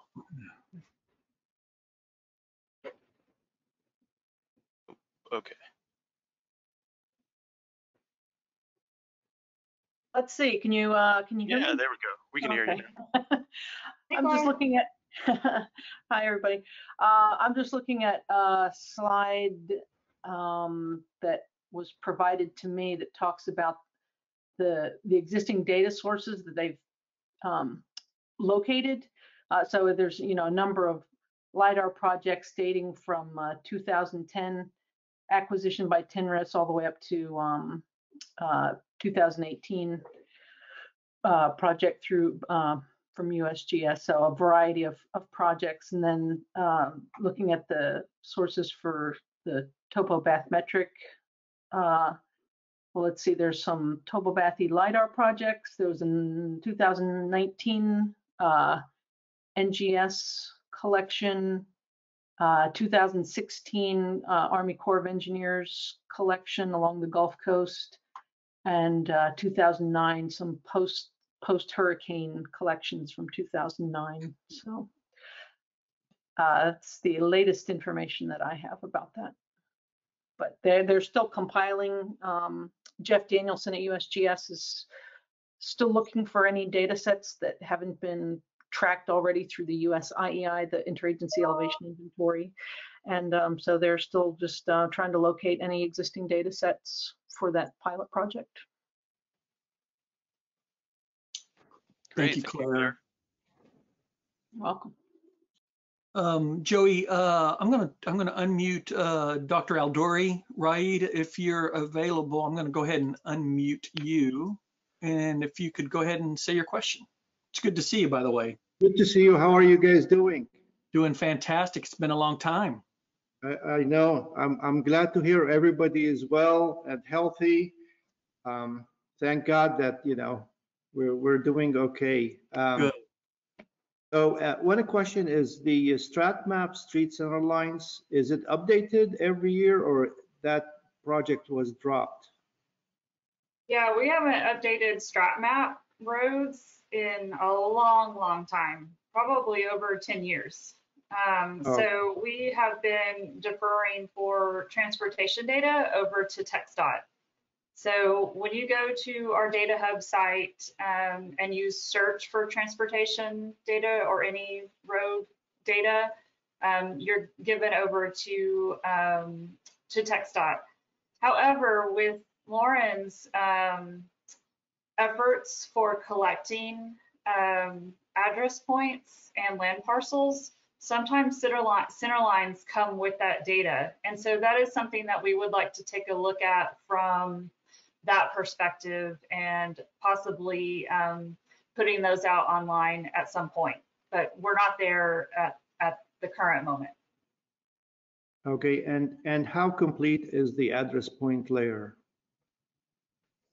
Uh, Lauren, do you want to answer that? Yeah, uh, right now we're currently at about 50% of the state. Um, so we still have another 50% to go until we are we are ready for public production. Okay. All right. Thank you so much and good to see you all. Good to see you, Dr. Elduri. Take care. Um, there's a Thank question here from Rusty Rex, real quick. I'll read it. Um, is there any effort to standardize the bathymetry grid creation, particularly uh, from line or single beam, particularly also in the inland and uh, riverine areas? Joey's, that one would be you.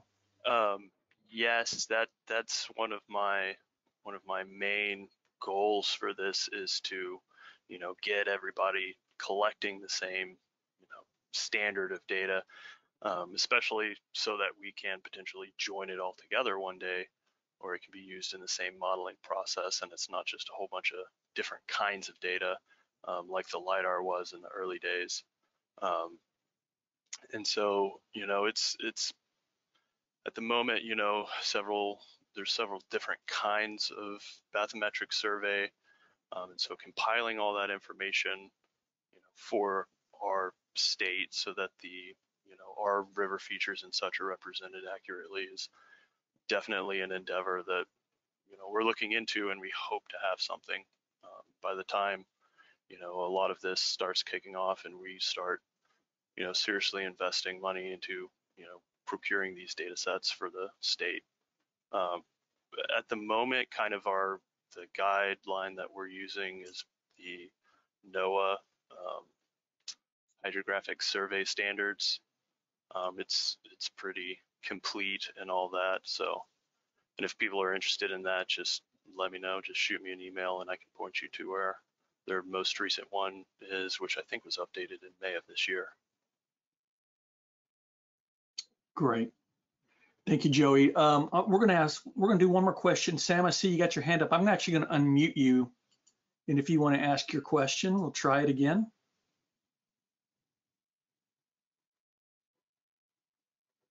Nope, I think Sam is having microphone problems. So I'll go ahead and uh, let's see.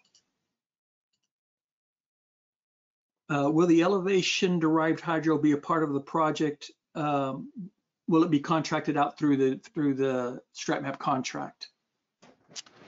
Uh, for if if you're referencing the one being done by the USGS, no, that's you know I, I imagine that's through their GPSC contract. Um, we're not directly involved in that. Um, that's a federal, and then they're using the, a lot of the locals.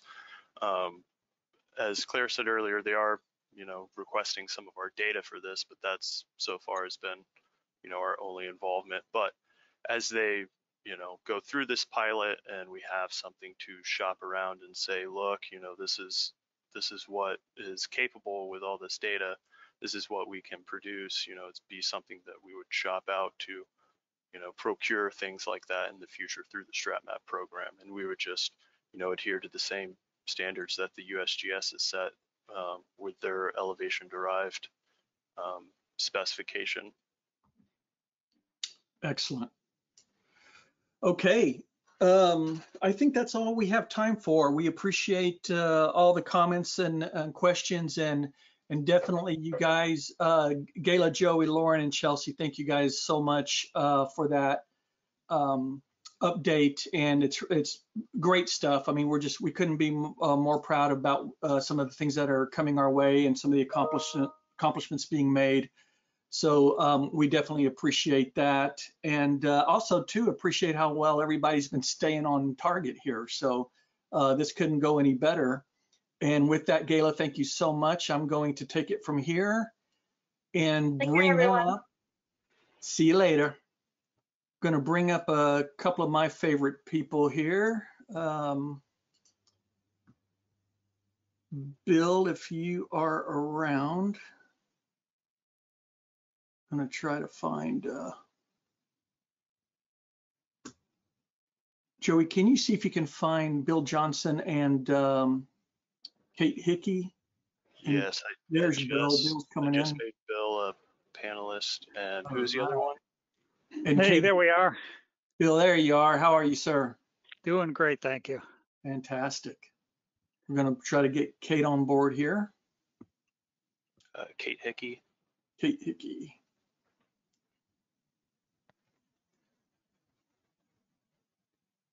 And you need to make Aaron a, Aaron um, Doucette a presenter as well because he's running our slides. Gotcha. I'm here as well. All right. Hey, Kate. can't see me yet, can you? Not yet. Okay, let's see here. Yeah, I can. Can't- There you are. There you All right. All right. And then we're, uh, here comes Aaron. All right. Well, so we're, guys, we're at the home stretch here. Um, you know, like, like always, we always have AppGeo and, and Bill kind of do the anchor leg here. So, um, we, we definitely appreciate looking forward to it. Uh, they have a presentation that they've got for us, the great uh, localization, the Carpe Geo moment brought forth by the pandemic. So I think this is going to be extremely interesting. So without further ado, Bill, I'm turning it over to you. Well, thank you, Richard, and good afternoon, everybody. We're really, really pleased to be back among our Texas friends. And uh, let me just take a moment and explain what we want to accomplish this afternoon. There's been a ton of change happening as a result of the pandemic. that hardly needs to be said because we've all been living it. But there's an interesting thing about change. It presents new opportunities.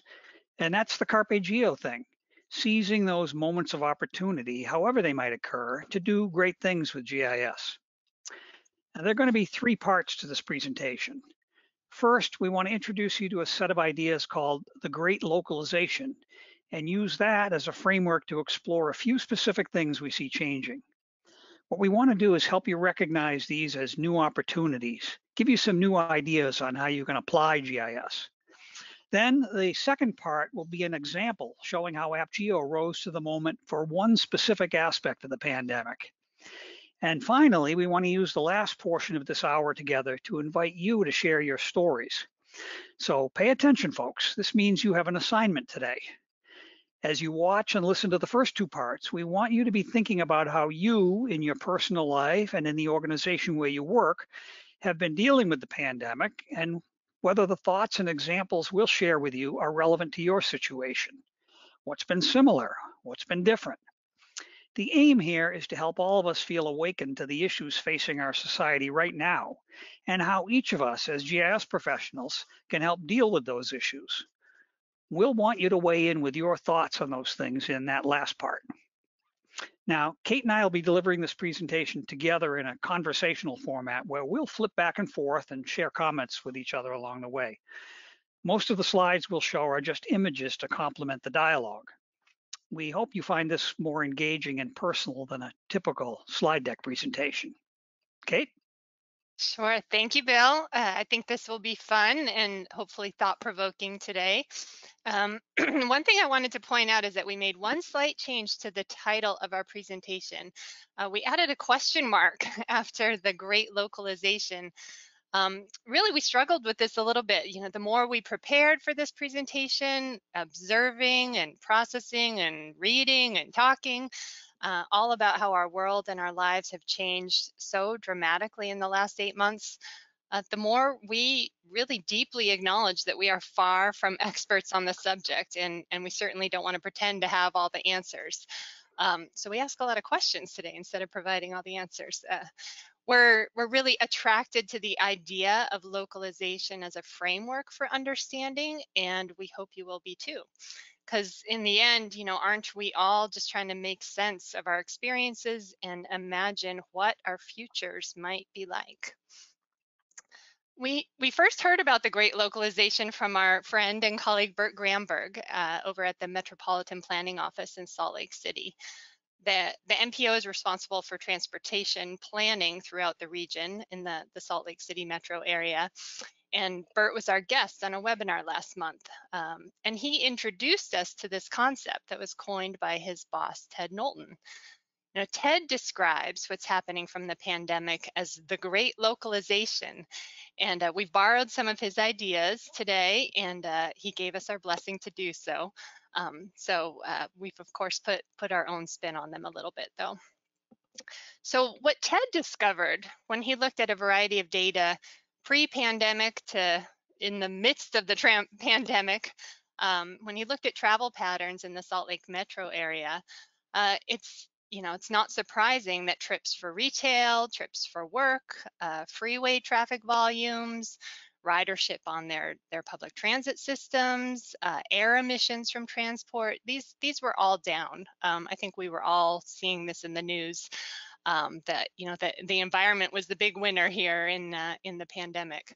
Um, but at the same time, you know, bicycle trips and especially trips to open, sp uh, open spaces were, were up substantially. Um, and you can see that in, in the graph here. So open space trips up 160%, uh, bicycle trips up 40%. Um, what he concluded is that the pandemic has created perfect conditions that, that really favor people staying close to home within their local community and seeking out ways to, to better enjoy their time locally, you know, by visiting parks or biking and walking in their neighborhoods or, or focusing their, their shopping locally. Um, of course, you know, one of the biggest drivers of this change is the fact that so many people were and are working and schooling from home. Uh, the time and money saved from commuting to work has enabled many people to improve the, the quantity and the quality of their leisure time. This and that suggests, you know, there's there's been something of a, a silver lining to to all of the restrictions that have been put in place.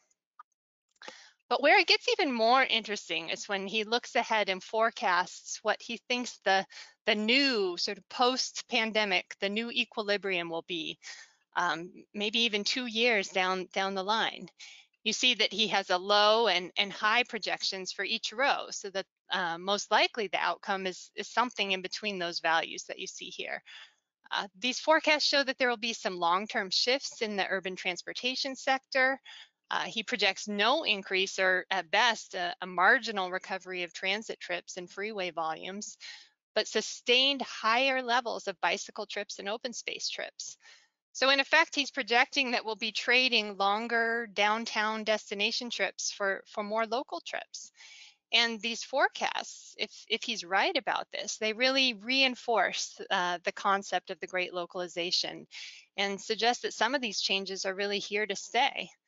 Um, you know, remember Ted's context is, is just transportation. He's a transportation planner. Uh, but I think we can safely say that similar patterns of long-term change will happen in other sectors, maybe housing, education, retail, so on. So it's a long list. Yeah, I really like that great localization concept, Kate. And I especially like that it connects changes to what we value in our communities. I've certainly seen that same pattern emerging where I live in upstate New York. And just to cite a, a single simple example, uh, my wife and I have started to take walks nearly every day with our two dachshunds through the village of Altamont. We actually live a little ways outside of the village, so we make a quick drive down the hill from our house and we park at the village library, now occupying a building that was originally the train station that you see featured on this slide. From there, we can stroll the sidewalks in the village before dinner. Now, this wasn't possible before the pandemic because my wife had a 40 minute commute from the college campus where she works. So in the past, she'd arrive home after work and we'd just get started on dinner. Now, the time she's saving by working from home is what we've repurposed for our walks through the village. It's been a positive change in our daily pattern. Altamont sure looks like it's right out of a storybook there, Bill. It's beautiful. Um, you know, I too have been enjoying some some bonus time, I guess you could say, as I skip the the commute into Boston every day and work from home. But I think it's also really important for us to remember that not everyone is enjoying the same silver lining. You know, a lot of the reductions that we're seeing in travel and this increased, you know, localization, these are these are due to job losses in some cases or the need for parents to stay home uh, and care for and, and even educate their children that are no longer traveling to school. So there, there are a lot of reasons this is happening um, uh, and, and not all of them are, uh, are positive. At AppGeo, we had about a third of our staff already working from home before the pandemic. And now that we're all working from home, we're really starting to rethink our need for downtown office space. Um, and it's pretty ironic because we had just moved into a beautiful new space only a, few months before the pandemic. Um, and just out of curiosity, I don't, uh, uh, we were hoping to use the polling tool today and ask uh, all of you, how many of you expect to be primarily working from home in the next six months?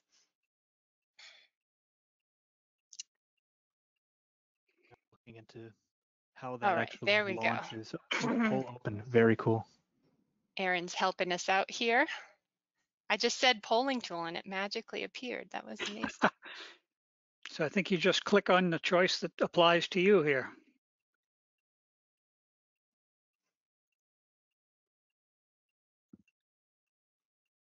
we'll give people, it should be a fairly quick response here.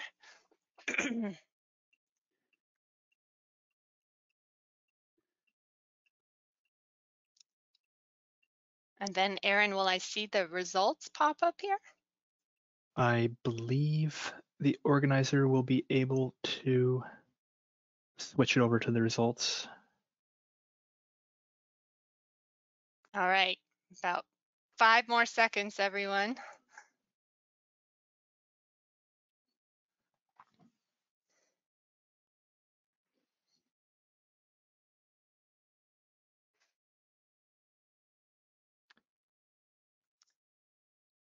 Okay, do we have our results? we can make up It's whatever we possible want they're the behind the results to scenes, be. yeah. Yeah, um, I'm not quite sure how to share. Oh, wait, wait, I can share these. Hang on Maybe one you sec. can just tell us, Richard. Oh, nope, I, it flashed, it flashed past you there just for a moment. There it is. Hey, Oh, okay, interesting. Okay, so 65% fully working from home in the next six months, and another 30% uh, partially working from home. Wow, so uh, really, it's a very small percentage that are expecting to be back back in the office. Um, and that really aligns with you know what we're seeing all over the country and and experiencing uh, ourselves. I think I'm always surprised when I have a video call with someone and they're sitting in a in a professional office there. Um, very interesting.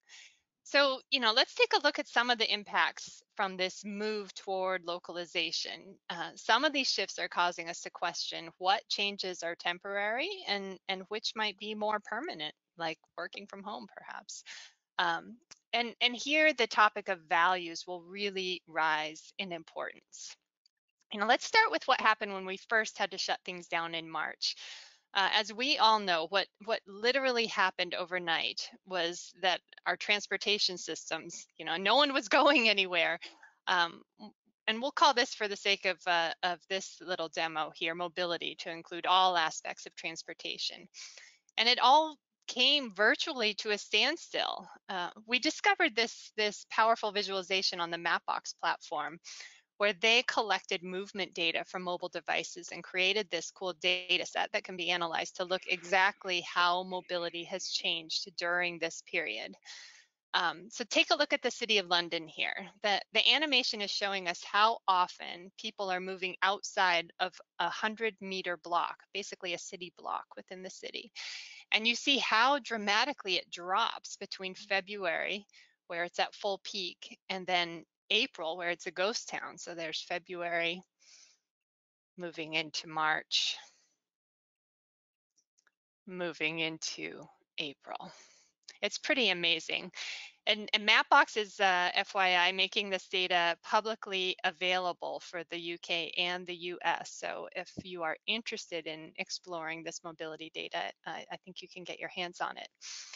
On this side of the Atlantic, there was also a recent article in the Boston Globe where they analyzed transportation data and determined that the average Boston commuter has gained seven hours per week working from home. That's an almost a, a full workday there. That's a lot of time, and that sounds, you know, in just in line with what you're experiencing in your household, isn't it, Bill? yeah, that's uh, that's a pretty interesting coincidence because we live at the outer edge of the Albany, New York metro area, and my wife's commute was actually heading further away from the city, basically a drive through the countryside to her office campus. It very different situation than commuters in heavy Boston or Austin traffic or on crowded trains. So what we're already seeing is that mobility is rebounding, um, and that's pretty clear uh, from the Mapbox visualization we just looked at. I've also heard that traffic congestion in Austin is now back up to about 80% of the level where it was before the pandemic. So I think the big question a lot of us have is whether we'll retain some of the traffic reduction for the long term. Because a lot of people are seeing the benefit and time savings of what they were experiencing before the pandemic, and they may be reluctant to return to pre-pandemic habits and routines. I think this raises questions about what we really value in our local communities. The great localization trend would suggest that we are placing greater value on things that lead to a better quality of life close to where we live and we may be willing to trade off some of our former values to get it. Things like having more lanes of highways built to support a commute into downtown if we aren't expecting to commute downtown in the future. And to cite a Texas example, uh, one of our AppGeo colleagues who works in um, Austin recently told us about two ballot initiatives, Prop A and Prop B, that would provide funding for light rail, bike paths, sidewalks, and urban trails in Austin. That seems to us to be totally consistent with this idea of the great localization. And it's pretty solid evidence that public opinion, which is really an expression of our values, uh, may be starting to shift. It'll be really interesting to see if those initiatives are approved by the voters next week. Texas seems to have a bit of a habit of being a trailblazer, and we saw that last year with the passage of Prop 8 that actually amended your state constitution to permanently flood, uh, excuse me, fund flood mitigation efforts, including the GIS data needed for those projects. And, uh, and coincidentally, we did a webinar just two weeks ago with Richard Wade explaining how Texas has been a trailblazer with the imagery content program, which we just heard Gayla and her team talking about. Bill, what you were just describing about how we value our communities uh, rings so true with me. It, it really resonates, and, and I've been thinking about my own community quite a bit. But I also think about the potential geographic freedom that this this new model might afford us, and and uh, you know, let's explore for a moment. What if we're not just working from home, but we're working from anywhere?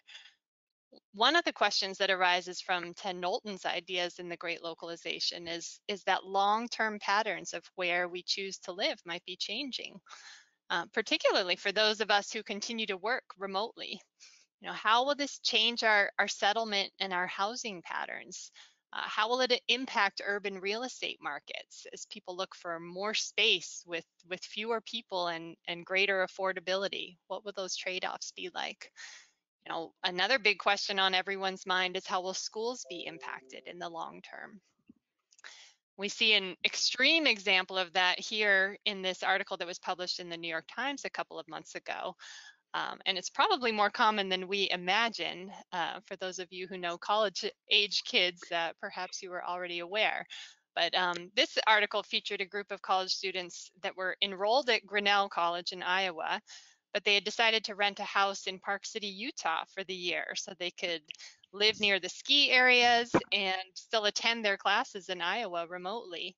Uh, it's it's really the rise of off off campus housing, as they say, and examples of like this, uh, just like this, are popping up everywhere. You know, for years, higher ed institutions tried to get online programs to take off, and it was largely without success. There was there was a bit of a stigma to the model um, people were reluctant to embrace it.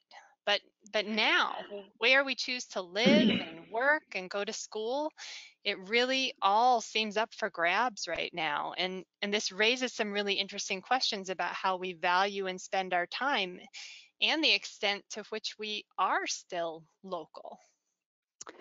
Yeah, Kate, I, I, think this is just fascinating. And, you know, the more I think about it, the more it looks like we have two opposing forces at work. On one side, we have the great localization where there's an increasing focus on amenities close to home, walkable, bikeable, near me access to things that we value, which seems to be concentrating our attention on all things local. And at the same time, our ability to stay close to home depends on being part of a connected digital world built on this global internet. That's what allows us to work and access school remotely, conduct online commerce that relies on global supply chains, and uh, just take advantage of the anytime, anywhere aspect of the internet. It's really fascinating how we have a hyper-local phenomena being enabled by globalization. You know, those are two very different forces based on very different sets of values, and yet they rely on each other and they're happening in tandem. And just to point out something that may be obvious, maybe not, but the most essential characteristic of each of those forces, local and global, is that they are at their core geographic issues, spatial issues. And that's why I think that's really interesting for those of us in the GIS profession, because it's helping us to see this rich new range of opportunities that we can seize. Our way of viewing the world through a spatial lens is letting us be problem finders while others are still struggling to make sense of the issues. So let's shift our perspective now from using the great localization as a framework to help understand the changes we see happening with the pandemic and mm-hmm. consider how these changes matter to GIS professionals.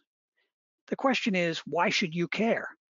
Well, what we're seeing is that the pandemic is sort of like a magnifier. It's focusing our attention and highlighting the gaps in public sector services and information.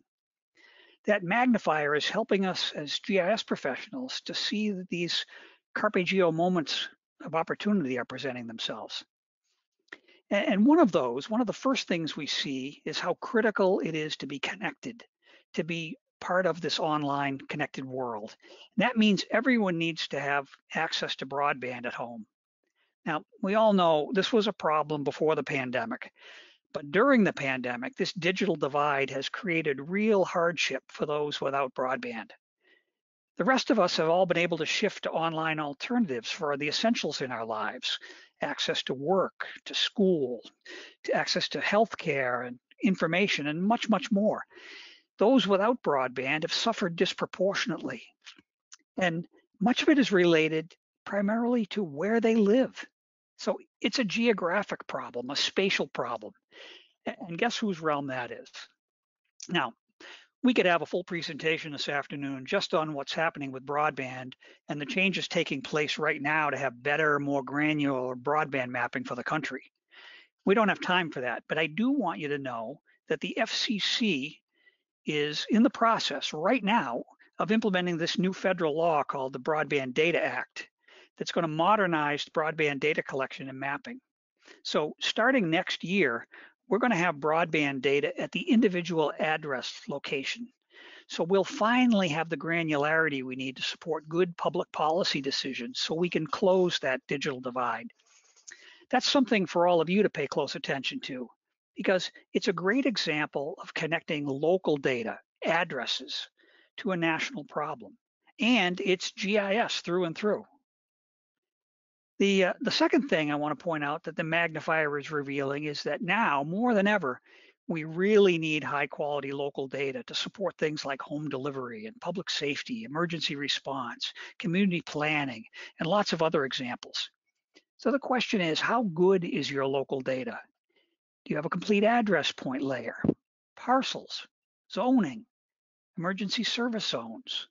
Are those layers complete? Are they really being kept up to date?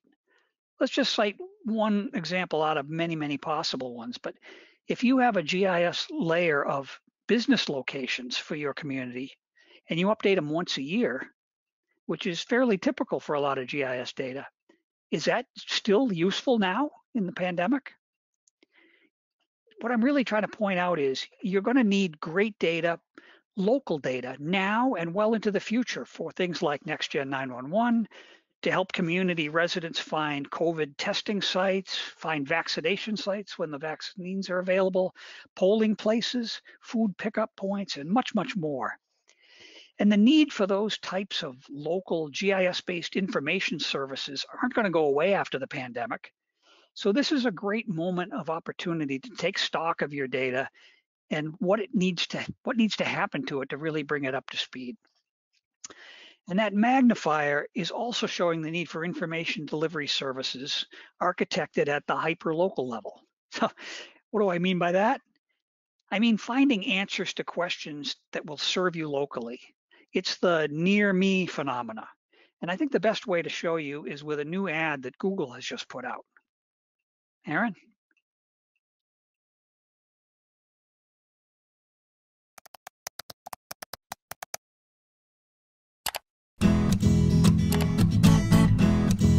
When I was in high school, this was a theater I came to quite often. Well, you'll friends, they came from out of town. It was a new kind of neighborhood. The support we've had over the last two months has been amazing. I have a soft spot for local places. It's not just a work environment. Everyone here is family. gonna go ahead and support him, get my haircut, leave a big tip. if we focus on our local communities, we can find a way to get through this together. Thank you. If you are ready to open your heart and your home, check us out. Get out and about and support our local community. We thought for sure that we were done, and this town said not not today.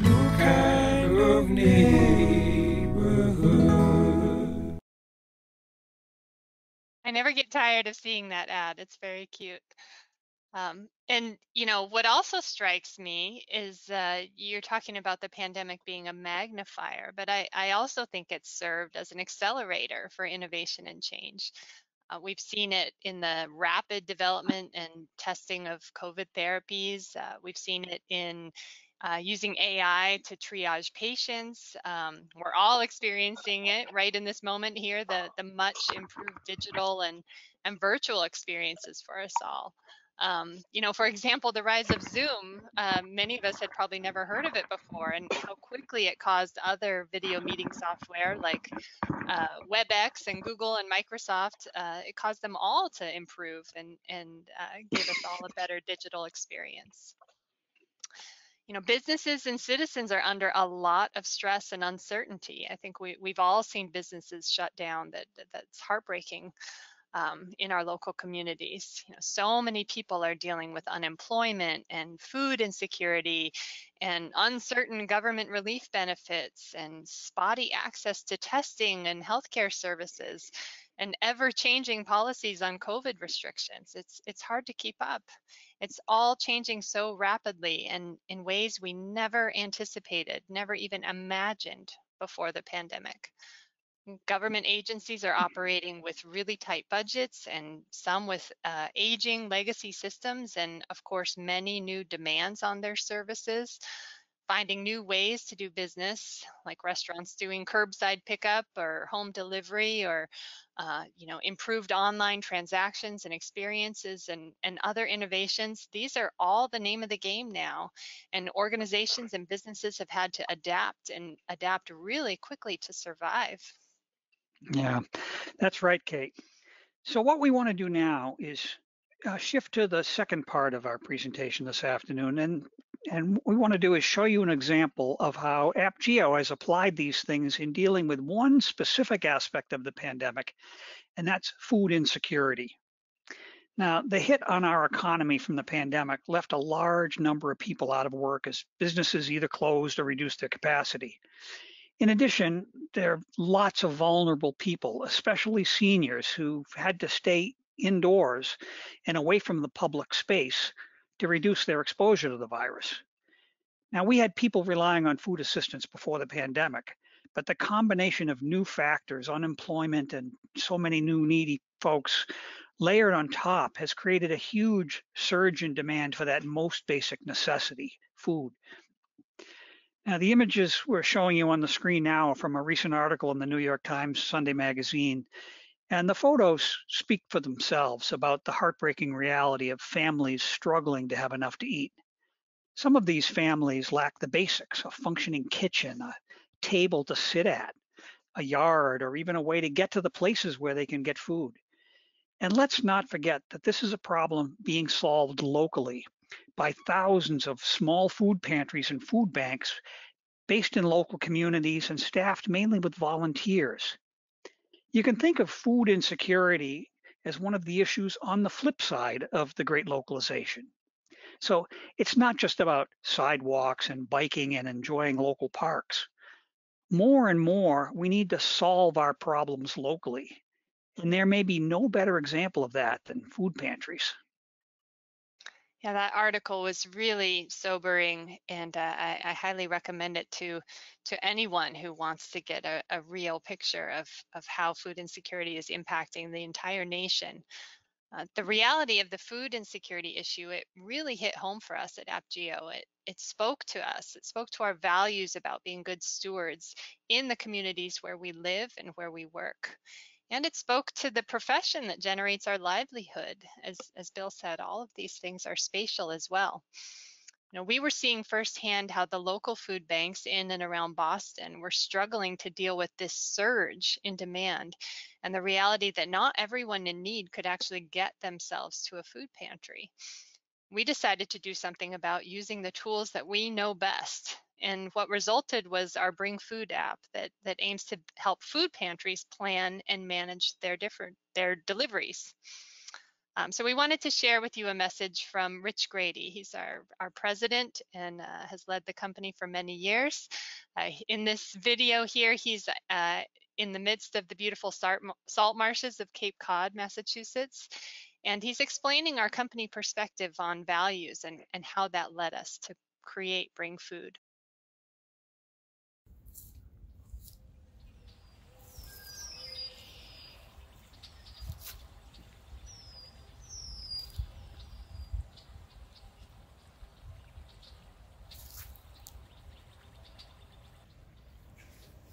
Hey, I want to say a big hello to my friends in Texas. I miss seeing you in person. I always look forward to the Texas GIS Forum. It's a source of food for thought on the ways we can apply geospatial thinking and tools to problem solving. We all know there are a lot of problems out there that need solving. And our way of thinking does bring a new perspective to the table often. I also enjoy the thoughtful work that students in colleges and universities across Texas are doing. Keep it up and keep it coming. Bring it on.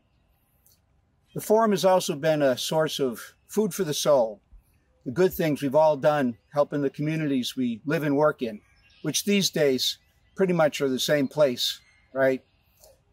And I think along with those places where we live and work, we need a spiritual place for sanctuary, for inspiration, for guidance in an uncertain world. Such a place can prompt us to reflect on who we are and what's important. And when we do that, often we know what to do in the face of uncertainty. It puts us in the right, right frame of mind to know that it's always the right time to do the right thing. For me, Bring Food came from that place and from that frame of mind. But it was the collective action and abilities and willingness and passion of my colleagues at AppGeo that brought it to fruition. I tip my hat to them. They made Bring Food a reality. And I know they're with me on this.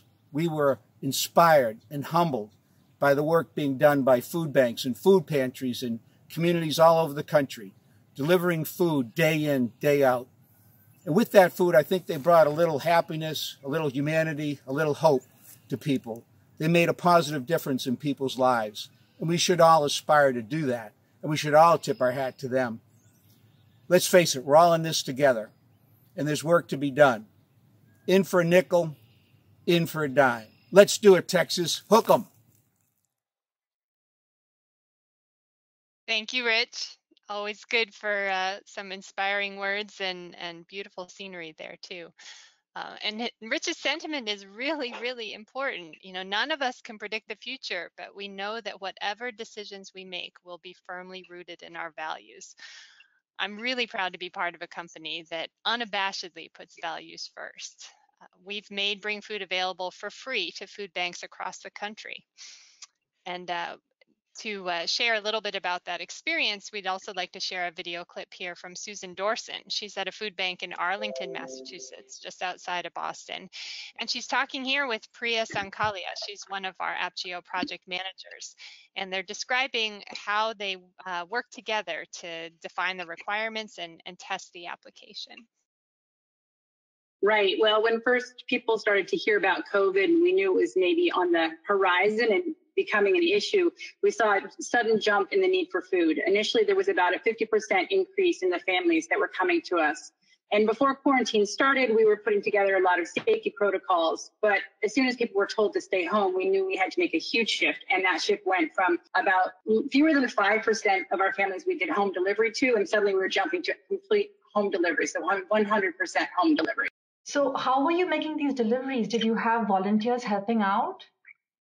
So we were very lucky to be able to team up with the Medical Reserve Corps, and they supply a lot of our delivery drivers, um, which was fabulous because they took care of recruiting and bringing them to us. But the downside was that they came from many different communities, so they didn't necessarily know Arlington. So when you're delivering food and I hand you a random list of addresses, uh, that that became an issue pretty immediately. So uh, when I came to you, you already had a problem, which you know we were like ready to solve, and you communicated that to me. Yeah, you know, we I think we've been doing it a couple weeks by the time you contacted me, and I've just been kind of making random routes and handing them out. And so you and I had a conversation, and then I sat down with your team, and they listened to my problem, and within six weeks, you gave me the access to the beta application. Oh, it was a really crazy quick turnaround. That was awesome. Yeah, I mean, it was it was um, pretty amazing because we were in you know agile mode. Um, um, we basically started brainstorming in April, um, started development late April with you know what you had told us, and the beta application was rolled out mid-May. We gave it to you and two other organizations, Somerville and Chelsea, which was a very hard hit city in, in the in the Boston area. You gave us some um, you know tweaks to make, and we launched the website in July for everybody to access. Um, so, what was it like for you to be a tester on this uh, on this platform, Susan? Because you gave us a lot of insights into how we could change the application right? The whole process was so new to me. I've never kind of been a part of something like that before. Um, and I'm not very technical, so I wasn't sure what I could ask or what I could expect the team to do. But you all, the team always listened to me and said, oh, yeah, that's doable. Or, well, let's think about this possibility. So what was wonderful is I was able to come with all of my thoughts or concerns, and the team was very responsive. And it really it felt like a collaboration because you, you were trying to make something useful for people, and I was able to kind of come to you with all the different ideas of things that were affecting our particular community. And we also, I think, discussed some ideas of how large communities might need different things as well. So it was a real team effort and um, you know there were a number of meetings and then in the end result i had a wonderful uh, an app to work with and the process was very smooth so it was fantastic. Many thanks to priya and susan for that. Uh, it's fun to get a reminder of how quickly that all came together. It was a, a whirlwind project and and really exciting to to witness um, and finally, I, I would like to ask Aaron to give us a quick demo of how the application actually works. So Aaron, go for it. All right, I'm just coming online here. Good, looks like we're we're working. So uh, I call this the fun part of the presentation because we get to look at technology, and I know uh, we got a lot of fans of that on here. Now, the whole thing's been fun, and I really uh, think Bill and Kate have been doing an awesome job here.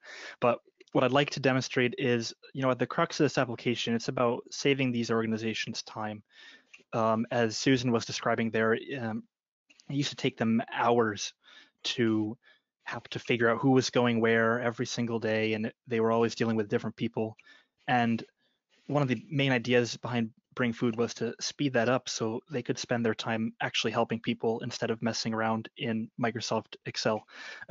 so this this quote has really resonated with us. What is used to take us hours is now done in under five minutes. And in under five minutes here, I'd like to quickly show you uh, what this application actually looks like and how it works for those of you who are curious and may have uh, not gone to see it before. And I'm going to give you the, the real deal version here, not my pre-recorded one. So we'll have a little bit of fun. So Bring Food starts with submitting uh, lists of addresses, and that can come in in a lot of different ways. We have uh, some CSV files here I've populated, and the first step is just teaching the application, um, you know, what is your data? Because everyone's data is going to come in a little bit differently, and we want it to work seamlessly within the application. So I'm just going to quickly um, define these headers as we have them come in, uh, like zip code, state. Now this one's kind of interesting number of boxes as the application can take into account uh, vehicle capacity in addition to some of the other factors, so like delivery size for number of boxes. Now we have this last column here, drop-off location. That could be an example of um, a number of additional fields that will make their way into the final results, but not necessarily have an impact on the geocoding. So now that we have set all those up, we can go ahead and hit the sign. Um, let's see. Oh, I put the wrong one here and it's caught that. That is the state. There we go. Um, and now it's doing geocoding using uh, the Google geocoding engine. And one thing that's interesting about Bring Food is if there are errors in your data, it will pick it up ahead of time. So, um, you know, here we see the street name is missing. It would give us a chance to manually go back and say, all right, uh, you know, who was that? and rather than send someone to like uh, incorrect location or worse, someone doesn't get their food that they need for that week, uh, we have a chance to QA, QC that. So we could say, um, mass of, let's see if that works better. All right. So um, here's the interesting part. We've now got all those addresses from an Excel sheet on our map. There are all these different points here. We can zoom in, zoom out all the way down to the individual house scale if we need to. And we have a couple parameters to play with. The first is just picking where is our distribution center, you know, where is our pantry or uh, food bank that uh, all the pickups are occurring from. I'm going to use a grocery store locally just as our example here. Oops. And what's nice about this is it also has all the Google Places database uh, tapping into. So I just need to type the name.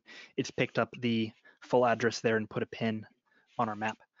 Now we have two strategies we can then pick from. A max route delivery size, so um, max number of uh, stops, or maximum number of routes. So say we have five drivers to work with, we can make sure each of them have a route, and from there hit optimize. Now this is the really cool part. It is now clustering all those points, finding the optimal way for your five drivers to reach all of them, and then giving them to you in this color coded format.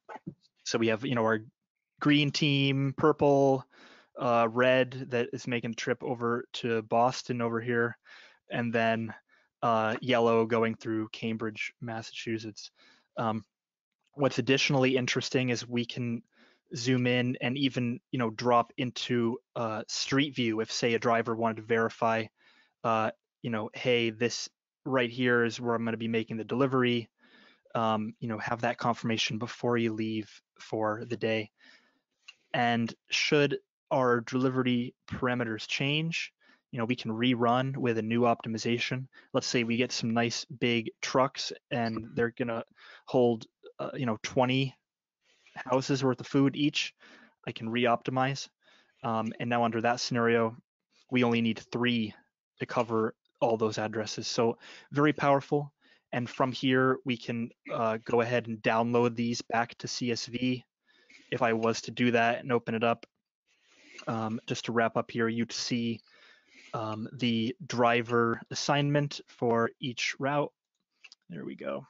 Just a little sluggish we'll have a driver assignment for each route and their stop order along with the address and then like that additional information. Ooh, it's up on our top screen. That's why. Um, that additional like drop off location and how many boxes. You could even have like a cell phone number in there as many of the organizations were confirming with a phone call um, at the time of the delivery. So, you know, a very lightweight application, but a very robust application we've been really excited to kind of bring it to life. And from there, I think we're going to hop back into the slides. Yeah, thank you very much for that uh, demo, Aaron. I really appreciate you doing it live. Thanks, um, you know, the decision to bring uh, to create Bring Food was a real carpe geo moment for us at AppGeo. It's a great example on a lot of different levels not the least of which is that it's truly an expression of our company's core values. But I'd also like to point out a few other interesting details. You know, we're a GIS consulting company and we're used to dealing with clients who know what they want us to build with GIS. For these food pantries, we found ourselves dealing with a user base that is not at all conversant with GIS and frankly doesn't need to be. For Bring Food, we had to be problem finders, not solvers. In other words, we had to work with users like Susan Dorson, who you saw in that earlier video clip, to find out what they didn't understand and to weed out any assumptions we had coded in there that assumed familiarity with GIS. There were also some technical problems we needed to solve with Bring Food. First, it had to be, and I love this phrase uh, from one of our team members, it had to be ridiculously simple so that volunteers just using basic spreadsheets could easily get the results they need. And even though there are excellent new tools and APIs out there now that we can work with, the out of the box tools still need to be augmented in, in, a lot of cases with our own special sauce. And in this case, we used Google's API for the multi-stop route optimization. But that clustering that you saw happen between geocoding and the route designation was our own uh, um, algorithm. And um, that's how we uh, get the addresses that are closest to each other to combine into each route.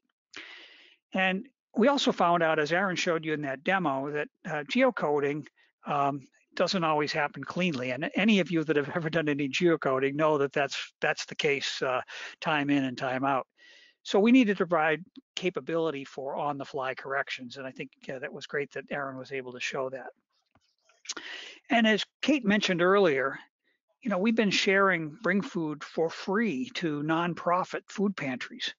We started out with a handful in the Boston area, but now there are organizations all over the country benefiting from Bring Food. And we think this is a great example of shared value. We're able to give back to the communities that have made our business possible in a way that helps them do a better job serving the needy. And that, friends, it, it really appeals to our core values. Thank you, Bill. I totally agree with that. And, uh, you know, this has been a really fun exploration this afternoon and pulling this together and, and hearing what everyone shared throughout the day. Um, you know, now it's time to see if everyone was paying attention because we're ready to turn the tables and, and ask you for your stories. And I warned you up front that we're good at asking questions, but it doesn't mean we have the answers. So you know what we'd love to hear from you what are you observing uh, in terms of impacts from the pandemic this could be on your work on your life in your community did any of the ideas from the great localization resonate with you? Are you are you paying attention to your neighborhood more? Are you connecting with your neighborhood in new ways? Any carpe geo opportunities out there to seize or to solve or to share? Have you innovated or reinvented your work? What's been your biggest challenge? What are you still struggling with? I think you can use the the raise your hand tool in the in the um, webinar here, and I believe we can unmute you, or someone can unmute you, so you can speak.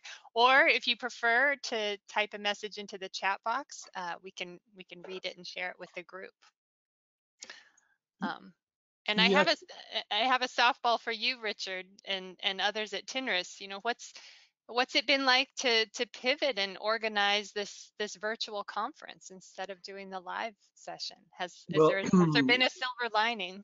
Yeah, you know that that's been an interesting thing. I think uh, realistically, we had mentioned this at the last quarterly meeting that we had was um, uh, when we were doing these things live, Felicia would often ask, you know, should we try to, you know, create a dial-in number or, you know, whatever so people can come in? I said, no, no, no, no, let's not do that because we want people to come because the whole point is the interaction uh, that we have. And I, and I think it's still that, but realistically, when we when we did our first one um, back and I believe it was in July, um, we had we, we went from about 40 to 60 people at the norm to 150 people and everybody was saying you know how wonderful it was we kind of went mm-hmm. online with this because now they can actually you know participate and hear and and just be a part of the process where they were felt excluded because we would have these things you know on the wrong side of town that they mm-hmm. couldn't get to and you know it was all this stuff so it was this eye opener for us um, to realize that you know it wasn't such a bad idea people who still want to come in and meet in person will do that but people who just can't do that, but still want to listen to what people are saying, will do that. And so there's a best of both worlds here. And I think even this particular, you know, event that we had today, uh, you know, same sort of thing, allowing people to kind of pick and choose the sessions they wanted to come on. And I've been watching people pop on and off during those sessions, and I thought it was a, a really great idea. So so it was an eye opener uh, for us on how we how we're doing that. And so even when we do get back together, this will be a part of our process from here on. And so and we wouldn't have figured it out until this happened. Mm-hmm. Yeah, that's great. Richard, you mentioned folks, folks on the wrong side of town not coming to me, but man, Texas is a big state. I mean, I mm. assume there were people quite remote from Austin that could suddenly participate. I mean, even from here, we've got people from out of state who are participating, um, you know, who are who are probably one of our vendors or, or, you know, something like that, where they just couldn't have done this before. And uh, so it isn't just in the Austin area; it's in it's the region, you know, and uh, and people very much appreciated the ability to do that. So uh, yeah, so so we learned absolutely. Great. Do, do we have any other uh, brave souls out there who want to share anything? Has anyone Um, I- commented? I, Kate, I want to, I want to kick it off. I think a little bit. I'm, I'm waiting to see if anybody um, raises their hand, but I do want to raise my hand because Bill touched on it, and I touched on it a little bit in my opening remarks. Um, but you know, when when the COVID first hit, uh, you know, the city was was kind of like you showed in in uh, there on your map, where all of a sudden all of the transportation just kind of went away, and you know, there was this kind of eerie sort of feeling about it all. But now that it's you know there there's people returning to work and i think that's a good thing when you can do it um, but there's also been talk about you know what are you going to do when this thing is over? What are what are companies going to do? There some companies saying we're not going to go back the way we were. You know we're going to be a little bit more in a hybrid mode or we're going to be whatever. And bill had mentioned that you know um, or one of you guys mentioned that austin is back to about 80% of what the traffic was. Yeah. And there's a little part of me that's kind of bummed by that you know? Uh, traffic was already so so horrific um, to to some degree, and there's a hope that you know businesses start offering more options uh, to work from home, even if they don't have to, simply because you know in in a in the time that we're in, why crowd the roads if you don't really have to do that? Um, you know why why start your vehicle and have to drive 45 minutes in and out of town when you can just not have to do that? Uh, so I'm real curious to kind of, uh, you know, figure out how things are going to really play out once we're back on 100%. So it will be interesting. Yeah, you know, uh, you- you're saying that, Richard, reminds me that, you know, just speaking personally, one of the things that this pandemic has done to, to us in my family is, you know, we used to just, you needed something, you just automatically hop in the car and, and head out to get it, and, you know, with very little thought about that. And now we actually do pause and, and ask ourselves, you know, do, do I need to make this trip? Is there an alternative way to, to, to meet whatever the need is in the moment? And, uh, and we're actually, we're we're traveling far less and putting hardly any miles on our car. I, I you know, I, I was trying to remember the last time I gassed up my pickup truck, and I, I couldn't tell you. It's been several weeks. Yeah, absolutely, absolutely. And I think that's kind of my point. And I mean, I know there's nobody raising their hand, but I'm real interested if anybody else has a has a thought to that. Um, you know, what's it going to be like in the private sector? Uh, um, you know, the, the the states thinking through their their ideas and what they've got going on.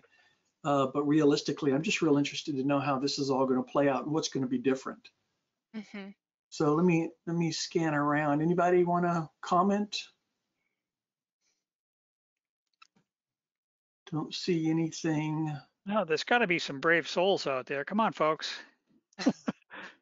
You've all been living this pandemic. You, must all have some reaction to, you know, this concept of the great localization and and how you see it playing out in your lives uh, or in your work or uh, what what's it feel like to you and it- what does it mean to you what do you think what do you see looking ahead uh, for how this will impact what you do in gis that's the i think there's a this is so much good stuff we could be talking about here i'd just really love to hear from some of you Yeah, let me read a let me read one uh, one thought from from Lila Valencia. Um, so uh, let me see. I I have trouble reading small print, but let me see what I can do here.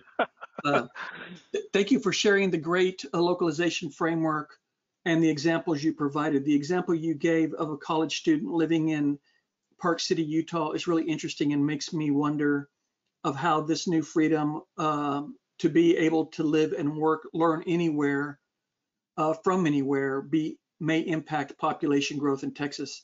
Currently, half of our growth in Texas comes from migration. Not sure if you have any thoughts on this. Mm.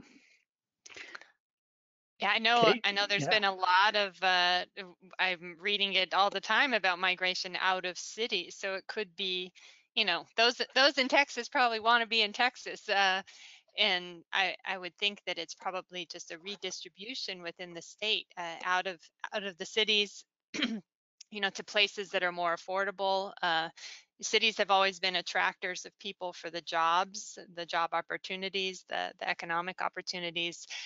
And and that constraint is is really going away. I mean we we see it uh, we've hired we hired someone that none of us have met. He's been work he's a web developer he's working with us um, for several months now. None of us have met him in person ever.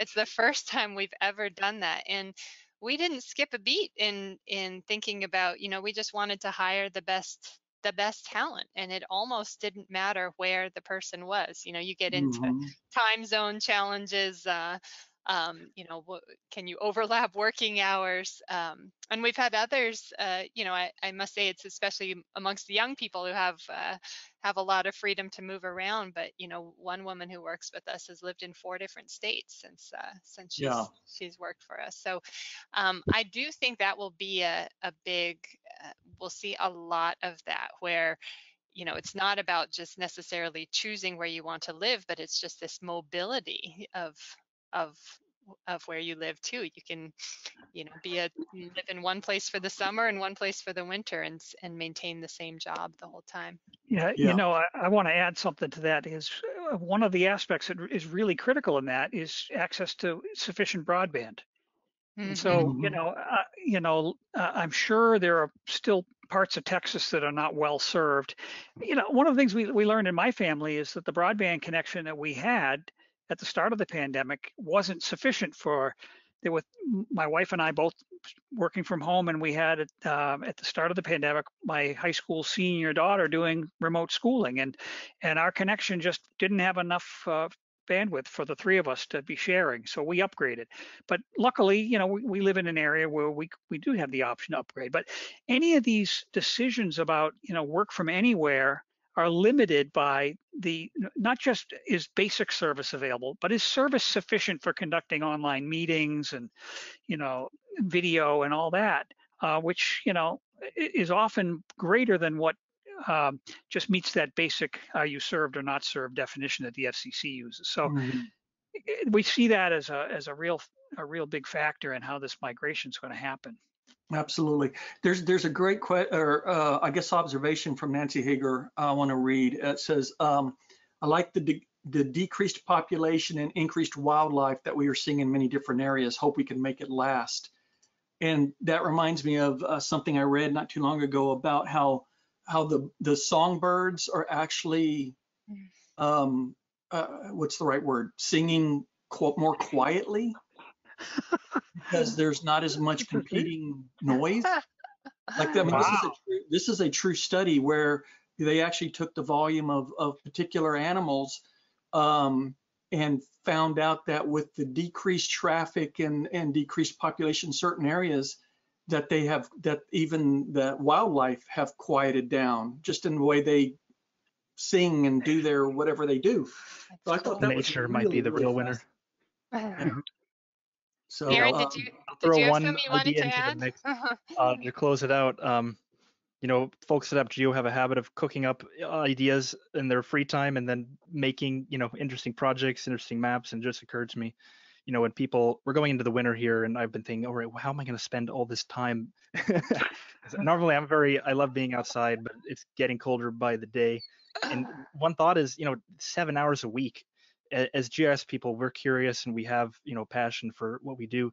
Take some of that time and invest it into you know that project in GIS you've been putting off something interesting that you just do for fun whether it be learning a new skill or sharing something or you know experimenting with some all this data that's now out there like that mapbox data for example and you know after a couple months of that you might be shocked at some of the creative things you can come up with and share with the greater GIS community so I set that as a challenge to all of you out there and we'll see what you come up with in a couple months but um, I I, see that, a great opportunity to leave it off with today. so Aaron, Aaron, did you want to make sure um, everyone knew where to find more info on uh, on Bring Food as well? Absolutely. So we have a website set up, bringfood.care. Um, you can also Google Bring Food. Uh, I think you'll find us that way. And you can sign up an organization in your community or forward it to an organization in your community. And again, totally free for all those qualifying uh, nonprofits. So we hope that you can spread it. We have a handful of uh, groups in Texas using it now, and we hope to add uh, a whole bunch more. Absolutely. So our, uh, any, uh, I just wanted to thank you guys um, from AppGeo, Bill and Kate, Aaron. Thank you guys so much. That was a fascinating application to see um, to see run and uh, just a great way you guys did this. I actually I felt like I was actually in the conversation, except I actually wanted to join in half the time. Uh, and you couldn't see my head nodding and everything else that y'all were saying. So uh, very effective. I, I can't tell you how much I appreciate it. You guys are, are great and we're, we're, we're great to have this kind of relationship with you guys. And so thanks for everything you've done and, and being a part of this, uh, being, being a part of this meeting. We greatly appreciate it. Thank, Yeah, thank really, you, Richard. It's our pleasure, really. Okay, well, we'll be talking soon, you know that, Mhm. like tomorrow. Uh, But anyway, I wanted to close out. I just wanted to remind everybody um, that we have uh, that we have a uh, the trivia night link that's actually in the chat session. If you want to scroll back, oh, probably the second entry in the chat chat session, you'll see a URL right there. Um, that's how you get to it. And I believe Courtney's also sent the Zoom meeting link within the questions. Um, so please, please look at that and uh, join if you can. I think that would be wonderful, and we appreciate all the support Swidgis is always doing for us. Um, so thanks everyone. We hope you had a great time, and we really, really are are looking forward to uh, to doing more of these. And uh, uh, stay tuned. We'll keep you posted. Bye everyone. Bye. Thank you. Bye. You.